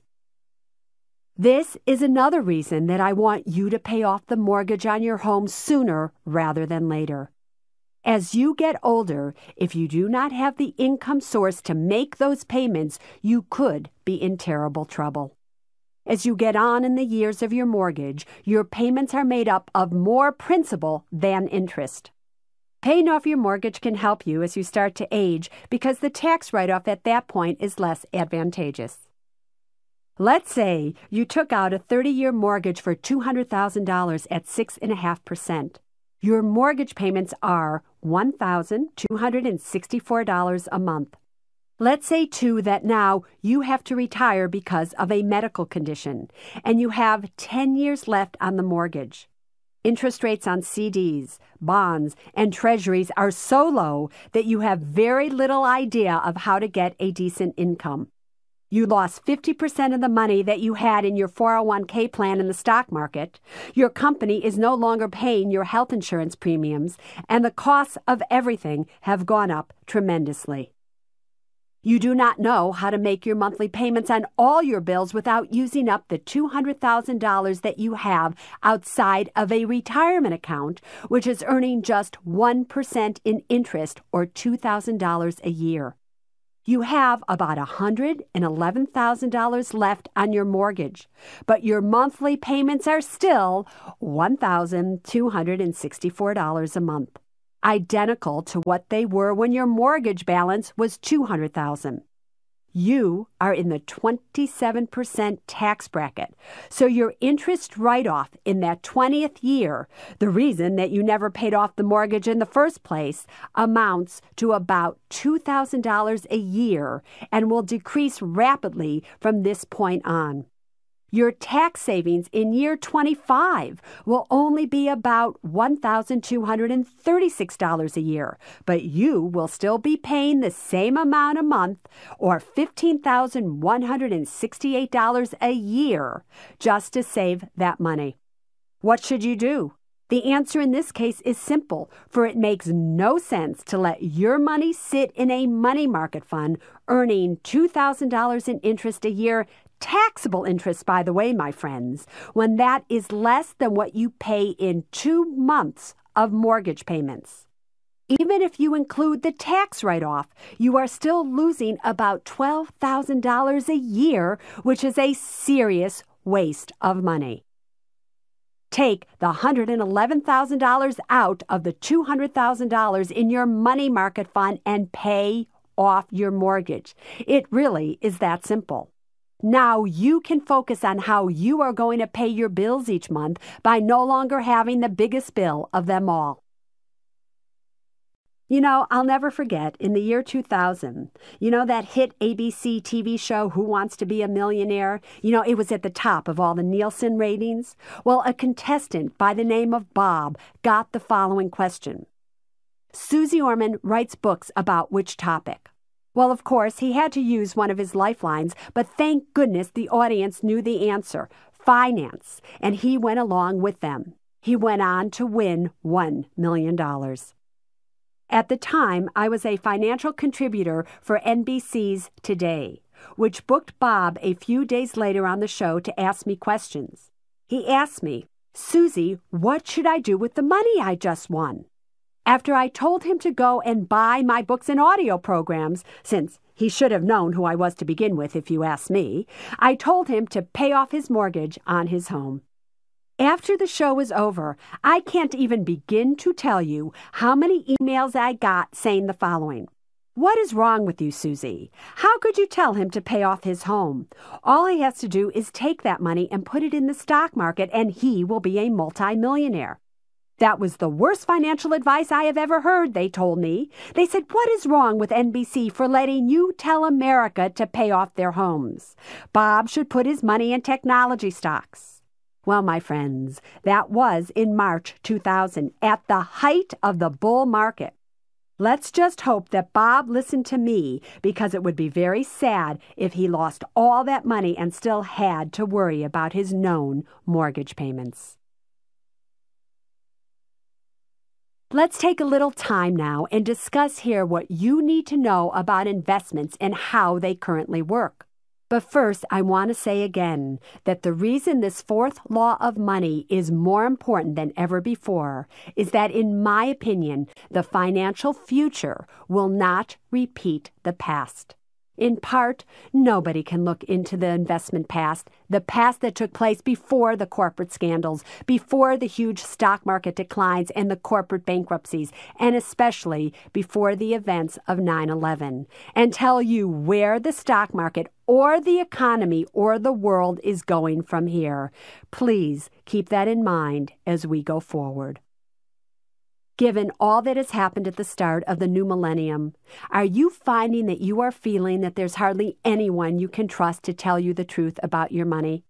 In my opinion, and I have always believed this, the key to doing well with your investments is to trust yourself more than you trust anyone else. You may believe that you do not have the wherewithal to understand the financial markets, or you may believe that you need professional financial help to get you to where you want to go with your money. I am here to tell you that you do have what it takes, and I want to ask you to stop thinking that way. Although there may be times when you will want to use a financial advisor to help you decide whether you need a will or a trust, for example, or to help you plan for safe deployment of a large inheritance, you still must remain totally involved in the decision making. This is your life and your money. Remember what we discussed in depth in the third law why you have to do what's right for you before you do what's right for your money. The truth is, no one will ever know as much about who you are or care as much about your money as you do yourself. If you have a financial advisor, please ask yourself these questions about him or her. Where was he or she in the years 2000, 2001, and 2002? I want you to be honest with yourself. Remember, truth creates money, lies destroy it in the beginning of the year 2000, if and when you had money invested in the stock market and still had a very nice profit on the books, did your advisor tell you to get out or even to safeguard some of your game? Did your advisor or any of the financial institutions or commentators you rely on actually guide you to protect your hard earned savings? If you are of retirement age or have parents who are of retirement age and couldn't afford to lose money, were the professionals willing and able to help you protect your retirement money so that your quality of life was not adversely affected? Maybe they helped, but probably they did not. So the advice in this section is for you. I want you to use it to keep what you have and to create more, not less. The first thing I want you to do as you consider whether or not you can retire is to review laws 2 and 3 because they will help you to decide what to do with your investments. I want you to start by looking at one of the known facts of your life. Do you have at least five years or longer before you need the money that you have invested in the stock market, either in retirement accounts or in your regular stock accounts? If the answer to that question is no, if you don't have that many years, then any money that you will need for your retirement does not belong in the stock market now. Why? You may need to use this money to generate income when you are about to retire. Because of this, you can't afford to risk it. The world at large, as well as your own personal world, contains too many uncertainties and unknowns to take a chance. Are you going to suffer a job layoff before you retire? Might you get ill? Are you going to have an unexpected death in the family or a divorce? Will the country enter another recession? Is there more corporate fraud about to be exposed? Are we going to be attacked again on our own homeland? If any of these unknowns were to happen and you and your money did not have time to recover from the consequences, then you could be in financial trouble. If time is not on your side, you must figure out the amount you will need to cover your living expenses in retirement, then bite the bullet and come out of the market with that amount. You have to go from the unknowns of life to knowing what you have and keeping it safe and secure. Let me give you a real life example of how important this is. If you had been invested in the market during the years 1973 and 1974, you would have seen the NASDAQ Stock Exchange lose more than 59% of its value. The NASDAQ is the exchange where many technology stocks are traded. Let's say that in 1972 you knew that you were going to retire within 5 to 10 years. At that time, you knew you would need every cent of your money to generate income for you to live on. You thought you had plenty of time left to accumulate capital, so you decided to leave this money right where it was, which happened to be mostly in NASDAQ stocks. Fact, if you were invested there at that time and thus suffered heavy losses in 1973 and 1974, it could have taken you at least 12 years, depending on the particular stocks you had, just to break even. In other words, for your principal to return to 1972 levels, forget about any gain. But you say, things move so much faster now, Suze. Maybe it would not take that much time to come back today. As of the taping of this book, January 2003, the NASDAQ is down 73.5% from its high in the year 2000, significantly more than it dropped in 1973 and 1974. So let's do the math. Let's assume that in 2000 you still had seven years until you knew you were going to need your money to retire. Here you are in 2003 with four years left until you no longer have your job and your paycheck. Your portfolio is down by 73.5%. What are the chances that you will have all your money back by the time you retire? Very slim, my friend. Here's why. When something goes from 100 to 50, that is a 50% decline. For something to go back from 50 to 100, that is a 100% increase. It's not a 50% increase. For your portfolio, which is currently down by 73.5%, to regain all of its lost value, you are looking at about a 278% increase just for you to break even. Even if things went straight up from here and averaged a return of about 9% a year from this point forward, you are looking at 15 years before you break even.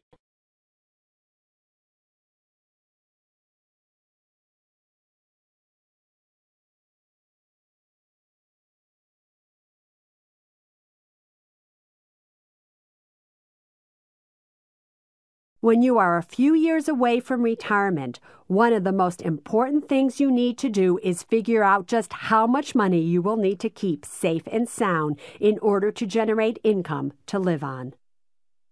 In other words, you need to know what your retirement expenses and your retirement income are likely to be so that you know exactly how much of your capital you will need to keep out of the stock market and out of harm's way.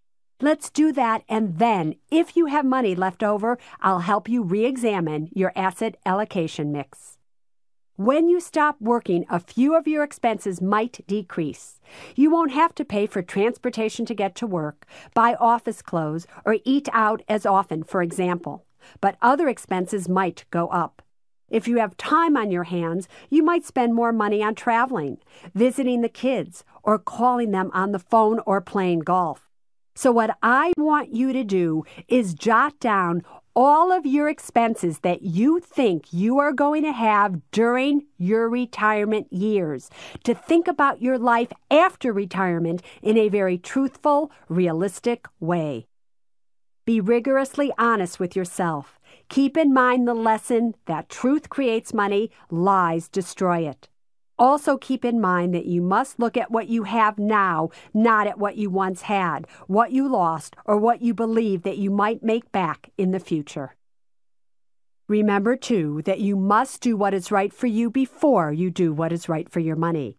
This exercise will take time and thought, but if you are going to be comfortable in your retirement, you have to plan. In order to make this easier for you, when you go and use the guidebook section in the CD ROM that is included in this audio program, you will find worksheets that help you do this exercise. For in order to plan, it is absolutely essential that you know how much money you will actually need to have, so use those worksheets. Once you know the monthly amount of money that you will need in order to enjoy your retirement, you need to look at the amount of income that you know will come in month in and month out no matter what. This includes your Social Security income, your pension, and any annuities you may have, but not a windfall payment like a recent one time tax refund. Now subtract your guaranteed income from your anticipated expenses. Let's say that your expenses are $3,000 a month and that between Social Security payments and your retirement fund, you have $2,300 a month coming in. This leaves you $700 a month short of meeting your expenses. Now, let's look at your liquid assets. Not just the liquid assets in your retirement accounts, but all your liquid assets. This is where our asset allocation model will come in. And again, I refer you back to the guidebook that is on the CD ROM that has been included with this audio program. Take the amount that you will need coming in and multiply it by 12 to give you the yearly amount before taxes by which you are short. In our example, the $700 shortfall times 12 makes $8,400 a year. Now, multiply this number, the yearly income you need, by 20. This will give you the amount of money that you will need to keep yourself safe and sound, meaning that you will keep it invested in bonds or instruments generating at least 5% a year to generate income to make up your income deficit. In our example I just gave, $8,400 times 20 is $168,000. So $168,000 is the least amount of the money that needs to be invested very safely to give a 5% return. If you had, let's say, $300,000 in all your accounts, including your retirement accounts, then at least 168,000 of that money would need to be put in a place where absolutely nothing could happen to it, so that you would always have that money to generate the income you know you will need. If you want to be extra safe and sound, you can and should put more than that amount into very safe investments to account for inflation, which could increase your expenses. In the example we've been working with, based on total liquid assets of $300,000, your individual retirement asset allocation mix would be 56% in safe bonds or safe investments and 44% elsewhere. This means putting that 44% anywhere else you wanted. This 44% includes stocks and mutual funds that will let your money continue to grow. As long as you know without a shadow of a doubt that you will not have to touch that money for at least the next five to 10 years. If all you had in your accounts was $200,000, you would still need 168,000 kept safe and sound. And so your asset allocation mix would be 84% invested in safe bonds or investments and 16% in whatever else you wanted. If all you had was $168,000 in your account, then 100% of your assets would have to be kept safe and sound. This leads me to a crucial point when you have five or fewer years until retirement. It is not your age, but how much you need to live on and how much money you currently have that determines your personal retirement asset allocation mix. Let me repeat. It is not your chronological age, but your financial needs that you must pay attention to. While I'm on the subject of stocks and retirement, let me make another recommendation. For any money that you have decided can stay in the stock market for growth and that you have decided to invest in individual stocks rather than mutual funds, it is mandatory that you have no more than 4% of it in any one stock. Do not repeat the mistakes of those Enron and WorldCom employees who had all or most of their retirement money in their company stock. You may have all the faith in the world in the company that you work for, or you may have an emotional attachment to a stock you purchased or inherited from your parents.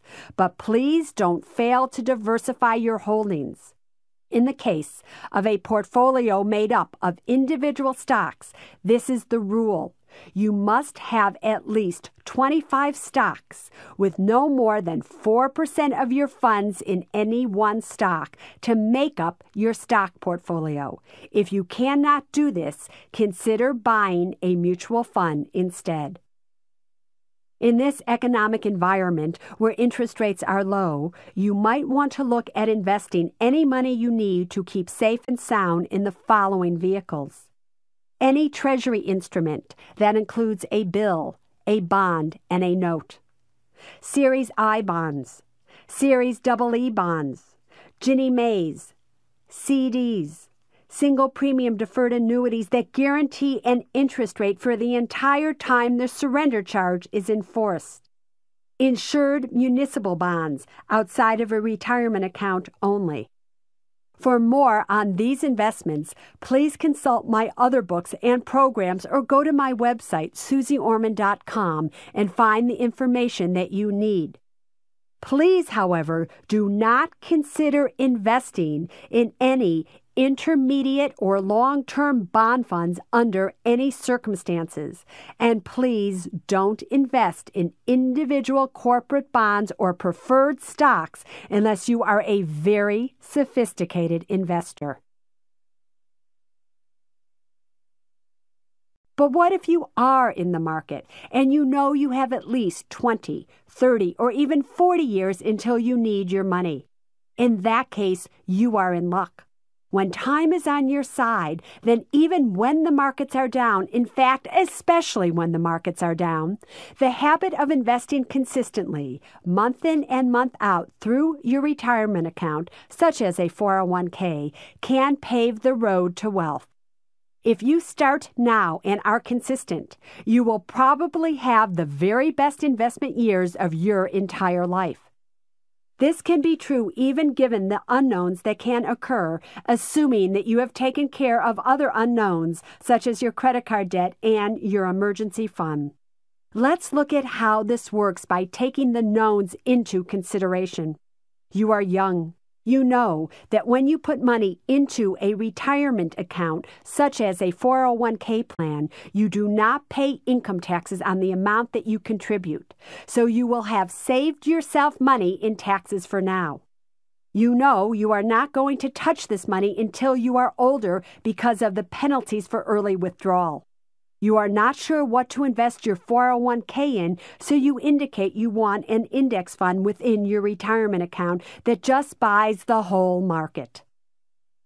What will happen to this index fund if the market goes up right away? The more the market goes up, the more expensive the shares of this index fund become for you to buy with the automatic monthly contributions from your paycheck you've set up. The more expensive the shares are, the fewer shares you actually can buy each month, and the less money you will make when the market turns around and goes back up. The reverse of this process is also true. The more the market goes down, the less expensive the shares of this index fund become for you to buy each month the less expensive the shares, the more shares you can actually buy with your monthly contribution to your retirement account. The more shares you have when the market does go back up and the price of the shares of the index fund also go up, the more money you will make. If you are of an age when you know that time is on your side, now is the time to start investing. And please don't stop investing because markets have come down. If you're young, now is the time to contribute the maximum to your 401k plan or any and all of your retirement accounts. Find out whether you are eligible to contribute the maximum to a Roth IRA at the same time. For if you qualify, you can have both a 401k and a Roth. You can also have both a self employed plan and a Roth if you qualify. Take advantage of these opportunities and go for it. No matter what your age, however, you have to know whether your stomach and spirit can take the unknowns of investing. Please remain aware of all the other laws in this program, especially laws 2 and 3 about knowing what you have and knowing what's right for you. One thing that you should know about the stock market is that it almost never goes straight up or down. The 1990s, in which the market climbed to dizzying heights over the course of about six years, was a remarkable exception and one that, in my opinion, we are not very likely to see again in our lifetimes. In fact, for the foreseeable future, I believe that we are likely to see short or medium term rallies in which stocks go up for a year or two or three out to about the year 2006, followed by declines that could easily leave us right back where we are now. This may or may not happen, but keep in mind that if you do start to see this happen, don't just let it knock you for a loop as it did to so many people during these past few years. You can take some action to help yourself. Remember to keep track of your time frame for when you will need retirement money and how much. Remember to keep track of how you are feeling about your investments and whether they are causing you fear. Remember to do what is right for you and to invest in the known before the unknown. And remember not to be an all or nothing investor.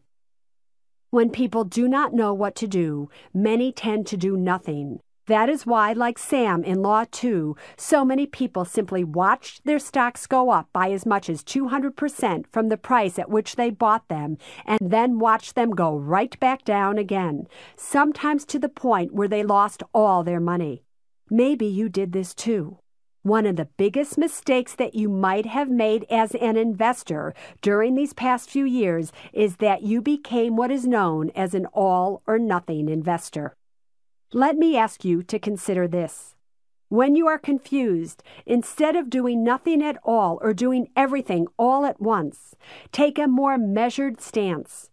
If a stock or a mutual fund you own goes up 20% and you still are not sure of the direction the investment is taking, or if you still do not know what to do, sell another 20% and bank that. If the stock goes down 20%, take the same approach. Sell 20%, but stay in touch with your money. You are the only one who has the power, and you can exercise that power rationally and intelligently, whether the market is going up or down. You can know what to do. With this practice, I'm introducing you to Law 5, which we'll discuss in a few minutes. Your money has no power of its own. All its power flows through you. You must protect it and with it your comfortable future. Since we've talked about the stock market, it is important that we talk about the real estate market too. Both of these markets contain a big chunk of your unknown future. This is what I want you to know about real estate. It was not a normal trend in 1999 when technology stocks and the overall stock market were going up by 25 to 80% a year. This kind of overvaluing is now also occurring in some areas in the country in real estate. The overvaluing of real estate is not normal either. For instance, in 2001 and 2002, home prices in many areas of the United States were up by a total of 27%. Right now, nobody wants to admit that we have a real estate bubble forming. But whatever you call it, it is not normal when home prices rise that quickly. And when something is not normal, a correction almost always occurs to bring back prices in line with the normal rate of growth. By corrections, I mean that prices go down for a while. This is what happened with the stock market after 1999, and this is what is likely to happen with overvalued real estate as well. So if you live in a part of the country where real estate is hyperinflated, I would advise you to be very careful about investing in real estate at this point in time. I'm not talking about buying a primary residence for you and your family to live in when I am talking about investing in real estate. For investing in a primary residence is one thing where there are advantages that may not be affected by a real estate bubble. But if you are thinking of buying investment real estate, that is another thing entirely. You must be very careful to know all that you need to know before you take the plunge. Tell yourself the truth, look at what you have, do what's right for you, and always invest first in the known back in 1996 and 1997, the stock market was starting to go up steeply. After watching this for a couple of years, just when the market hit its high, you probably decided, I can't stand not being in this market anymore, and decided to participate with everything you already had in the stock market and possibly more. Like Sam in Law 2, you may have even taken some equity out of your home and used it to invest. Then the stock market started to go down and kept going. And when it came close to hitting its lows in September 2002, what were you probably tempted to do? Sell out just when it was pretty much at its bottom for that year. Why did you want to sell out then? For many people, the answer was so that they could go back into real estate, for that was where people were making money at that time. But in 2003, real estate may be in some areas topped out for now. So please be very careful if you're thinking about investing in this area. I want to teach you when to act and how to know when it's best not to. So here's a quick lesson on what I think you should know about the future of real estate prices and why I would not be investing in real estate in certain areas at this time. What drove real estate prices up in 2000, 2001, and 2002? The answer is simple, in my opinion interest rates. Interest rates on mortgages had come so far down in those years that people who wanted to buy a home just could not pass up the opportunity to buy one. You saw the same thing happen with zero interest car loans. Even though people did not need a new car, they could not pass up that offer. Couple low interest rates with the stampede out of the stock market by many investors who were afraid of losing even more of their money, and that added up to a spike in real estate prices. Another factor in this spike was the perception that there was no other place to put that money to earn a decent interest rate since rates were so low. All of those frustrated investors started to put their money into real estate and drove up the price. This same lowering of interest rates and people wanting safety also drove up the prices of bonds, by the way. If in the beginning of 2000 you had invested in a 10 year Treasury note, you would have made 31% on your money by October 2002 if you had sold it at that time. Now, this increase in bonds will have an effect on real estate. When people see that the stock market is going up again, they are going to start selling bonds and buying stocks. When they go back into the stock market, they are going to drive up stock prices. When stock prices start to go up, more people will follow suit and they will come out of bonds and go back into the stock market, which will also drive up interest rates. Why? Because when people come out of bonds, they are selling bonds, which lowers the price of bonds. When bond prices get lowered, interest rates that are attached to those bonds go up. So when the price of mortgage bonds, for instance, goes down because people are selling them, the interest rates attached to those mortgage bonds will go up.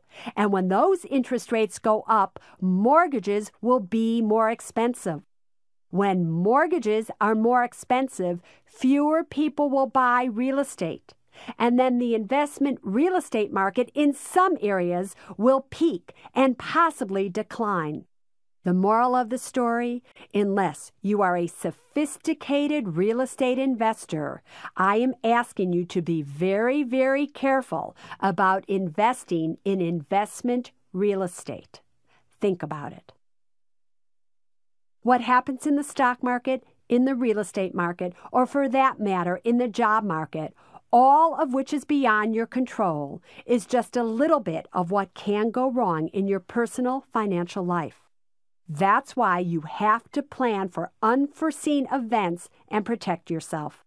I cannot end this discussion of the fourth law without saying that in order to prepare for both the known and the unknown, you really should have a will and a living revocable trust, a durable power of attorney for health care, a power of attorney for your finances, and the right kind of long term care insurance if you can afford it. If you're young and books and have dependents, please get the right amount of term insurance and health insurance. Unless you do, you really are not dealing with the common calamities and unforeseens that can affect you and your family.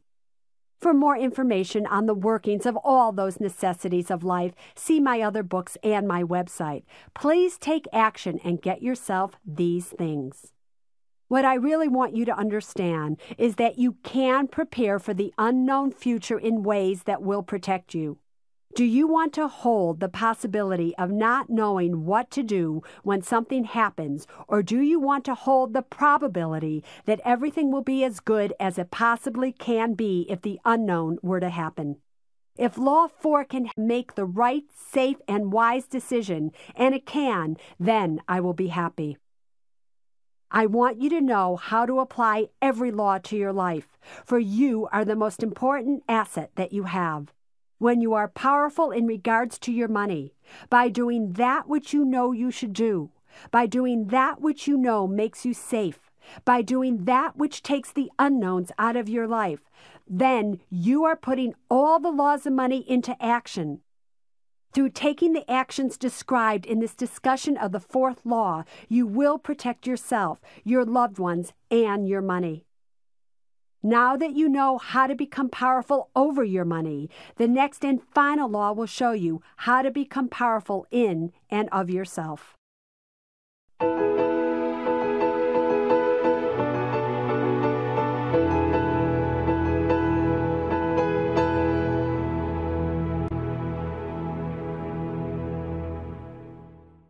Law number five. Always remember money has no power of its own.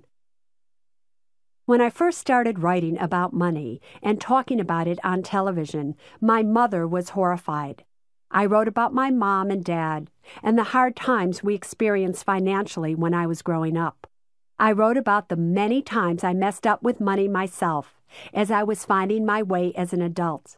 My mom would say, Susie, I've spent my whole life hiding the truth from everyone, and now you go on TV and tell the whole world we didn't have money. How can you do that? In time, however, she stopped being upset with me and even came to approve of what I was doing.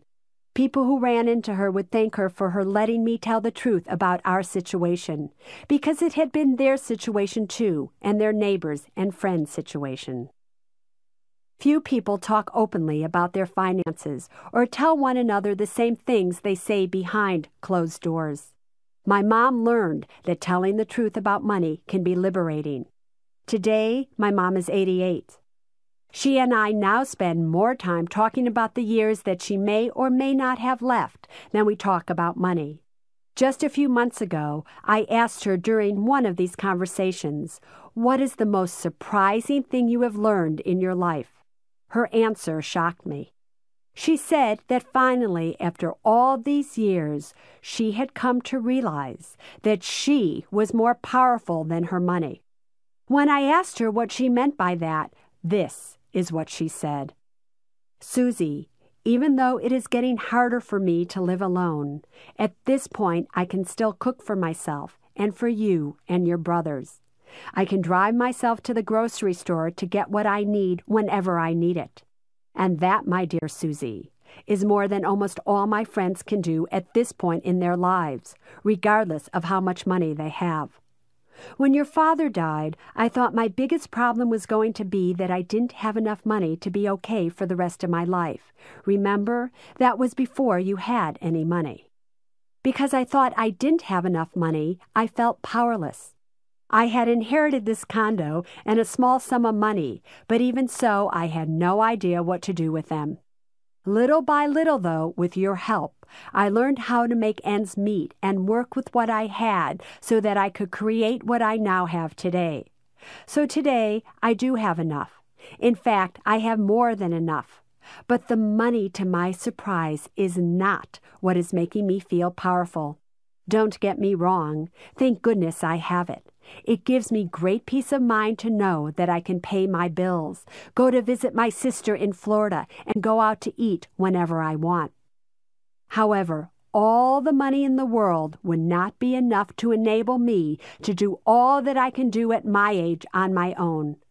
I look at my friends, the few who are still alive, and now my greatest fear is that one day I will end up in a nursing home like many of them and not have the power to take care of myself. Money is not the solution to that problem for me, and that surprises me. Money is definitely a vital force in your life.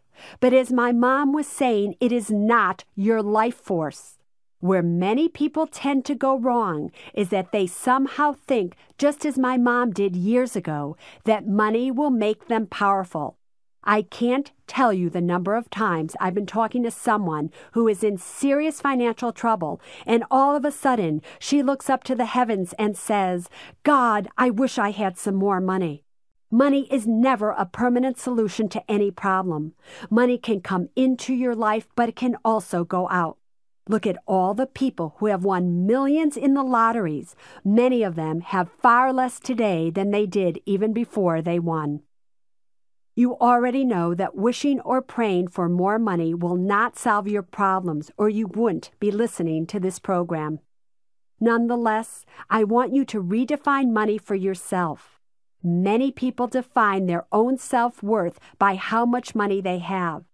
But it's you who give your money its energy, force, and direction. You give it potential, meaning, and life.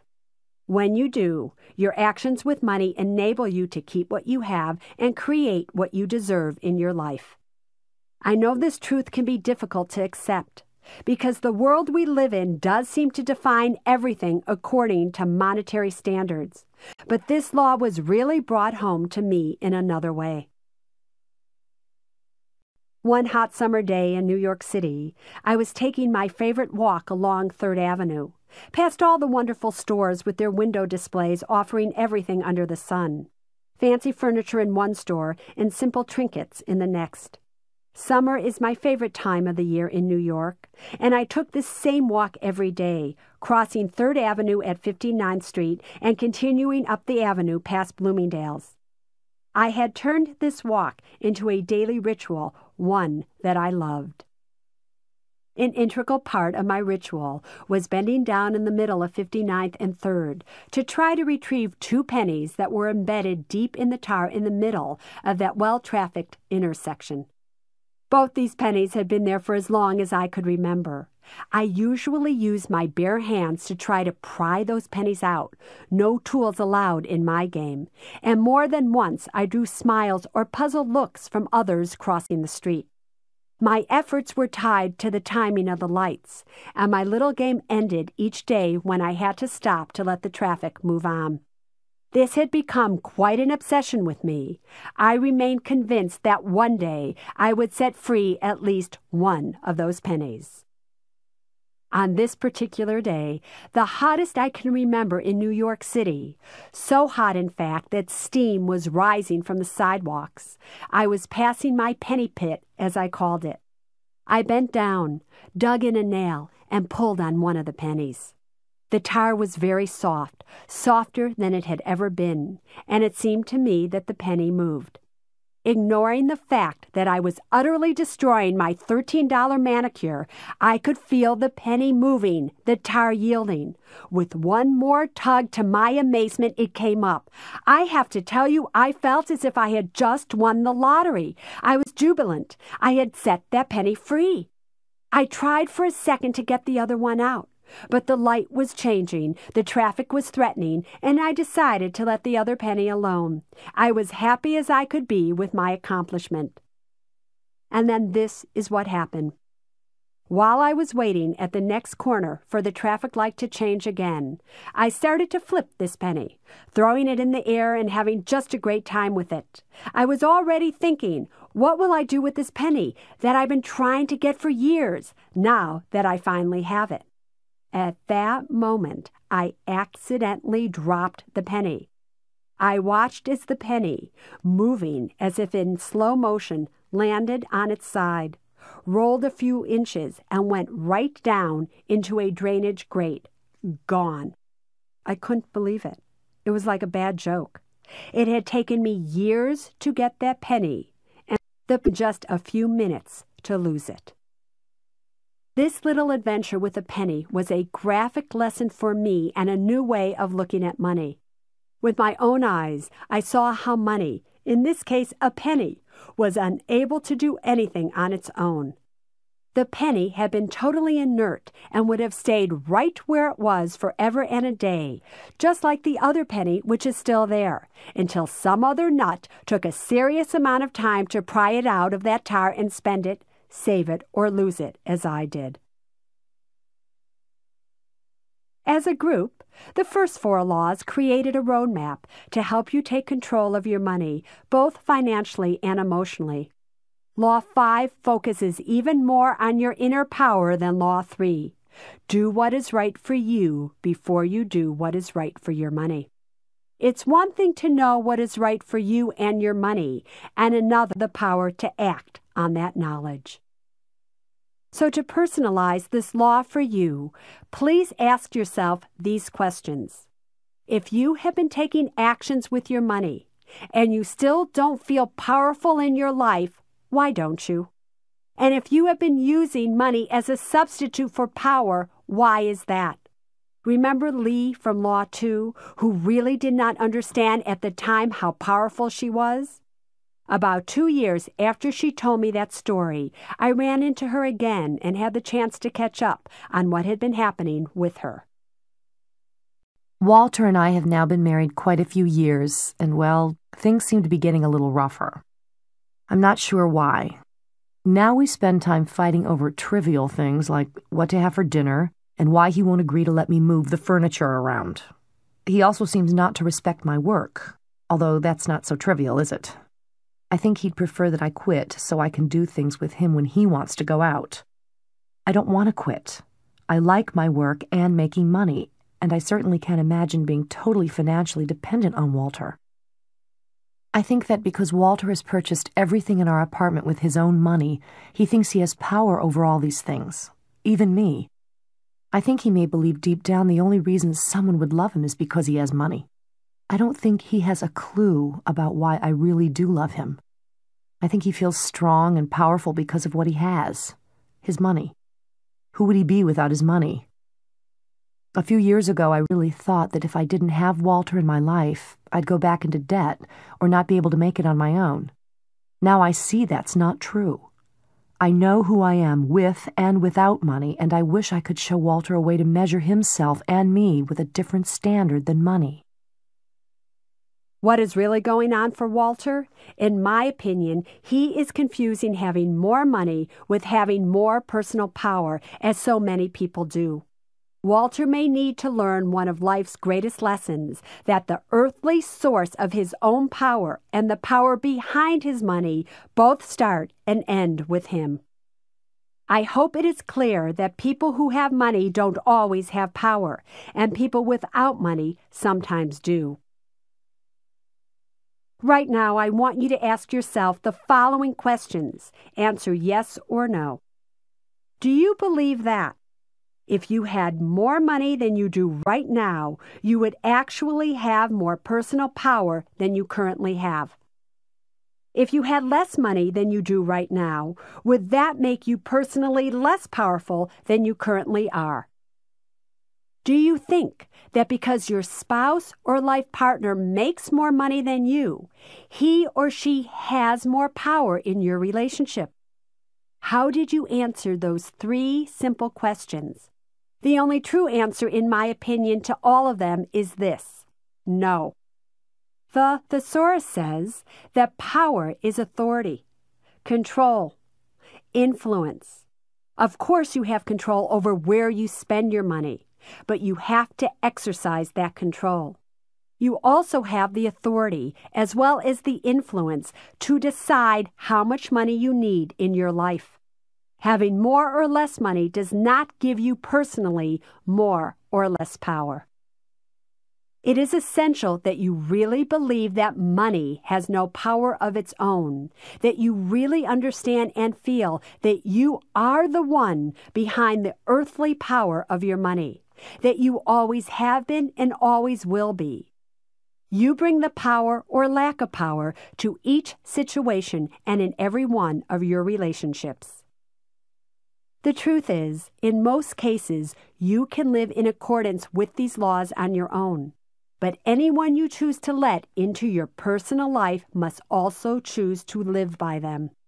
When you start to follow the laws that I've been talking about, you will find that being surrounded by others who don't understand or follow these laws will one day start to affect your money and your life. And you most likely will find yourself in financial trouble, even though you haven't done a single thing wrong. For instance, a needy friend asks for yet another loan, and you feel so guilty you give it to him from money that you have been saving to pay your property taxes. But he does not pay you back in time, and now you are the one in financial trouble. Another example your spouse is overspending on your joint credit card and refuses to cut back. Over this and other issues, you divorce, and your ex spouse claims bankruptcy, and now you are responsible for his credit card debt. As caring a person as you may be, you must not help others to break these laws of money, no matter what kind of relationships you chose to enter into. Just as you wouldn't hide stolen goods for a crook in the street, you cannot be an accomplice to the financial lawbreakers in your life. This is not easy to avoid, but you must not do it. You must put laws 1, 3, and 5 into effect in all your relationships. Tell the truth, do what is good for you, and remember that you are the one with the power, not your money. So don't do things for others that render you powerless. It doesn't help you, and in the long run, it won't really help them either. What should you do if people in your life are breaking the laws of money? Talk with them. Try to get them to see why they are making these mistakes or doing things with their lives and their money that are hurting them and might be hurting you and others too. But how you talk to people about money is important because discussing personal finances, especially when they aren't exactly perfect, is one of the most difficult conversations to have. Keep in mind that although you now know differently, most people do equate their self worth with their money. They want the world, and especially people close to them, to think that they are doing just fine financially. So you may find it easier and more constructive to have these conversations if you start out by talking about your own attitudes and emotions about money, rather than about the dollars and cents that are actually at stake. Whether you're in a relationship or currently on your own, one thing is inevitable, and that is the ebb and flow of money. It's like the ocean it goes in and it goes out. If you always remember that money has no power of its own and that your worth is not defined by your money, then when you have less, you won't suddenly start thinking, oh, I'm no good. I'm a failure. I have less money. I'm worthless. No, it's just your money. It's not you. And if you have more money, you won't think you're greater than others. You won't begin to look down on your friends and family or show off your wealth as if it were you. No, you will know how to spend your money wisely, how to offer it in charity, share it, and take care of it. You can be positive when you have less money, and you can be appropriate when you have more. The fifth law is different from the others. This law is a mental attitude you must have. It is not some external action you must take. It puts forth the way you think about yourself and your life no matter what happens. This law says, always remember, because our everyday way of life in this world leads us to forget this law. You have to remember not to judge yourself by the money you have, and you have to remember that you will never gain personal power through money. I put this law last because sometimes, no matter what you do right in life, things can still go wrong. Even if you've been practicing the four laws and they've been working for you and protecting you, something unforeseen could happen. With this fifth law as your financial roof and shelter, and with the support of the other four laws, you won't freak out and say, I don't know what to do. I'm paralyzed and powerless in the face of this problem. No, you will know you still have the power to act and to follow the laws to start creating all that you deserve all over again. Having power over money means that you recognize that money is your servant. It is here to serve your purposes as well as the world's purposes. Having power over money really means you have power over your life. You determine what you need and want, and then use your money to obtain it or to create that which you feel you deserve. The bottom line is power over money is not being enslaved by your need for it. Of course, you need to eat. You need to have shelter. You want education. But who you are and what you want to create, as I have stated many times, and as the law states and implies, all start with you and you alone. Let's review the five laws of money one last time. Law 1 Only you can decide to stop lying about your money. Maybe you have been spending more than you earn or pretending to others that you have more than you do. Only you can decide always to tell the truth. Law 2 only you can decide to let go of your financial past. Look at what you have today and take actions based on your current situation. Law 3. Only you know what is right for you and take action on that and then do what is right for your money. Law 4. Only you can decide how to invest your money how to take actions to secure your life and make sure that you and your loved ones will be fine in the long run because of what you have done with your money. You do this by first investing in the knowns of your life. Law 5.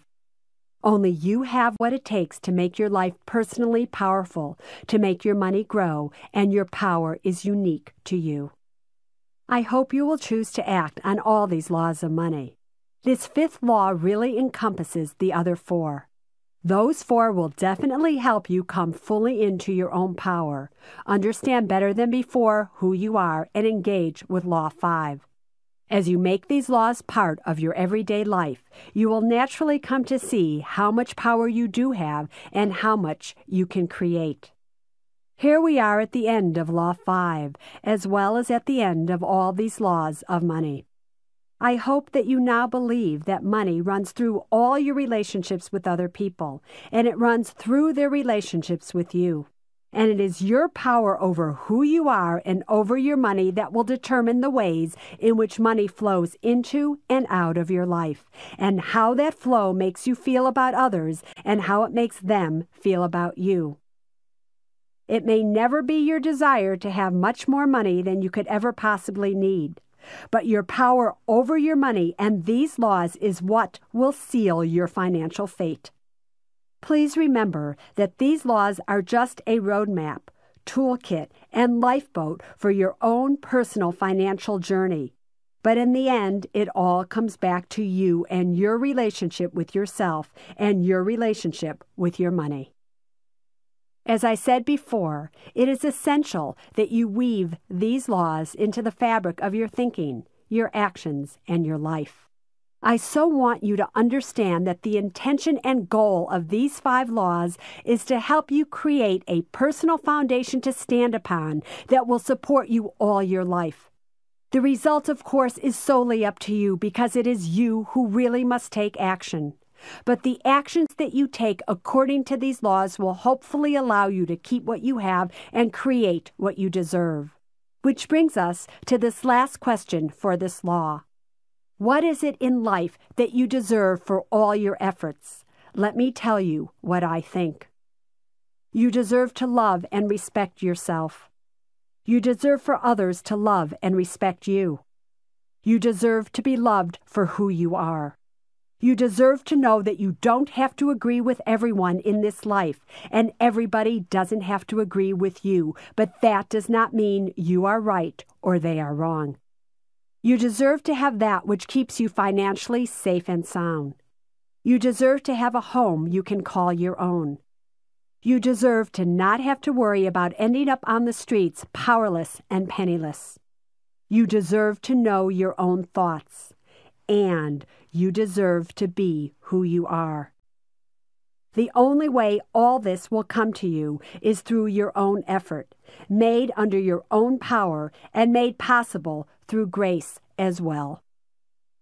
Throughout this program, and particularly in this law, I talk about power.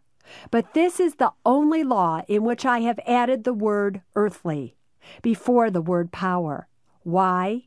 I do it because I want to be very clear that I personally do believe in an ultimate power that watches over us, protects us, guides us, and wants the absolute best for us.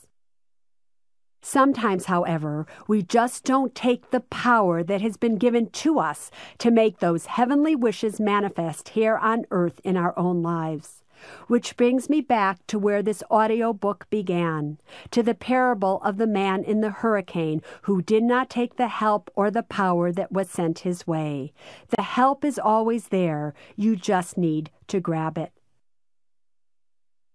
To bring my discussion of Law 5 to a close, I'd like to tell you about the greatest life lesson I have ever learned.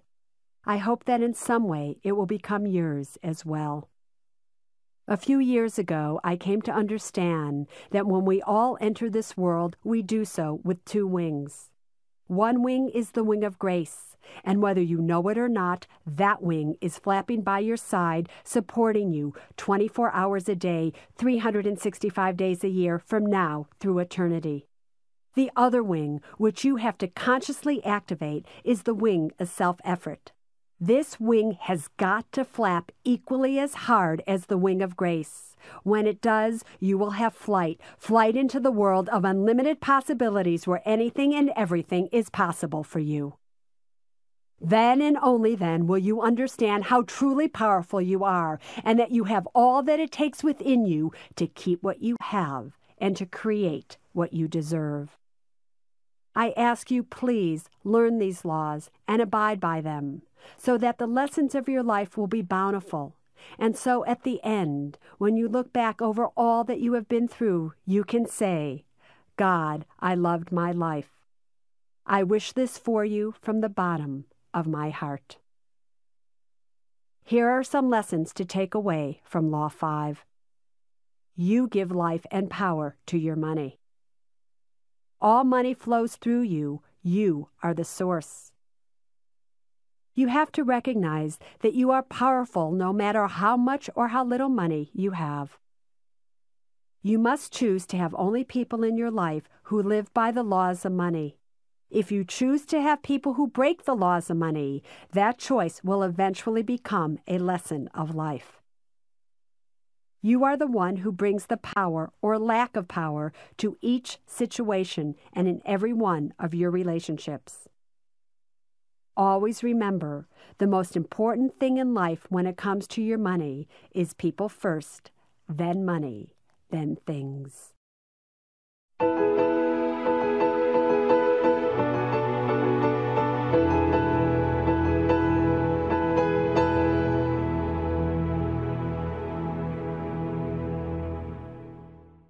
Every once in a while, I am asked in an interview if I have any regrets. Would I change anything in my life? In my typical Suze way, I always snap back and say very passionately, No, I love my life, and I would not have changed one thing.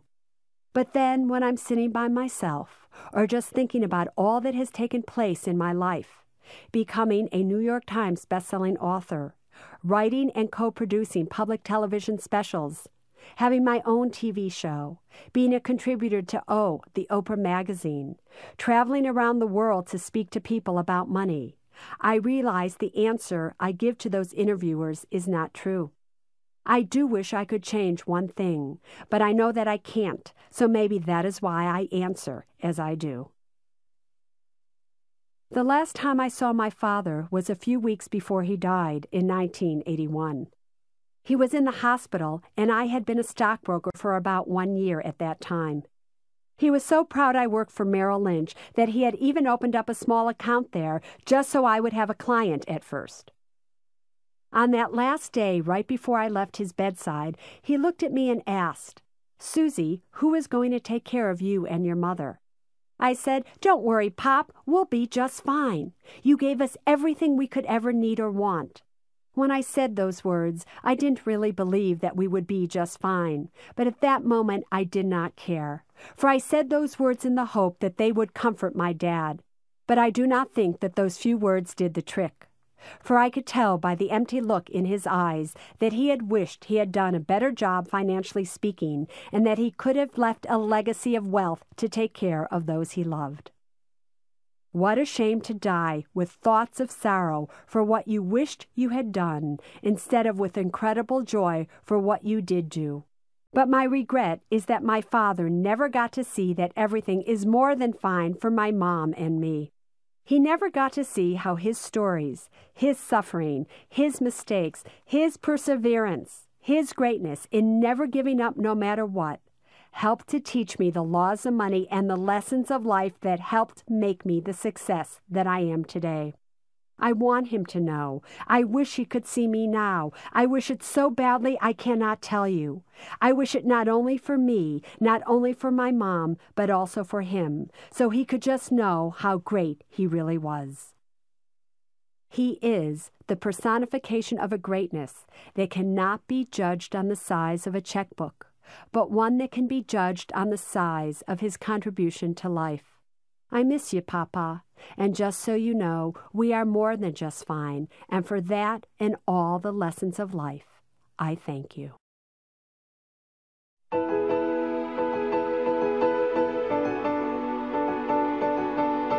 The Laws of Money, The Lessons of Life was written and read by Suze Orman, with selected readings by David Brand, Cheryl Gay Sunis, Michelle Paulk, and Karen Ziemba It was abridged for audio by John McElroy.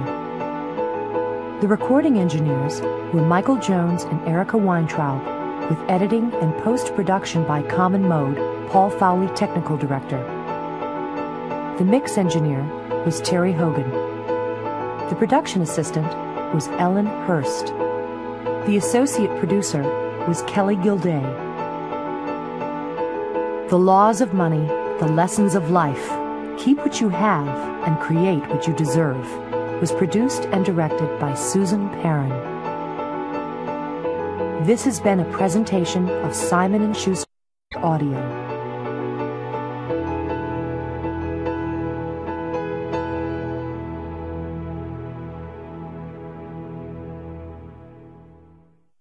The Laws of Money, The Lessons of Life is also available in hardcover from the Free Press.